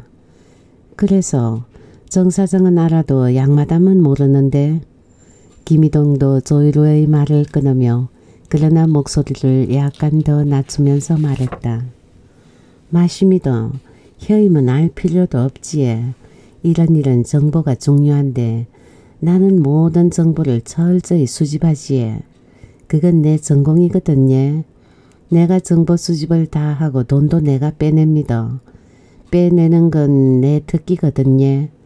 나는 내 전공과 특기를 살려서 그러면 전공과 특기를 살려서 자네 혼자 다 하지.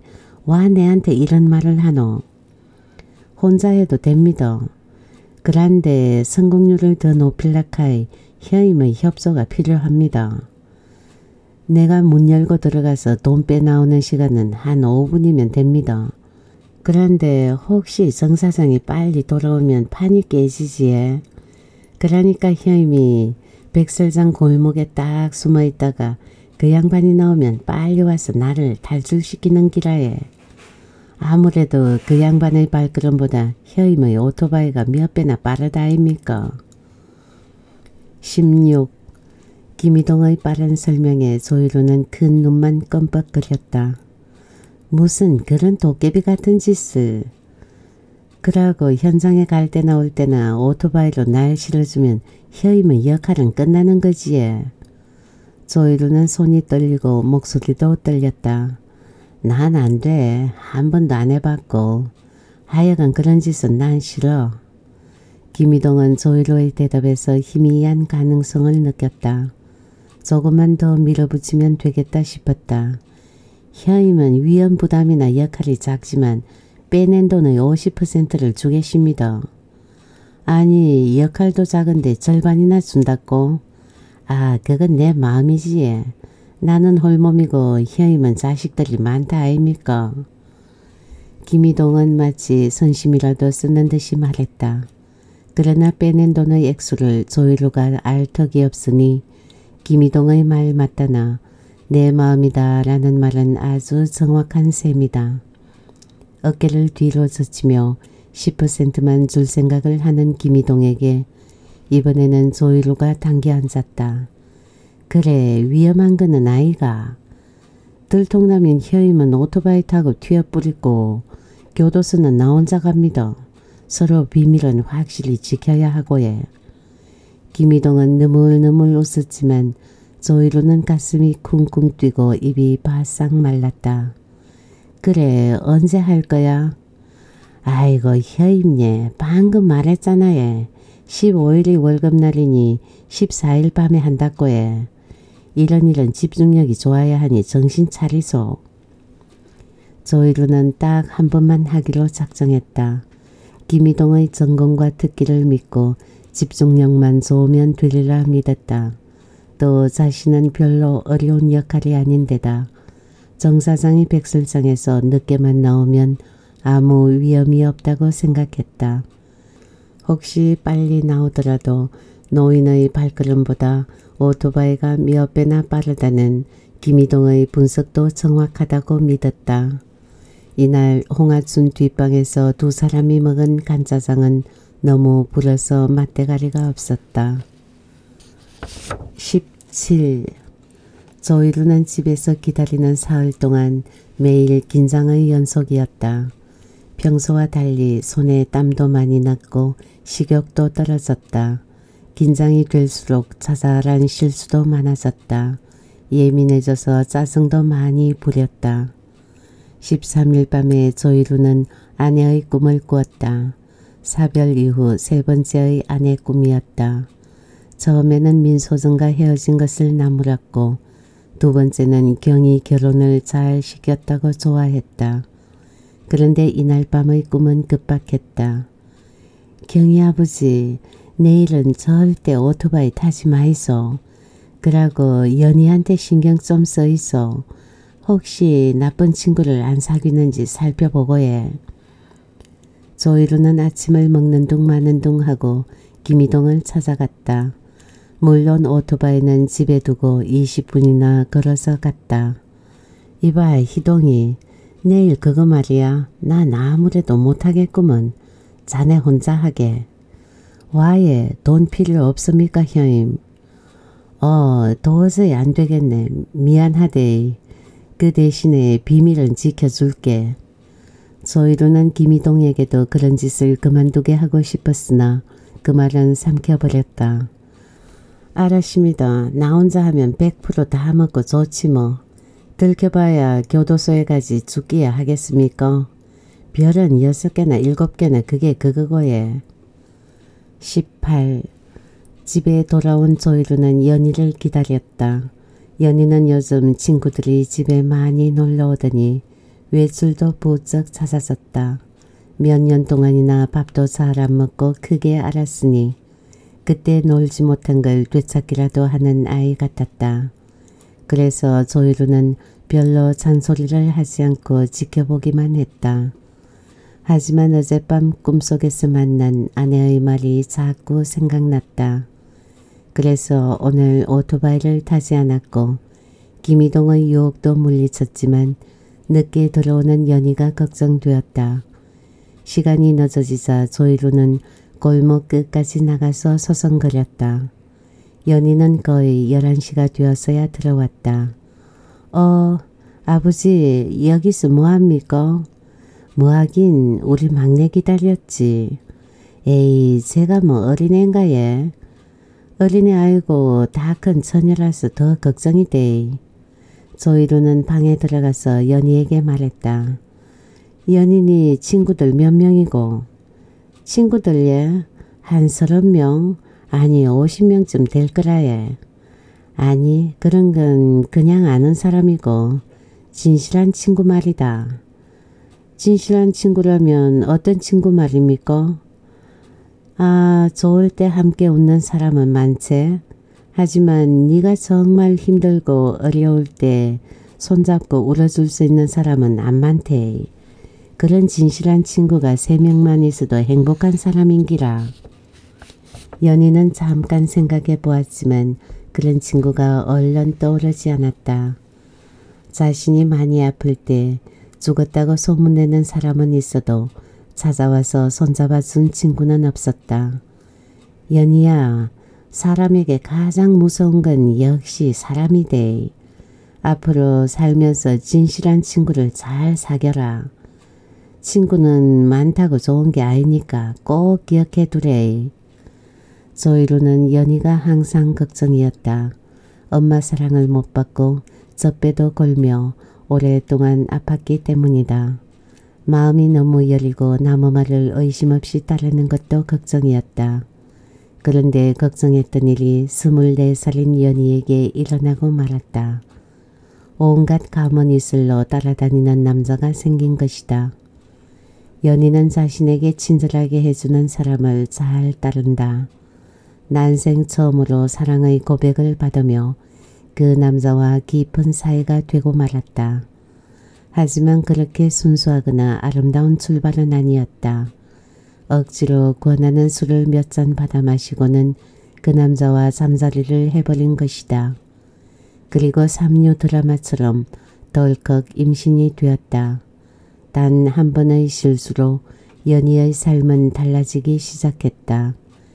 연희는 세상을 너무 몰랐던 탓에 아기만 생기면 결혼을 해야 하는 것으로 믿었다. 만약 엄마나 큰언니가 함께 있었다면 상황이 달라졌을 것이다. 어쨌든 장호근은 연희를 앞세우고 소희로에게 인사하러 왔다. 내가 연희 씨 고생 안 시키고 잘 살겠습니다. 연희는 깜짝 놀랐다. 어른께 자기 자신을 제가라고 하지 않고 내가라고 하다니 그 자리에서만 세 번이나 버릇없는 말투를 듣고 기가 막혔다. 기본 교양이 없고 가정교육을 못 받은 장호근에게 크게 실망했다. 조이루는 당연히 장호근을 싫어했다. 우선 오남매의 맞이라는 것이 걸렸다. 연희는 막내로 자랐기 때문에 동생들 많은 집에서 맏며느리 역할을 하기에는 버거울 것이라고 걱정했다. 그리고 택시기사라는 직업도 싫었다. 시골의 택시기사는 당장의 생활도 어렵지만 미래의 전망도 기대하기 힘들었다. 또 일 자체가 위험해서 늘 걱정해야 한다. 몇 년 동안 벌어도 한 번의 실수로 휘청거릴 수 있는 직업이 운전이라고들 한다. 19. 하지만 연희는 자꾸 불러오는 배를 몰래 만지며 마음고생을 하고 있었다. 그래 내가 저지른 일이야. 아기를 내가 책임져야 해. 연희는 자신의 운명을 받아들이기로 했다. 무지한 남편은 가르치면 될 것이고 참으면서 열심히 살겠다고 아버지를 졸랐다. 자식 이기는 부모 없다 했듯이 결국 연희의 고집대로 결혼식을 올렸다. 신부 입장할 때 팔짱 꼈던 아버지의 굳은 입술을 보고 연희는 가슴이 아팠지만 뱃속에 있는 새 생명을 위한 결심을 접을 수는 없었다. 결혼식이 끝나고 집에 돌아온 조이루는 술을 마시고 울면서 큰 누이에게 말했다. 누님 예, 우리 막내 이쁘지에 꼭 오로라 공주같지에. 그런데 그 애가 앞으로 우째 살아갈지 걱정이 태산입니다. 옆에 있던 오남매도 우울해졌다. 형제들은 엄마 장례식 날 말고는 아버지의 눈물을 본 적이 없었다. 조이루는 품을 떠나는 막내딸이 섭섭하기도 했지만 사위가 성에 차지 않아 마음이 더 무겁다. 경이가 오니까 순이와 명이도 따라 울었다. 조이루는 자신에게 엄격하고 깔끔한 성품이었다. 아침에 일어나면 앞마당부터 말끔히 빗질하고 방 청소까지 꼼꼼하게 했다. 어른이 그렇게 하니 육남매도 모두 부지런하고 능동적인 태도를 본받았다. 조이루의 회갑을 얼마 앞두고 자식들이 모였다. 아버지, 회갑 선물로 뭐 해드릴까에? 경희의 물음에 잠시 생각하던 조이루가 느리게 입을 열었다. 내 죽을 때 입을 수이나 한 벌 해두고 그래서 육남매가 십시일반으로 수의를 해드리고 냉장고도 좋은 것으로 바꾸어 드렸다. 며느리 사위 손자들까지 대가족이 근사한 식당으로 가서 회갑 축하 파티도 모양 있게 했다.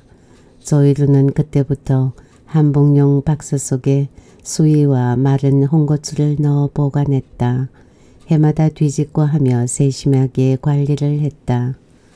연희는 혼자서 조금씩 모아둔 적금을 탔다. 연희는 따뜻한 봄에 아버지와 작은 오빠를 함께 제주도에 보내드렸다. 아버지에 대한 감사의 마음이 먼저였고 오빠에게도 심기일준의 기회가 필요하다고 믿었다. 그 당시 종규는 돈을 벌 때였지만 주식을 해서 다 날려버린 탓으로 어깨가 처져 있었다. 또 연희는 아버지의 여행이라면 딸보다 아들의 동행이 좋겠다고 생각했다. 조이루는 처음에는 사양했지만 연희의 끈질긴 설득으로 여행에 나섰다. 막내 덕에 처음으로 비행기를 타게 되는 조이루는 무척 흥분되었다. 연희는 아버지와 오빠의 즐거운 표정을 보고 공중에 둥둥 뜨는 것처럼 행복했다. 2박 3일의 짧은 일정이었지만 집에 돌아온 조이루는 여행지에서 경험한 이야기 보따리를 즐겁게 풀었다. 연희에게 고맙다 잘 다녀왔다며 흐뭇해하는 조이루의 입은 웃었고 눈가엔 이슬이 촉촉했다. 연희도 자식으로서 가장 보람된 도리를 했기에 기분이 좋았다. 20. 연희는 결혼 후 3개월 만에 아들 유민이를 낳았다. 처음에 조이루는 덤덤하기만 할 뿐 별 말이 없었다. 애초에 사위가 마음에 들지 않았으니 아기에게도 얼른 정이 생기지 않았다. 그런데 연희가 유민이를 안고 자주 오니 서서히 재롱이 보였다. 어떤 날은 기다려지기도 했다. 그것은 핏줄의 끌림이었다. 가만히 보니 유민이가 귀엽기도 했지만 영리하기도 했다. 조금씩 자라면서 배꼽 인사를 하거나 노래라도 부르면 깨물고 싶을 만큼 귀여웠다. 유민이가 오면 그렇게 좋을 수가 없었다. 녀석을 안고 가게에 가서 과자를 사주는 것이 얼마나 행복한지 말로 표현할 수가 없었다. 녀석이 다 먹을 수만 있다면 가게의 과자를 모두 다 사주고 싶었다. 하지만 연희는 유민이가 과자를 많이 먹는 것을 좋아하지 않았다. 자신의 어린 시절에 겪었던 거식증과 허약했던 기억이 되살아났기 때문이다. 조이루는 어떤 일이든지 연희가 원하는 대로 해주었다. 연희의 말이라면 맹목적일 정도로 다 들어주려고 했다. 하루는 연희가 요민이를 데리고 왔는데 낯빛이 어두워 보였다. 연희야 와카노 무슨 걱정이라도 있나? 아 아니에 아무것도 아닙니다. 그러나 연희가 강하게 부정할수록 진심과는 반대라는 것을 조이로는 이미 알고 있었다. 조이로는 연희를 살살 달래며 물어보았다. 사실 연희는 결혼 생활을 무척 힘들어 했다. 시어머니는 연희를 경계하거나 심한 말로 함부로 했다. 남편의 무지와 고집도 도를 넘을 정도였다. 연희보다 여섯 살 많은 장호근의 정신연령은 턱없이 낮았다. 그는 무척 게으르고 이기적인 사람이었다. 매사에 계획성이나 준비성이 없고 그냥 하루살이처럼 즉흥적으로 사는 것이 몸에 밴 사람이다. 능력이 부족하면 아내의 말이라도 좀 들어야 할 텐데 곧 죽어도 남자의 자존심은 있어서 큰 소리만 땅땅 쳤다. 며칠 전에는 이런 일도 있었다. 아니 이거 얼라 바지 아이가. 예 유민이 바지 하나 샀어요. 무슨 소리고 바지가 있는데 또 샀나? 하나뿐인데 세탁하려면 장호근은 아내의 말을 자르며 질문을 날렸다. 아니 따졌다. 그래 얼마 줬노? 좀 많이 깎았나? 만 오천원 줬어요. 아니 애들 옷이 와 그리 비싸노? 좀 싼 거 없더나? 장호근은 자신의 벌이가 시원찮다는 말은 절대로 하지 않았다. 우리나라 물가는 택시값 빼고 모두 비싸다고 평소에 불평했다. 담배값 올랐다고 여론이나 정부에 욕을 하는 위인이다. 연희가 그릇이나 주방용품 하나를 사와도 왜 샀느냐는 등 비싸다는 등 입을 댔다. 연희는 남편이 너무 좀생이라서 믿어온 구석이 하나도 없었다. 연희는 이따금 남편과 아버지를 비교하기도 했다. 아버지는 아무리 어려워도 책임감을 잊지 않았으며 매사에 신중하고 성실했다. 과묵해도 자애로웠다. 하지만 남편은 책임감이나 성실성도 없고 타인에 대한 이해와 배려도 할 줄 몰랐다. 또 형제와 어머니에 대해서는 과할 정도로 신경 쓰지만 아내와 아들에 대해서는 이해가 안 될 정도로 냉담했다. 거친 행동도 종종 보였다. 어떤 날 아침에는 일하러 갈 시간이라고 깨웠는데 화를 벌컥 내며 밖에 가서 물동이를 들고 왔다. 그리고 물 한 동이를 이불 위에 다 부어버렸다. 연희는 남편에 대한 불만이 차차 많아졌고 그렇게 누적된 불만이 아버지 앞에서 어두운 얼굴로 나타난 것이다. 내색을 할 생각은 없었지만 자기도 모르게 그런 모습을 보인 것이다. 오직 자식들만 생각하고 특히 연희 걱정을 제일 많이 하는 조이루가 그걸 놓칠 리가 없다. 예, 연희야, 네 무슨 일 있지? 일? 일이라뇨? 아버지한테 말해봐라. 뭐가 문제고? 장수방이 힘들게 하더나? 아, 아닙니다. 그런 일 없어요. 그러면 와 그래 힘이 없노. 젊은 애가 한숨이나 쉬고 말이지. 그냥 조금 피곤했어요. 신경 쓰지 마이소 아버지.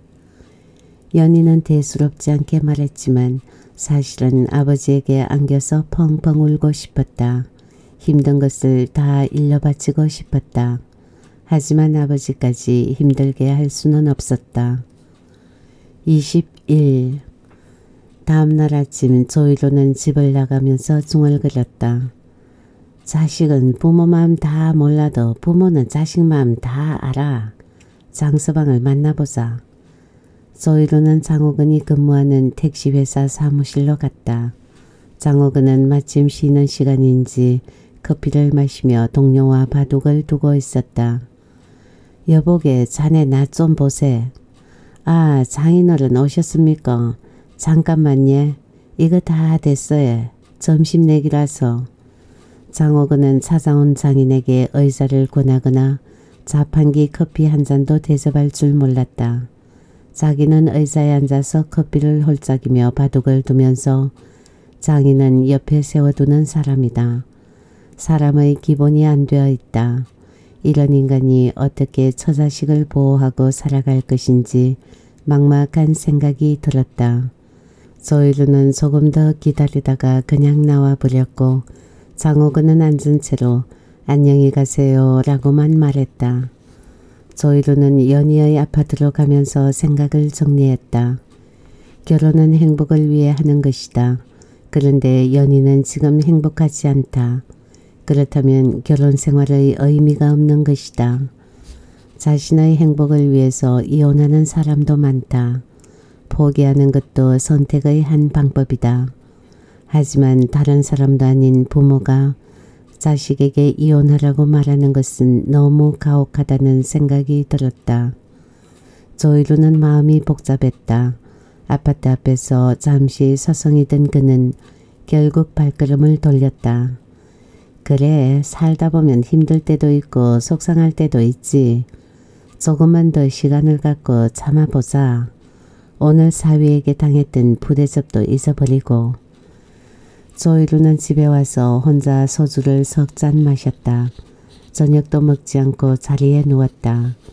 자식들이 아프거나 힘들어할 때면 아내 생각이 더 간절했다. 수척한 볼 위로 눈물이 주르르 흘렀다. 아내가 몹시 그리웠다. 22. 아침에 늦게 눈을 떴다. 그것도 대문 두드리는 소리 때문에 깬 것이다. 이 사람 이루 자네가 늦잠을 자다니 오래 살다 보니 별일을 다 보내 그려. 아 최동장 왔는가? 밤에 계속 뒤척이다가 새벽에야 잠이 들었구먼. 그런데 그 강생이는 먹고 어 이거 내 동생 집에 해피가 새끼를 여섯 마리나 낳았거든. 그 중에서 똘똘한 녀석을 내가 얻어왔지. 자네가 적적할 것 같아서 말이야. 아닌 게 아니라 요즘은 추수 끝난 들판처럼 적적하고 허전하다. 눈빛 맞추고 말이라도 나눌 상대가 없어서 더 그렇다. 이제 막 젖을댔다는데 벌써 귀가 세모꼴로 쫑 것은 숙강아지였다. 백설처럼 흰 털이라서 녀석의 눈빛이 더 또록또록하게 보였다. 스피치 종류라서 다 살아도 많이 먹지 않고 똥도 적게 싼다고 했다. 그러니까 집에서 동무 삼아 키우기에 딱 좋다며 최병호는 자랑이 길었다. 최병호가 가고 난 뒤에 조이루는 사과 상자를 대충 손질하여 강아지 집을 만들었다. 예쁜 목걸이와 개수를 사서 걸어주며 이름을 동동이라고 지었다. 동동아 하고 부르면 녀석이 동동거리며 뛰어오는 게 여간 귀엽지 않았다. 조이루는 대문관을 드나들 때마다 동동이를 쓰다듬어 주었으며 동네 식당에서 돼지갈비나 족발뼈다귀도 얻어 주었다.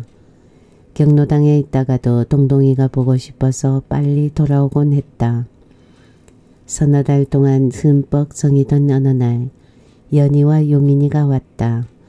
그런데 연희가 기침을 많이 했다. 조이루는 깜짝 놀랐다. 연희는 옛날부터 호흡기가 약하지 않았던가. 조이루는 자신의 부주의를 깨닫고 강아지를 돌려주겠다고 말했다. 하지만 연희가 반대했다. 지금 이 기침은 며칠 전부터 감기에 걸려서 그래.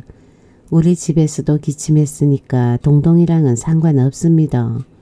그러고 제가 매일 오는 것도 아니잖아요. 어쨌든 강아지는 안 되겠네. 아버지가 네 생각을 깜빡 까먹었네.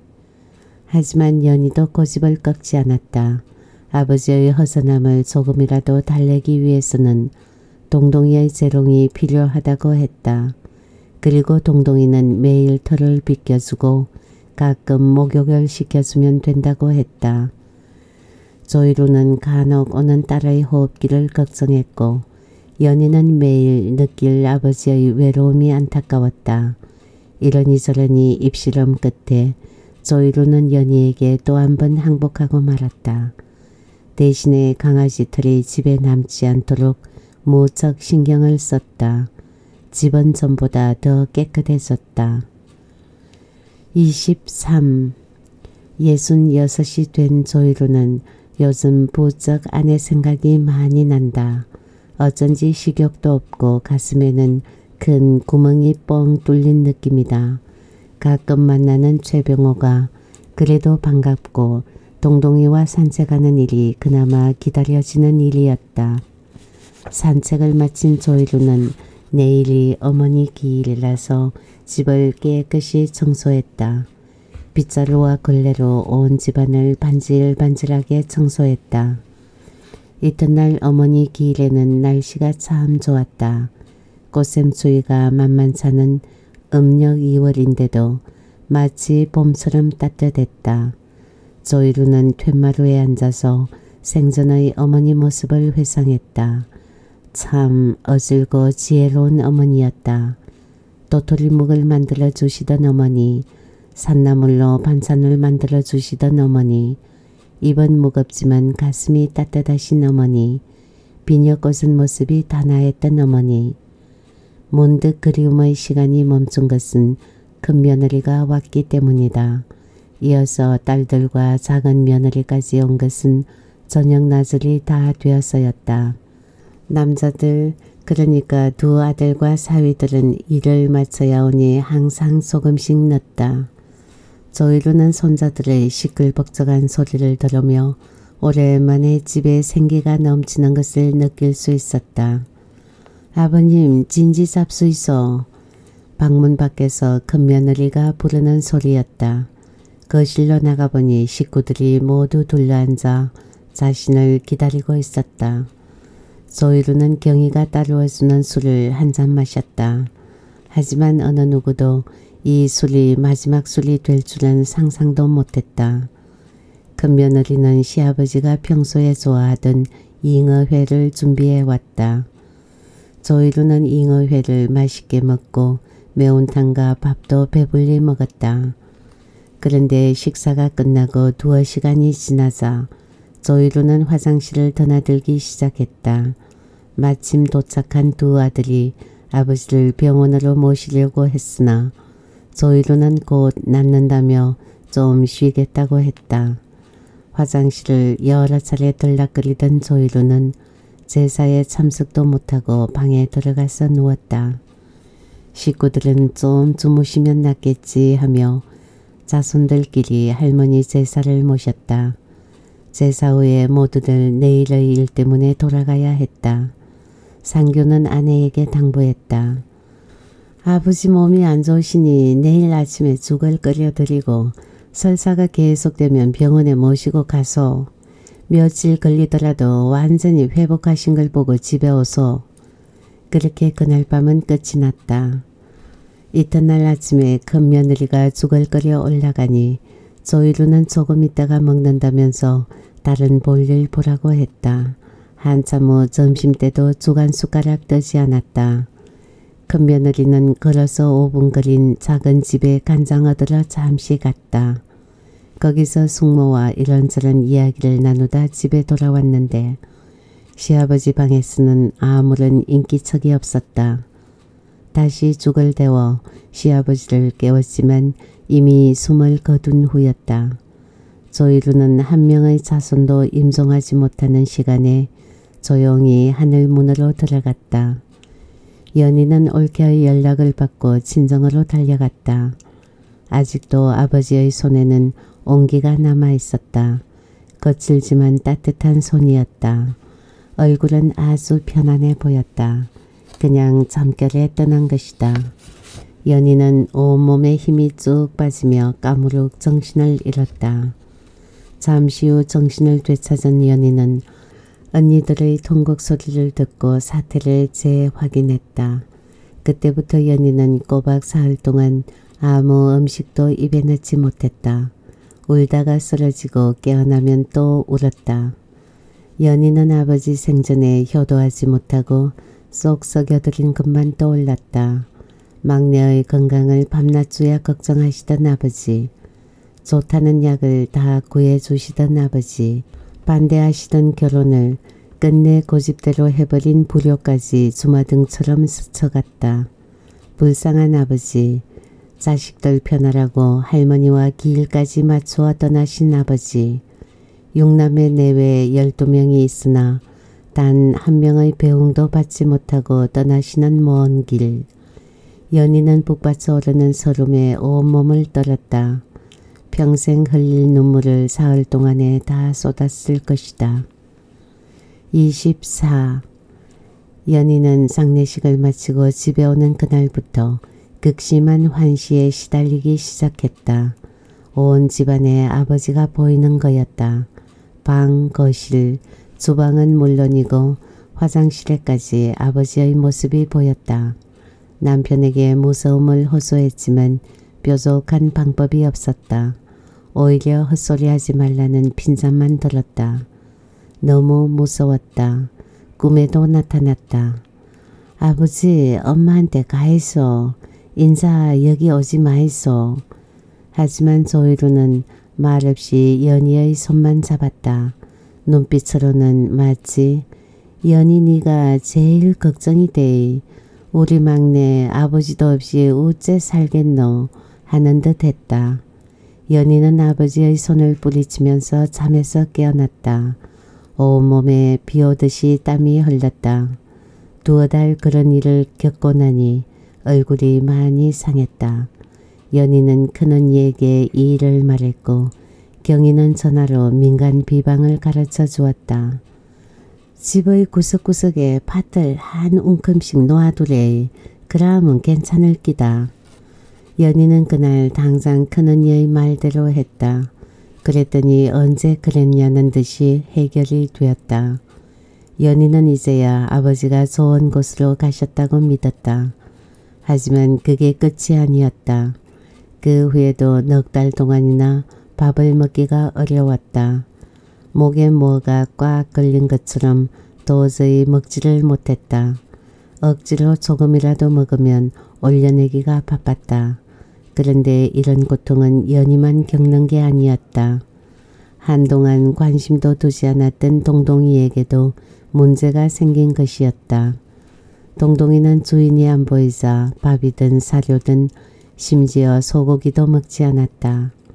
그렇게도 탐스럽던 동동이의 모습이 거칠했었다. 털도 많이 뭉치고 빠져서 보기에 흉했다. 어느 날 연희는 동동이를 자동차 뒷자리에 태우고 집 근처 영천함에 갔다. 동동이는 밖에 두고 혼자 법당에 들어가서 향을 올리고 백팔배를 했다. 아버지의 극락왕생을 비는 마음으로 정성껏 기도했다. 법당에서 나올 때 한결 가벼워진 느낌이 들었다. 연희는 매일 한 번씩 꼬박 한 달 동안을 그렇게 했다. 누가 시킨 것도 아니고 스스로 원해서 기도했다. 그런데 신기한 일이 생겼다. 식욕이 되살아나고 몸에 에너지가 느껴지는 것이다. 얼굴 색도 좋아졌다. 뿐만 아니라 동동이도 예전의 건강한 모습을 되찾았다. 새하얀 털빛이 다시 살아났고 활기도 넘쳤다. 연희는 동동이를 데리고 절 뒷길로 걸었다. 동동이는 이름처럼 동동거리며 짧은 다리를 바삐 움직였다. 연희는 상황이 이렇게 좋아진 것이 부처님의 가피인지 혹은 아버지의 보살핌인지를 몰랐다.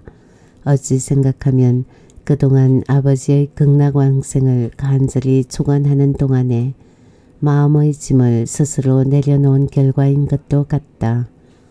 어쨌거나 연희와 동동이는 건강과 활력을 되찾았다. 그리고 주지 스님과 상의하여 동동이는 절에서 키우기로 했으며 연희는 영천함의 유민이와 자주 다녔다. 25.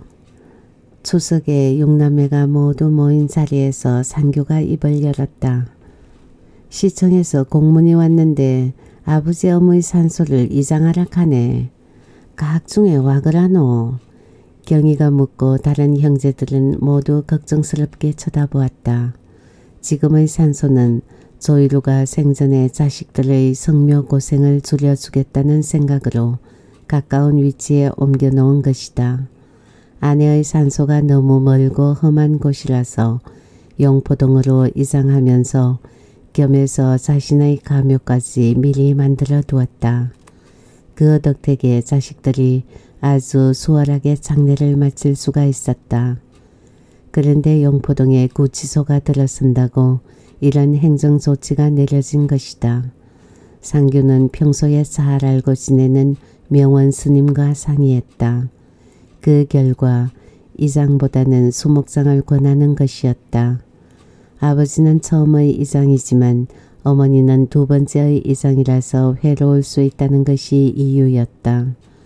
형제들은 선산에 수목장을 하기로 결정했다. 나를 잡아서 할아버지 산소 아래의 왕소나무 밑에 모셨다. 조이루의 장례식 날처럼 오늘도 날씨가 쾌청하다. 그런데 작은아버지 조일도가 화를 내면서 울어댔다. 자식이 여섯이나 있는데 무덤도 없이 소나무 밑에 버리냐고 큰 소리로 따졌다. 경희와 상규가 차근차근 설명했지만 막무가내였다. 아무리 설명해도 수그러 들지 않는 땡고집이었다. 그때까지 말이 없던 연희가 작은아버지의 손을 잡고 눈을 쳐다보면서 말했다. 작은아버지 마음 잘 압니다. 그런데 이 일은 작은아버지의 마음이나 저희들의 편리성을 생각하면 안 될 것 같아요. 아버지 엄마가 편하시면 모든 게 다 좋습니다.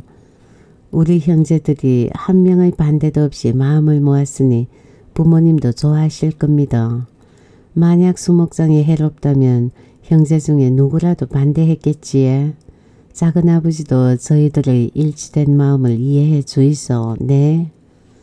조일도는 말이 없었다. 그냥 물끄러미 연희를 바라보더니 불쑥 물었다.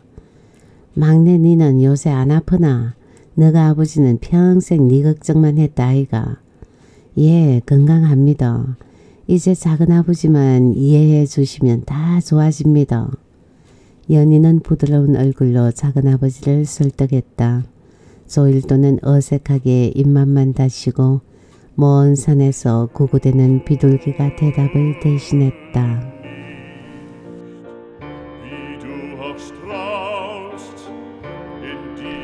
황혼 연애 지연이 구민성 1 토요일 오후의 일이다. 어머니 주용준이라는 사람이 누구예요?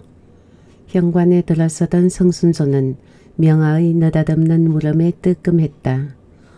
아, 아니, 내가 그 사람을 어떻게 알아? 어머니 폰으로 여섯 번이나 전화가 왔었어요. 순간 성순조는 아차 싶었다.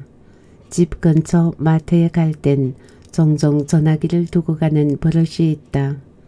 식탁이든 문갑이든 별로 주의하지 않는 것은 혼자 살면서 생긴 버릇 중의 하나다.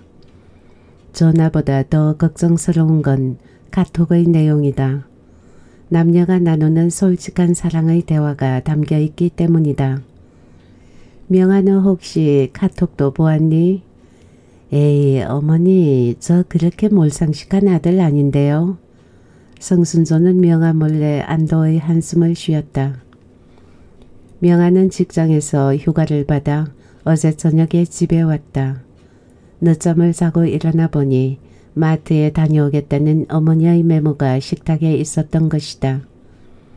명아가 샤워를 마치고 나오는데 냉장고 위에서 어머니의 스마트폰 진동음이 들렸다. 명아는 무심코 전화를 받았다. 여보세요. 성순조 여사님 포님. 상대방은 이쪽의 목소리를 듣고 끊어버렸다. 가만히 보니 여섯 번이나 부재중 전화를 한 것으로 나타났다. 잠깐 샤워하는 동안에 연속으로 전화를 한 것이다. 이렇게 계속 전화를 했다면 아주 급하거나 중요한 용무가 있을 것이다. 그렇게 생각한 명아는 어머니를 보자마자 바로 알려드리는 것이다. 성순조는 삼계탕 재료와 반찬거리를 냉장고에 넣으며 명아의 눈치를 흘끔흘끔 살폈다. 어머니 커피 드세요. 연하게 탔어요. 명아는 제 형과는 달리 잔정 표현이 많고 곰살맞은 편이다. 특히 무슨 부탁이 있거나 주제를 갖고 말을 걸어올 때는 마실 거리를 항상 준비한다. 성순조는 아들의 습성을 알기에 약간 긴장이 되었다. 어머니 주영준 씨가 누구예요? 어, 어, 그냥 좀 아는 사람인데. 그냥 좀 아는 사람이 10분 동안에 6번이나 전화를 해요. 아니 근데 얘가 왜 남의 사생활을 꼬치꼬치 파고드느냐 그 말씀이죠. 명아는 얼굴을 옆으로 돌리며 눈은 어머니를 살폈다. 이것도 그의 버릇이다. 그래 왜 그런 걸 파고들어? 궁금하니까요. 아들로서 걱정도 되고 또 알았어. 그 사람 아무 사이도 아니야. 그냥 동창생이야. 그러나 차분한 말과는 달리 가슴이 저릿했다. 처음 데이터 신청받던 날의 떨림은 얼마나 컸던가. 산에서 마신 와인 한 모금, 나뭇잎 마술 이벤트와 달콤한 입맞춤, 가슴을 울리던 쿵쾅거림이 떠올랐다. 명아는 어머니의 손을 슬그머니 잡으며 자세를 고쳐 앉았다.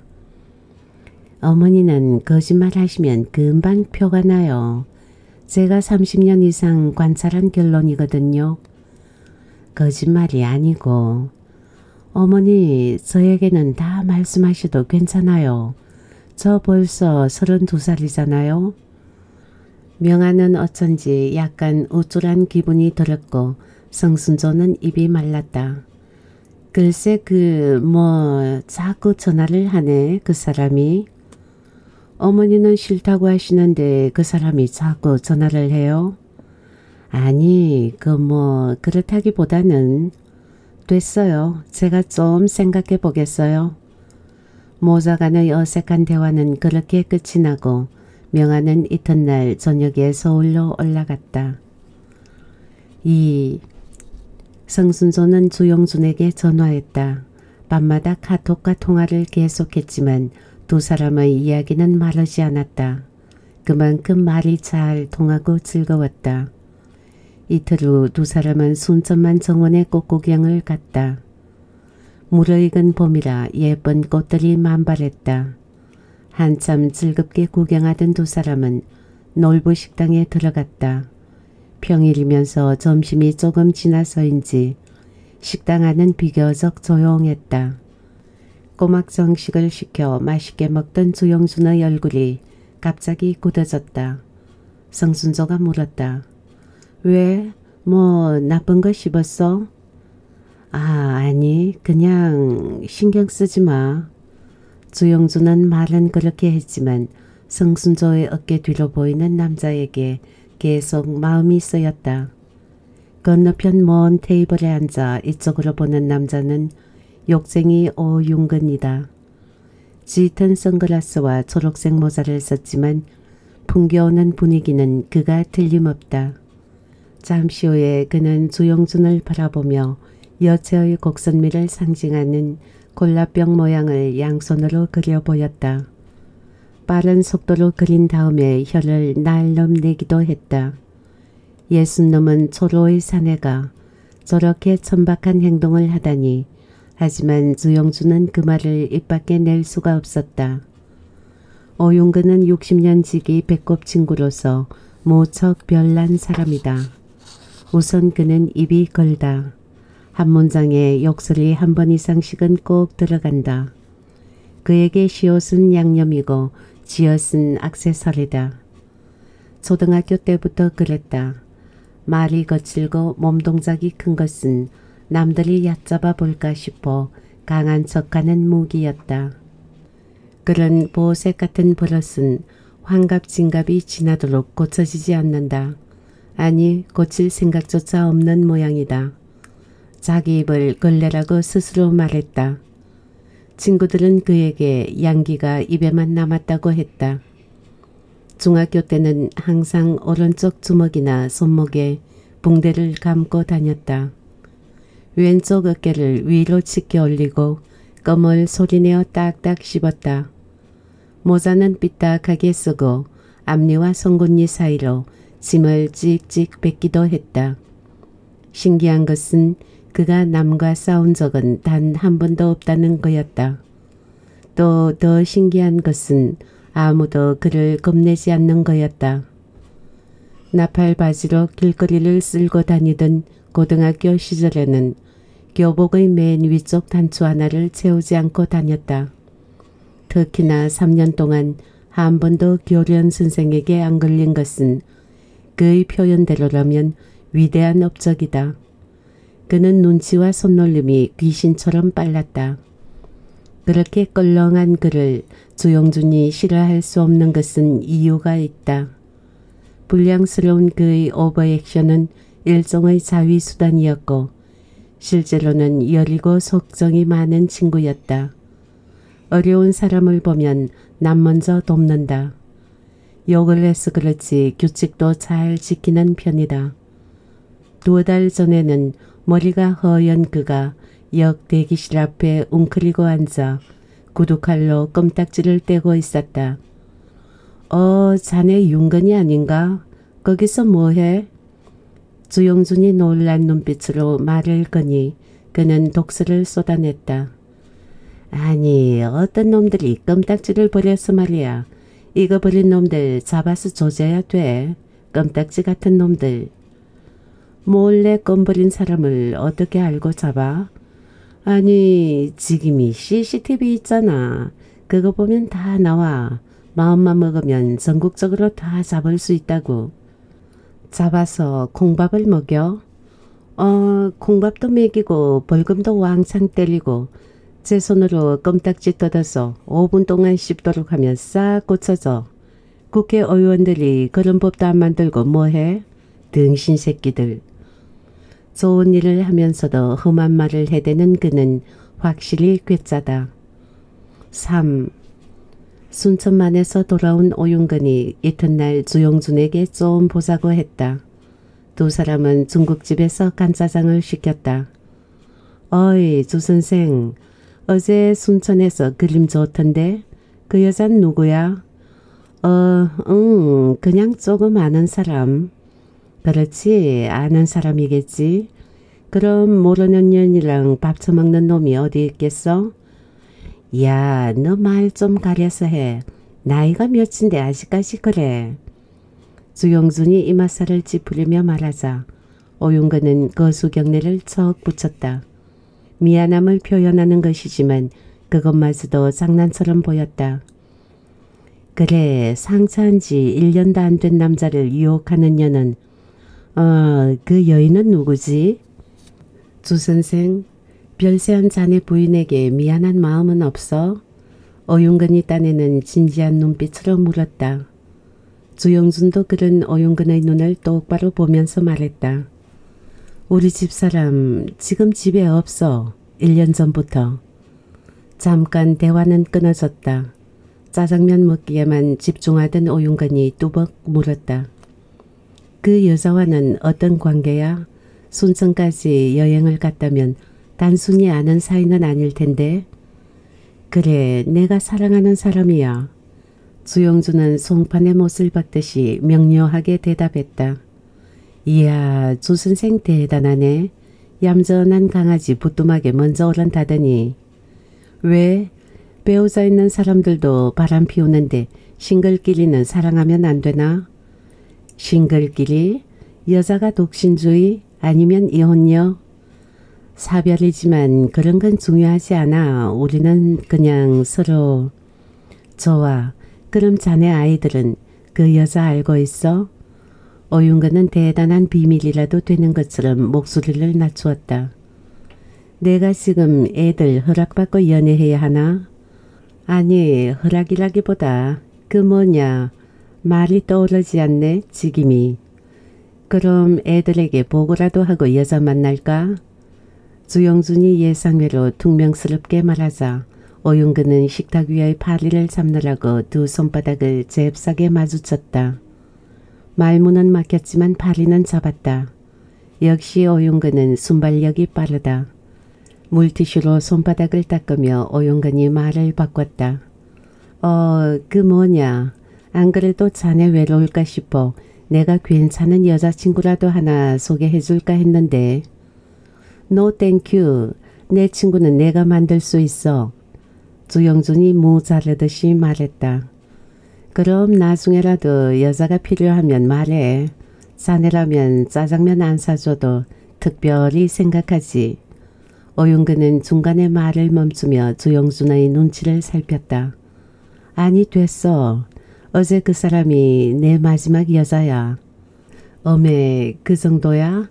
끝까지 간다는 거야? 심각한 사랑병이네.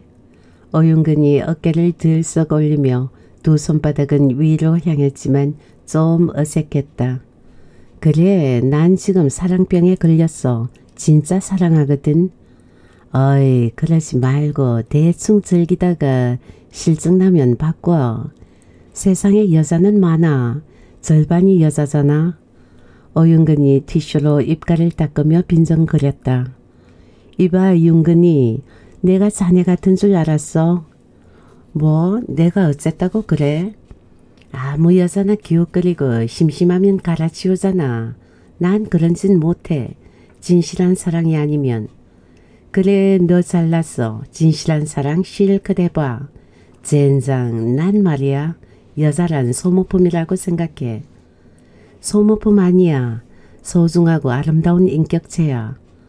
어이 도덕군자님 넌 진실하게 사랑하지만 난 화끈하게 즐기는 거야. 그게 우리 차이야, 씨발. 주영주는 오윤근의 입에 쌍말이 걸리면 대화가 싫어진다. 이제 이런 이야기 그만하자. 그래 짜장면 얻어먹었으니 소문은 안 낼게. 자네 아이들에게도 비밀로 해주지. 됐어? 중식당에서 나온 그들은 길 건너편의 커피점으로 옮겼다. 아메리카노 커피가 짜장면 값과 비슷하다면서 툴툴대던 오용근이 말머리를 돌렸다. 근데 하나만 물어보자. 그 여자랑 진짜 언제까지 갈 거야? 열심히 연애 중인 사람에게 끝을 왜 물어? 내가 말하는 진실한 사랑이란 거 그 정말이 어떨지 궁금해서 말이야.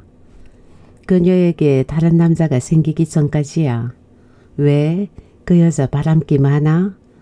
아니 그런 건 아니고 나보다 더 좋은 사람 생기면 내가 비켜주는 게 좋지. 아이고 그렇게 죽기 살기로 사랑하면서 왜 비켜? 자네가 말하는 진실한 사랑은 원래 그런가? 나는 그녀에게 2분의 1이 되기는 싫어. 삼각관계는 절대 안 돼. all or nothing이야. all or nothing? 그러니까 전부 혹은 제로라는 뜻이야? 오영근은 모처럼 아는 영어가 나와 약간 상기되었다. 맞아. only one. 원이 아니면 차라리 제로를 택할 거야. 이야 주선생 생각보다 깔끔하구먼. 그게 깔끔인지는 몰라도 내 솔직한 마음이야. 아니 나는 애인이 둘이라도 괜찮던데 마누라까지 셋이라서 좀 바쁘긴 하지만 자네 부인은 자신이 셋 중에 하나란 걸 알아? 당연히 모르겠지. 모르게 하는 게 기술이잖아. 오윤근이 여자를 뒤로 젖히며 대답했다. 난 아니야. 내가 먹는 밥그릇에 남의 숟가락 들어오면 싫다고. 주영주는 단호하게 말했지만 오윤근은 너물너물 웃었다. 4. 명아가 돌아가고 2주 후에 큰아들 종아가 집에 왔다. 어머니 어떻게 하실 거예요? 어떻게 하다니 뭘 명아한테 들었는데요. 그 남자분 말이에요. 잠깐 종아야 엄마가 남자친구 만나는 거 그렇게도 싫어? 그분은 그냥 친구가 아니잖아요. 그래 맞아. 그냥 친구가 아니고 사랑하는 연인이야. 그게 왜? 성순조는 녹차를 한 모금 마시고 종아의 대답을 기다렸다. 전 사실 어머니가 아버지 아닌 다른 남자를 사랑하리라고는 상상도 해보지 않았어요. 맞아. 나도 상상하지 못한 만남이었어. 너희들은 어떻게 생각할지 몰라도 엄마는 평생 내 아버지만 바라보고 살았어. 헤어지는 날까지 남편에게만 집중했다고. 그러면 왜... 그런데 지금 내 아버지는 하늘로 가셨잖아. 엄마는 슬프고 외롭고 힘들었어. 내색은 안 했지만 겨울철 빈 들판처럼 황량한 나날이었어. 그러던 중에 그 사람을 만난 거야. 언제부터 아셨어요? 물론 학교 동창이라서 50년 가까이 되었지만 따로 이야기 나눈 적은 한 번도 없었어. 그러니까 언제부터 어떻게 사랑하게 되셨어요? 말 떨어지자 질문이 재빨리 들어오는 것을 보니 유능한 수사관처럼 준비를 철저히 한 것 같다. 성순조는 차분하게 이야기를 풀어나갔다. 남편이 떠난 후 모석 힘든 시간을 보냈다. 식사와 수면은 엉망으로 뒤틀렸고 실어증 환자처럼 말이 없어졌다. 삶의 의미를 찾지 못할 정도로 침울했다. 그렇게 2년 정도 시든 콩나물처럼 흐느적거릴 때 동창생들의 단체 카톡방에서 우연히 조영준의 글을 보게 되었다. 그의 글은 매력적이었다. 간결하고 쉬우면서도 주제가 분명했다. 독특한 반전으로 울림이 컸다. 성순조는 차츰 그의 글에 끌려 일대일 카톡을 시작했다. 댓글은 대부분 밝고 재미있게 달아주었다. 주영준의 짧은 시에 예쁜 그림도 입혀주었다. 그렇게 시와 그림이 몇 차례 오가며 상대에 대한 이해와 신뢰의 싹이 텄다. 말이 잘 통하는 사람이라고 느꼈다. 남편이 하늘로 떠나고 두 아들도 서울로 갔다. 남자들 셋이 시끌시끌 하던 활기는 신기루처럼 사라지고 여자 혼자 댕그라니 남으니 황량하기만 했다. 퇴근해도 집에 들어가기가 싫었다. 혼자라는 사실이 소름 돋기 싫었고 침묵의 시간이 형벌처럼 느껴졌다. 그 정막의 공백을 어느 정도 메워준 것이 스마트폰이었다. 마음 통하는 몇몇 친구들의 안부 전화가 고마웠고 특히 주영준의 글은 읽을수록 좋았다. 오, 그해 여름 주영준의 아내가 세상을 뜨고 말았다. 그녀는 10년 가까이 암투병을 해서 모척 지쳤지만 큰 고통은 없이 비교적 편안하게 하늘문을 열었다. 성순조가 친구들과 함께 장례식장에서 본 주영수는 방금 쓰러질 사람처럼 기진맥진한 상태였다. 따뜻하게 손이라도 잡아주고 싶었지만 그러지도 못했다. 며칠 후 성순조는 카톡을 보냈다. 내 코도 석잔데 네가 더 걱정이다. 주영주는 이 쉽고 짧은 글을 몇 번이나 읽으며 큰 위안을 얻었다. 배우자를 먼저 사별한 성순조는 주영준에게 동병상련의 정을 느꼈다. 연민과 위로의 이야기를 나누던 두 사람은 서로를 찾고 기다리는 사이로 발전했다. 두 사람은 가끔 만나서 차 마시고 식사도 했다. 자연스럽게 사랑의 감정을 느꼈다. 카톡으로 시와 그림과 사진이 오가며 퇴근 후 혼자만의 시간이 오히려 기다려졌다. 스마트폰은 소통의 수단으로 최고였다. 두 사람은 진심으로 사랑했다. 그래서요. 어머니의 러브스토리가 감동적이네요. 종아가 나무토막 던지듯이 불쑥 말했다. 그것이 아버지를 배신해도 되는 명분인가요? 종아는 약간 빈정거리는 어조로 물었다. 배신이라고? 예, 종아야, 너 말이 조금 지나치지 않느냐 그 말씀이시죠? 제가 보기엔 어머니의 사랑이 조금 지나친 것 같아요. 종아의 빠른 말에 성순조는 아무 말도 하지 못했다. 그럼 이제 어떡하실 거지요? 결혼하실 건가요? 결혼이라니 무슨 그런 말을 난 그 사람과 결혼하지 않을 거야. 안 하신다고요? 그래 안 해. 다만 아무런 방해도 받지 않고 사랑만 할 거야. 어떻게요? 종아가 뚱한 눈빛으로 물었다. 뭐 서로 생각하고 전화하고 시와 그림 나누고 그 정도예요? 가끔 등산도 하고 식사하고 그러는 거지 뭐. 그래서야 어디 행복하겠어요? 물론이지. 행복은 함께 사는 것보다 떨어져 살면서 그리워하는 시간에서도 찾을 수 있어. 그래도 결혼해야 완전한 사랑을 이룰 수 있죠. 아니야. 결혼해도 불행한 사람이 얼마나 많은 줄 알아? 그건 그렇지만 또 나에게는 너희 형제가 있듯이 그 사람에게도 자녀들이 있어. 괜히 재혼해서 이복 형제니 재산 문제 따위로 복잡해지는 건 싫어. 그런 건 황혼 연인들에게 성가신 걸림돌이야. 종아는 모처럼 동의하는 눈빛으로 고개를 끄덕였다. 그럼 어머닌 그분과 언제까지 사랑하실 건가요?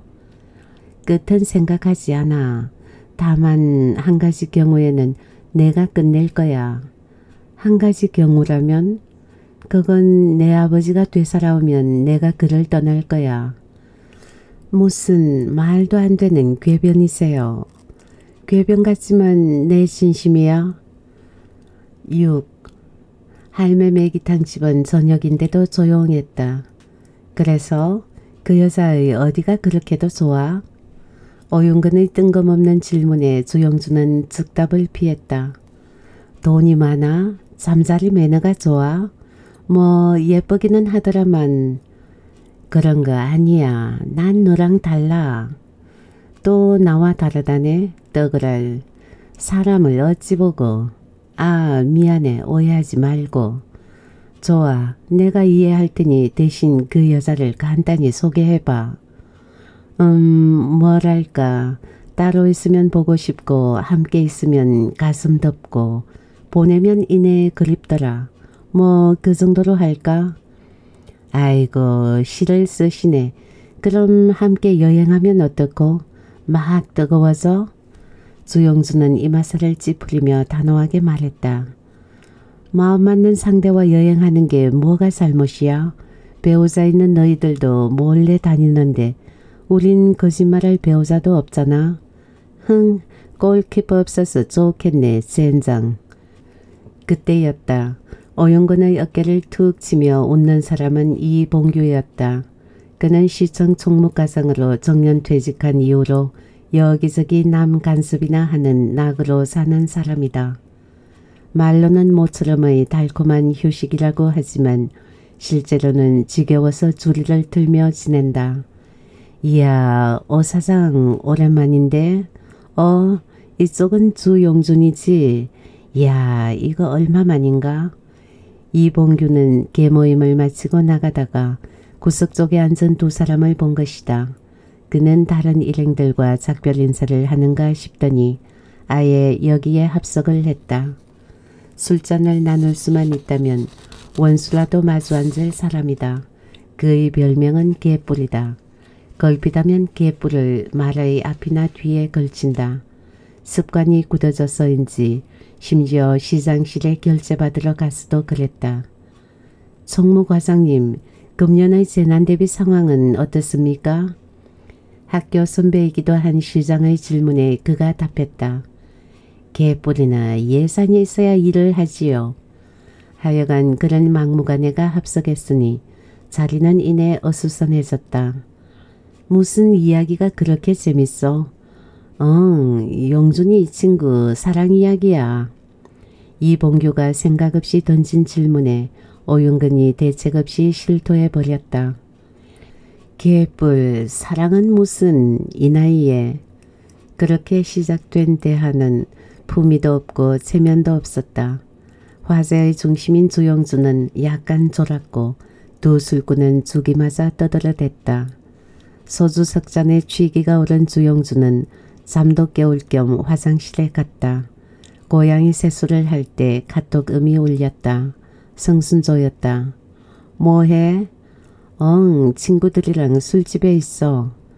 술도 안 마시는 사람이 무슨 술집이야?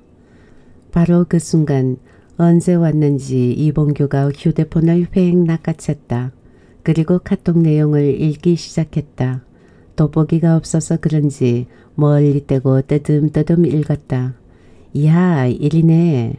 가만 좀 있어봐. 조금만 읽어보게. 마침내 두 남자는 실험처럼 엉켰다. 밀고 당기고 하다가 조영준이 이봉교의 가슴을 떠밀었다. 그것이 화근이었다. 이미 술에 취한 이봉규는 비틀거리다가 뒤로 넘어졌다. 세면대에 뒷머리를 부딪혀서 말 한마디도 못하고 쓰러졌다. 몸을 약간 뒤틀더니 축 늘어졌다. 이번에는 깨뿔 소리도 없었다. 가슴이 철렁 내려앉은 주영주는 휴대폰만 주워들고 뒷문으로 나왔다. 주차장까지 뛰어가면서는 다리가 심하게 흔들렸다. 차를 몰고 가면서 온몸에 땀이 팥죽처럼 흘렸다. 죽었을까? 무서움과 막막함이 엄습했다. 눈물과 땀 때문에 운전도 어려웠다. 인적이 드문 강변에 차를 댔다. 잠깐 숨을 몰아쉬고 있는데 경찰차가 매기탕집 방향으로 급히 달려갔다. 주영수는 입이 바싹 말랐다. 전화벨이 울렸다. 액정에는 오윤근의 이름이 떴다. 받지 않았다. 바로 이어서 성순조의 카톡이 왔다. 어디야? 오늘 영화 보러 갈래? 지금은 안 돼. 왜? 바빠? 일이 좀 생겼어. 무슨 일? 비밀이야? 주영수는 카톡이 답답해서 바로 전화를 걸었다. 순조씨 나 지금 일이 좀 생겼어. 무슨 일이야? 지금 어디야? 응, 저, 안 되겠어. 잠깐 만나. 7. 성순조는 양말도 신지 않은 채 택시로 왔다. 왜 그래? 무슨 일이야? 어머나, 이 땀 좀 봐. 놀라는 성순조에게 조영주는 더듬거리며 말했다. 덜덜 떨리기도 했다. 하지만 전후 사정을 다 들은 성순조는 의외로 침착했다. 살인사건이라고 예단했지만 크게 흔들리는 눈치는 아니었다. 영준씨 마음 크게 먹고 자수해. 자수하라고? 안 돼. 차라리 외국으로 도망가면 외국의 여행이라면 몰라도 도망 다니면 매일매일 피가 마를 거야. 그래도 자수하면 그래 자수하면 벌이 좀 적을 거야. 의도적인 살인이 아니고 우발적인 사고니까 과실치사가 될 거야.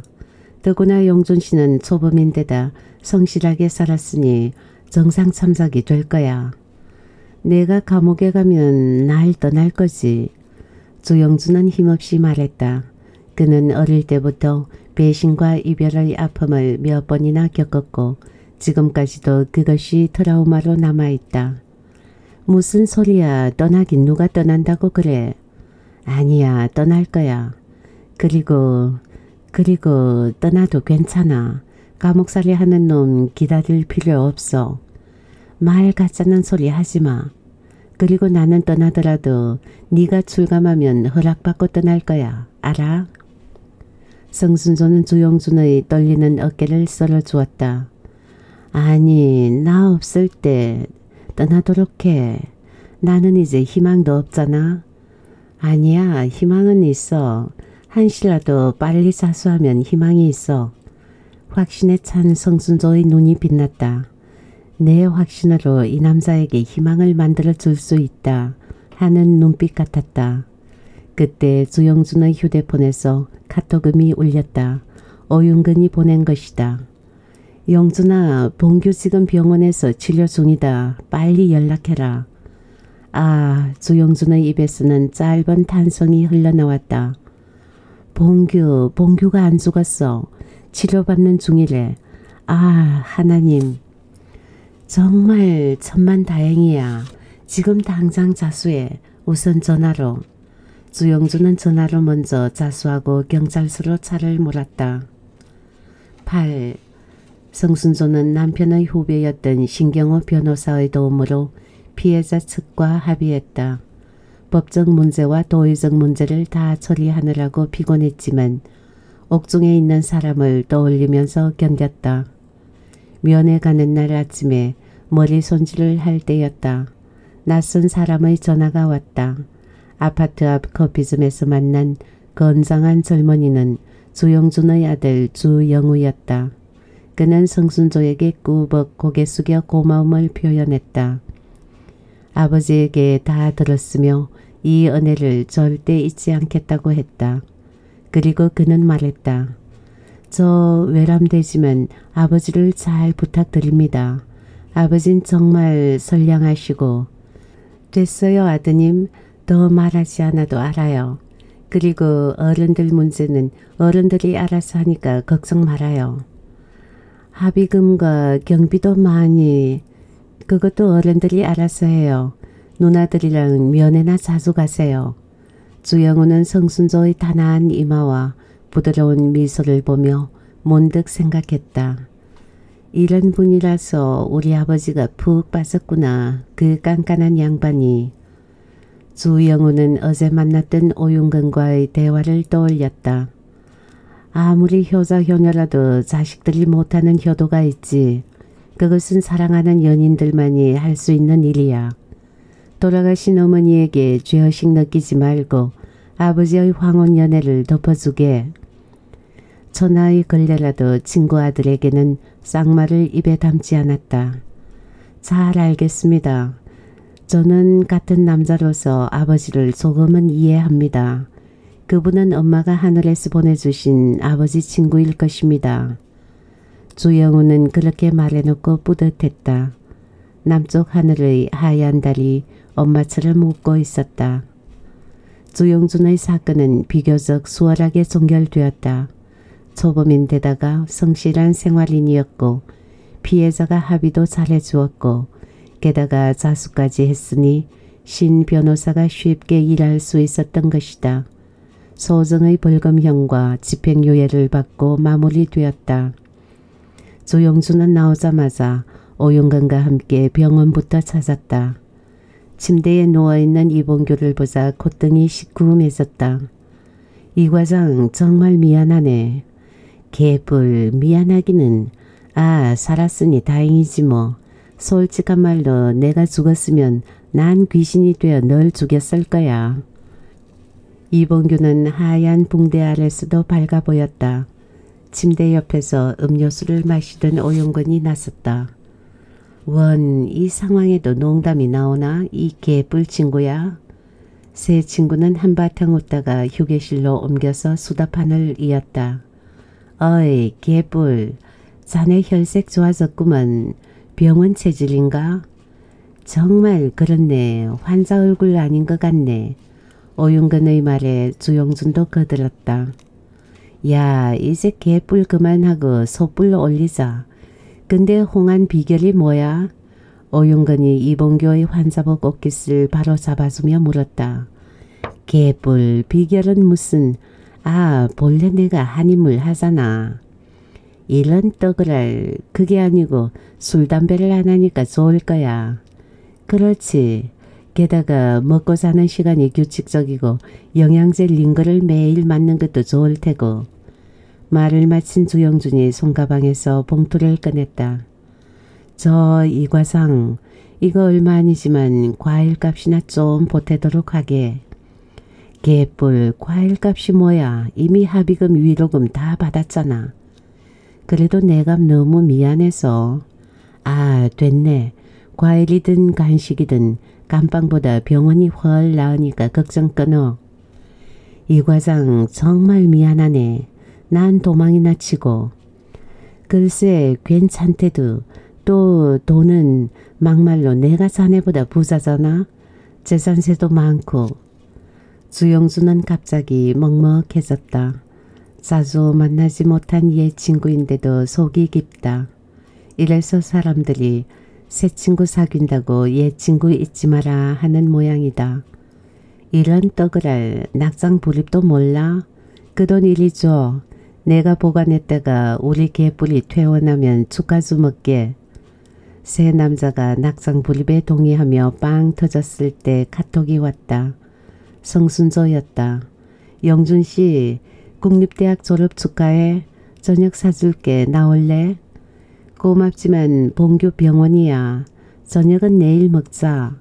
주영주는 얇게 웃으며 이봉교에게 폰을 끝내주었다. 카톡 볼래? 개뿔 내가 미쳤어? 이봉교가 손사래를 크게 치자 오용근이 배를 잡고 웃었다. 그들은 이런 가까운 소년들이다.